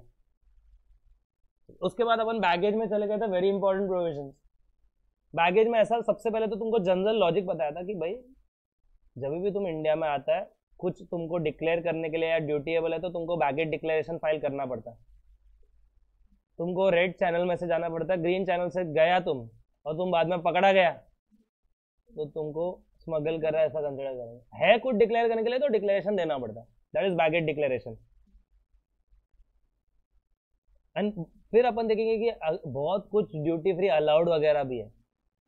अगर ड्यूटी लग रहा है तो relevant date for date of duty is relevant date for date of जिस दिन पे बैगेज डिक्लेरेशन फ़ाइल हुआ एंड आज के तारीख में what's rate thirty five percent plus ten percent social welfare such therefore 38.5 percent फिर बोला था बैगेज में कितना अलाउड है, नहीं अलाउड है, हम बताएँगे। अगर कुछ ड्यूटीबल है तो ड्यूटी बंद है, जितना अलाउड है वो ठीक है। किधर बताएँगे? रूल्स। तो ये पूरे पार्क में सिर्फ़ इतना लिखा था कि हम रूल्स में बताएँगे तो रूल्स में चले गए अपन। बैगेज रूल्स बोलता था, अगर एक इंडियन रेसिडेंट है, या फॉरेनर रिसाइडिंग इन इंडिया वाला, या टूरिस्ट ऑफ़ इंडियन ओरिजिन है समवेयर इंडिया से कनेक्शन है। अदर देन इन्फेंट्स अगर वो आ रहा है from the country other than Nepal Bhutan Myanmar मतलब नेपाल भूटान म्यांमार को छोड़ के किधर और से आ रहा है? In that case personal effects बिंदास अलाउड है विदाउट लिमिट्स ट्रैवल सोवेनर्स बिंदास अलाउड है विदाउट लिमिट्स लेकिन बाकी आर्टिकल्स अलाउड है only up to much fifty thousand but ये फिफ्टी थाउज़ेंड से ज़्यादा हो गया तो ड्यूटी लगेगा जो एक्सेस है। सर ये फिफ्टी थाउज़ेंड में क्या कवर नहीं एनेक्सर वन में जो है वो फिफ्टी थाउज़ेंड में कवर नहीं उस पर तो ड्यूटी लगेगा ही। एनेक्सर वन वाला चीज़ है, उस पर ड्यूटी लगेगा ही या फिर वो प्रोहिबिटेड एनेक्सर वन में फायर आर्म्स था। Of fire arm more than fifty not allowed था up to fifty allowed cigarettes more than hundred cigar more than 25 tobacco more than 125 gram, liquor more than 2 liters, and then gold except ornaments. Ornaments allowed था मतलब तो फिर gold bar वगैरह gold biscuit allowed नहीं था. And then flat television panels LCD LEDs ये सब annexure one में था मतलब ये पचास हज़ार के लिमिट में अलाउड नहीं, इस पर अलग से ड्यूटी था। जो सब एनेक्सर वन में नहीं आता मतलब के लिमिट में? अलाउड है। जो एनेक्सर वन में नहीं आता है अलाउड है। Example cigarettes up to hundred रहेगा तो अलाउड है। तो वो पचास हज़ार के लिमिट में माफ़ होएगा। सर, ऐसे तो बहुत कुछ पचास हज़ार में लिमिट में आता है। तो पचास हज़ार का लिमिट क्रॉस हो गया तो क्या करना है? जो भी चीज़ पचास हज़ार के लिमिट में अलाउड है, पहले लिखने का। उसमें से माइनस पचास हज़ार करने का। बैलेंस पे thirty eight point five percent jewellery पे रेट नहीं लिख के आने का बिकॉज़ उस पर रेट अलग एप्लीकेबल है। क्लियर है? तो सिर्फ़ ये लिख के आने का कि उस पर ड्यूटी लगेगा। अगर समझो sir tourist of foreign origin है अदर देन इन्फेंट है तो सब कुछ सेम उसको खाली पचास हज़ार के बदले पंद्रह कर देने का। सर अगर नेपाल, भूटान, म्यांमार से कोई भी आ रहा है तो पचास हज़ार का पंद्रह हज़ार, वो भी एयर वगैरह से आया तो। एयर सर लैंड से आया तो गया। तो फिर पर्सनल इफ़ेक्ट इन्फेंट्स को क्या अलाउड है खाली? पर्सनल इफ़ेक्ट रेसिडेंट होना मतलब वैलिड पासपोर्ट टूरिस्ट मतलब नॉन नॉर्मली नॉट रेसिडेंट फिर इंडिया में for a stay less than six months in the course of twelve months for legitimate non immigrant purpose और टूरिस्ट हुआ।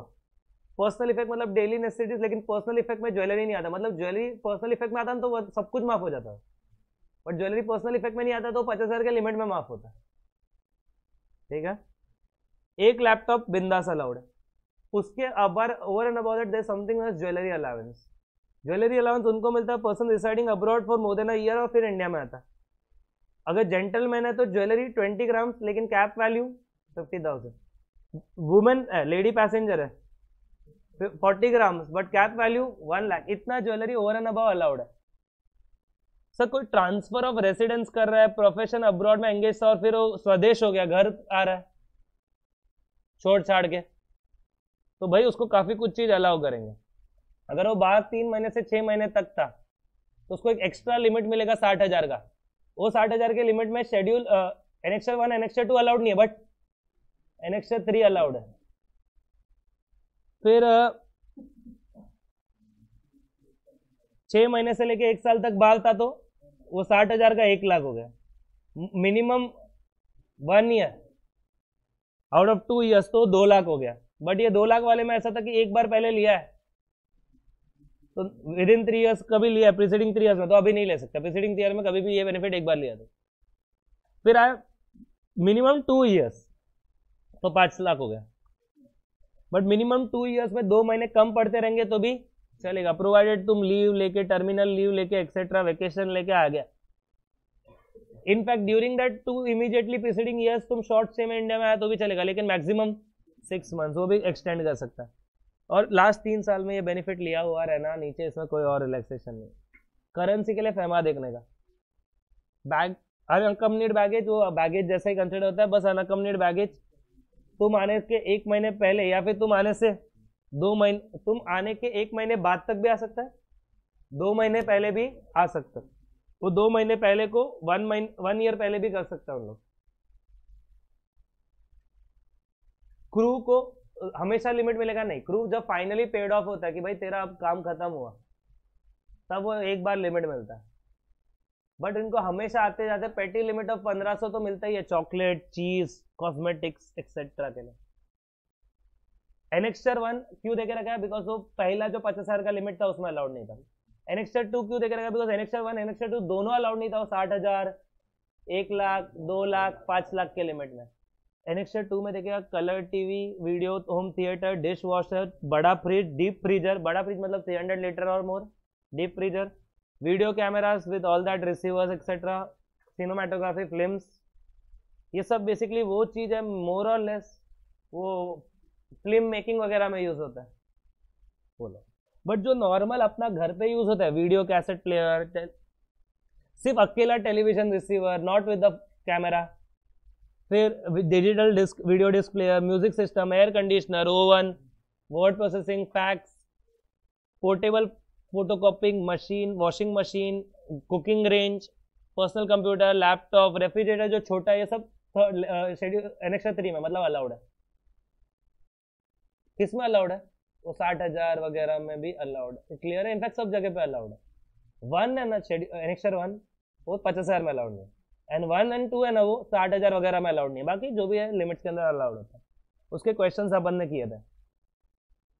फिर आता है टेम्पर डिटेंशन ऑफ़ बैगेज कोई बंदा है, वो आ रहा है। आ रहा है, साथ में ड्यूटेबल या प्रोहिबिटेड गुड्स लेके आ रहा है, उसका डिक्लेरेशन किया उसने। प्रॉपर ऑफिसर उसको बोल सकता है, अगर उसने सही डिक्लेरेशन किया तो तू एक काम कर, अब ये सामान मैं रखता हूँ, तू जाएगा तब। लेते हुए जा, तू नहीं लेके गया, तेरा किसी और रिप्रेजेंटेटिव से भिजवाना तो वो कर देंगे। या फिर हम कार्गो बोल के भेजेंगे टेंशन मत ले। तो इंडिया में क्लियर किया तो प्रोहिबिटेड ड्यूटीएबल तो क्लियर ही मत कर तो यहाँ से जाने के टाइम वापस लेके जा। माफ़ी है तेरे को। पर ये सब माफ़ी कब मिलेगा वैन उसने डिक्लेरेशन किया रहेगा तो? डिक्लेरेशन नहीं किया रहेगा तो स्मगल ट्रीट होगा। फिर रेगुलेशन ऑफ़ बैगेज में ऑलरेडी थोड़ा बहुत पढ़ के हो गया कि जिसके पास समथिंग टू डिक्लेयर है ये कैरी कर रहा है ड्यूटीएबल प्रोहिबिटेड एक्सेट्रा तो वही बैगेज डिक्लेरेशन देगा। फिर अपन ने पढ़ा, कोई पैसेंजर है वो डोमेस्टिक पैसेंजर है domestic leg of a international flight में ट्रैवल कर रहा है। इंटरनेशनल फ़्लाइट है लेकिन उसके डोमेस्टिक लेग में डोमेस्टिक पैसेंजर फ्लाई कर रहा है। मुंबई दिल्ली दिल्ली मुंबई फ़्लाइट में भी यूएसए का। अगर तुम डोमेस्टिक फ़्लाइट लेग में ट्रैवल कर रहे हो तो तुमको डिक्लेरेशन देने का ज़रूरत नहीं। माना तुम्हारे साथ जो बा, बा, बाकी लोग निकले रहेंगे वो इंटरनेशनल वाले रहेंगे। जो डोमेस्टिक है उनको बैगेज डिक्लेरेशन देने का ज़रूरत नहीं। फिर आए ट्रांजिट ट्रांसशिपमेंट ट्रांजिट भी अलाउड है। टू आउटसाइड इंडिया और to another custom station without payment of duty transit में कन्वेंस नहीं होता। ट्रांसशिपमेंट भी अलाउड है टू इंडिया और outside India without payment of custom duty उसमें कन्वेंस चेंज होता है। लेकिन ट्रांसशिपमेंट में आउटसाइड इंडिया बिंदास अलाउड है। ट्रांसशिपमेंट में अगर वो इंडिया में ट्रांसफ़र हो रहा है तो उसके लिए एक्स्ट्रा उन लोग कंडीशंस वगैरह प्रिस्क्राइब कर सकते हैं। प्लस ट्रांसशिपमेंट में बिल ऑफ़ ट्रांसशिपमेंट या डिक्लेरेशन ऑफ़ ट्रांसशिपमेंट में देना पड़ता है जो ट्रांजिट में नहीं था। तो तुम चाहिए तो डिस्टिंग और बड़ा भी कर सकता है। ट्रांजिट 53 ट्रांसशिपमेंट 54 ट्रांजिट में सेम कन्वेंस ट्रांसशिपमेंट में कन्वेंस चेंज ट्रांजिट में कंटिन्यूटी ऑफ़ रिकॉर्ड होता है ट्रांसशिपमेंट में कंटिन्यूटी ऑफ़ रिकॉर्ड नहीं होता। है और एक लिख सकता है। बिल ऑफ़ ट्रांसशिपमेंट ट्रांसशिपमेंट में होता है, लेकिन ट्रांजिट में नहीं होता। क्लियर है? बिल या डिक्लेरेशन होता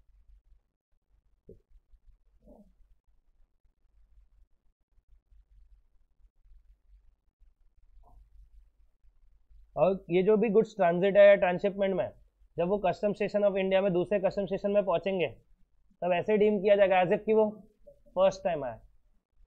ट्रांजिट हो या ट्रांसशिपमेंट हो एग्जाम्पल्स क्या एप्लीसिकल हो सकता है? दुबई से मुंबई आया, मुंबई से केरला गया, या दुबई से मुंबई आया, मुंबई से श्रीलंका गया। उसमें सेम ही शिप में गया तो ट्रांजिट अलग शिप में गया तो ट्रांसशिप उसके बाद पता लगा कि गवर्नमेंट है ना रूल्स बना सकते हैं कि imported goods one land custom station से अनदर लैंड कस्टम स्टेशन में ट्रांसफ़र हो विदाउट पेमेंट ऑफ़ ड्यूटी या फिर one part of India to another part of India through foreign territory जा पाए विदाउट पेमेंट ऑफ़ ड्यूटी उसके लिए उन लोग रेगुलेशंस बना सकता है। वो एक अलग से पॉइंट आया था। एंड वहाँ पे वो चैप्टर का रिवीजन कंप्लीट उसके पीछे तुमको समरी देके रखा हुआ है प्रोसीजर का, वो तो ठीक है।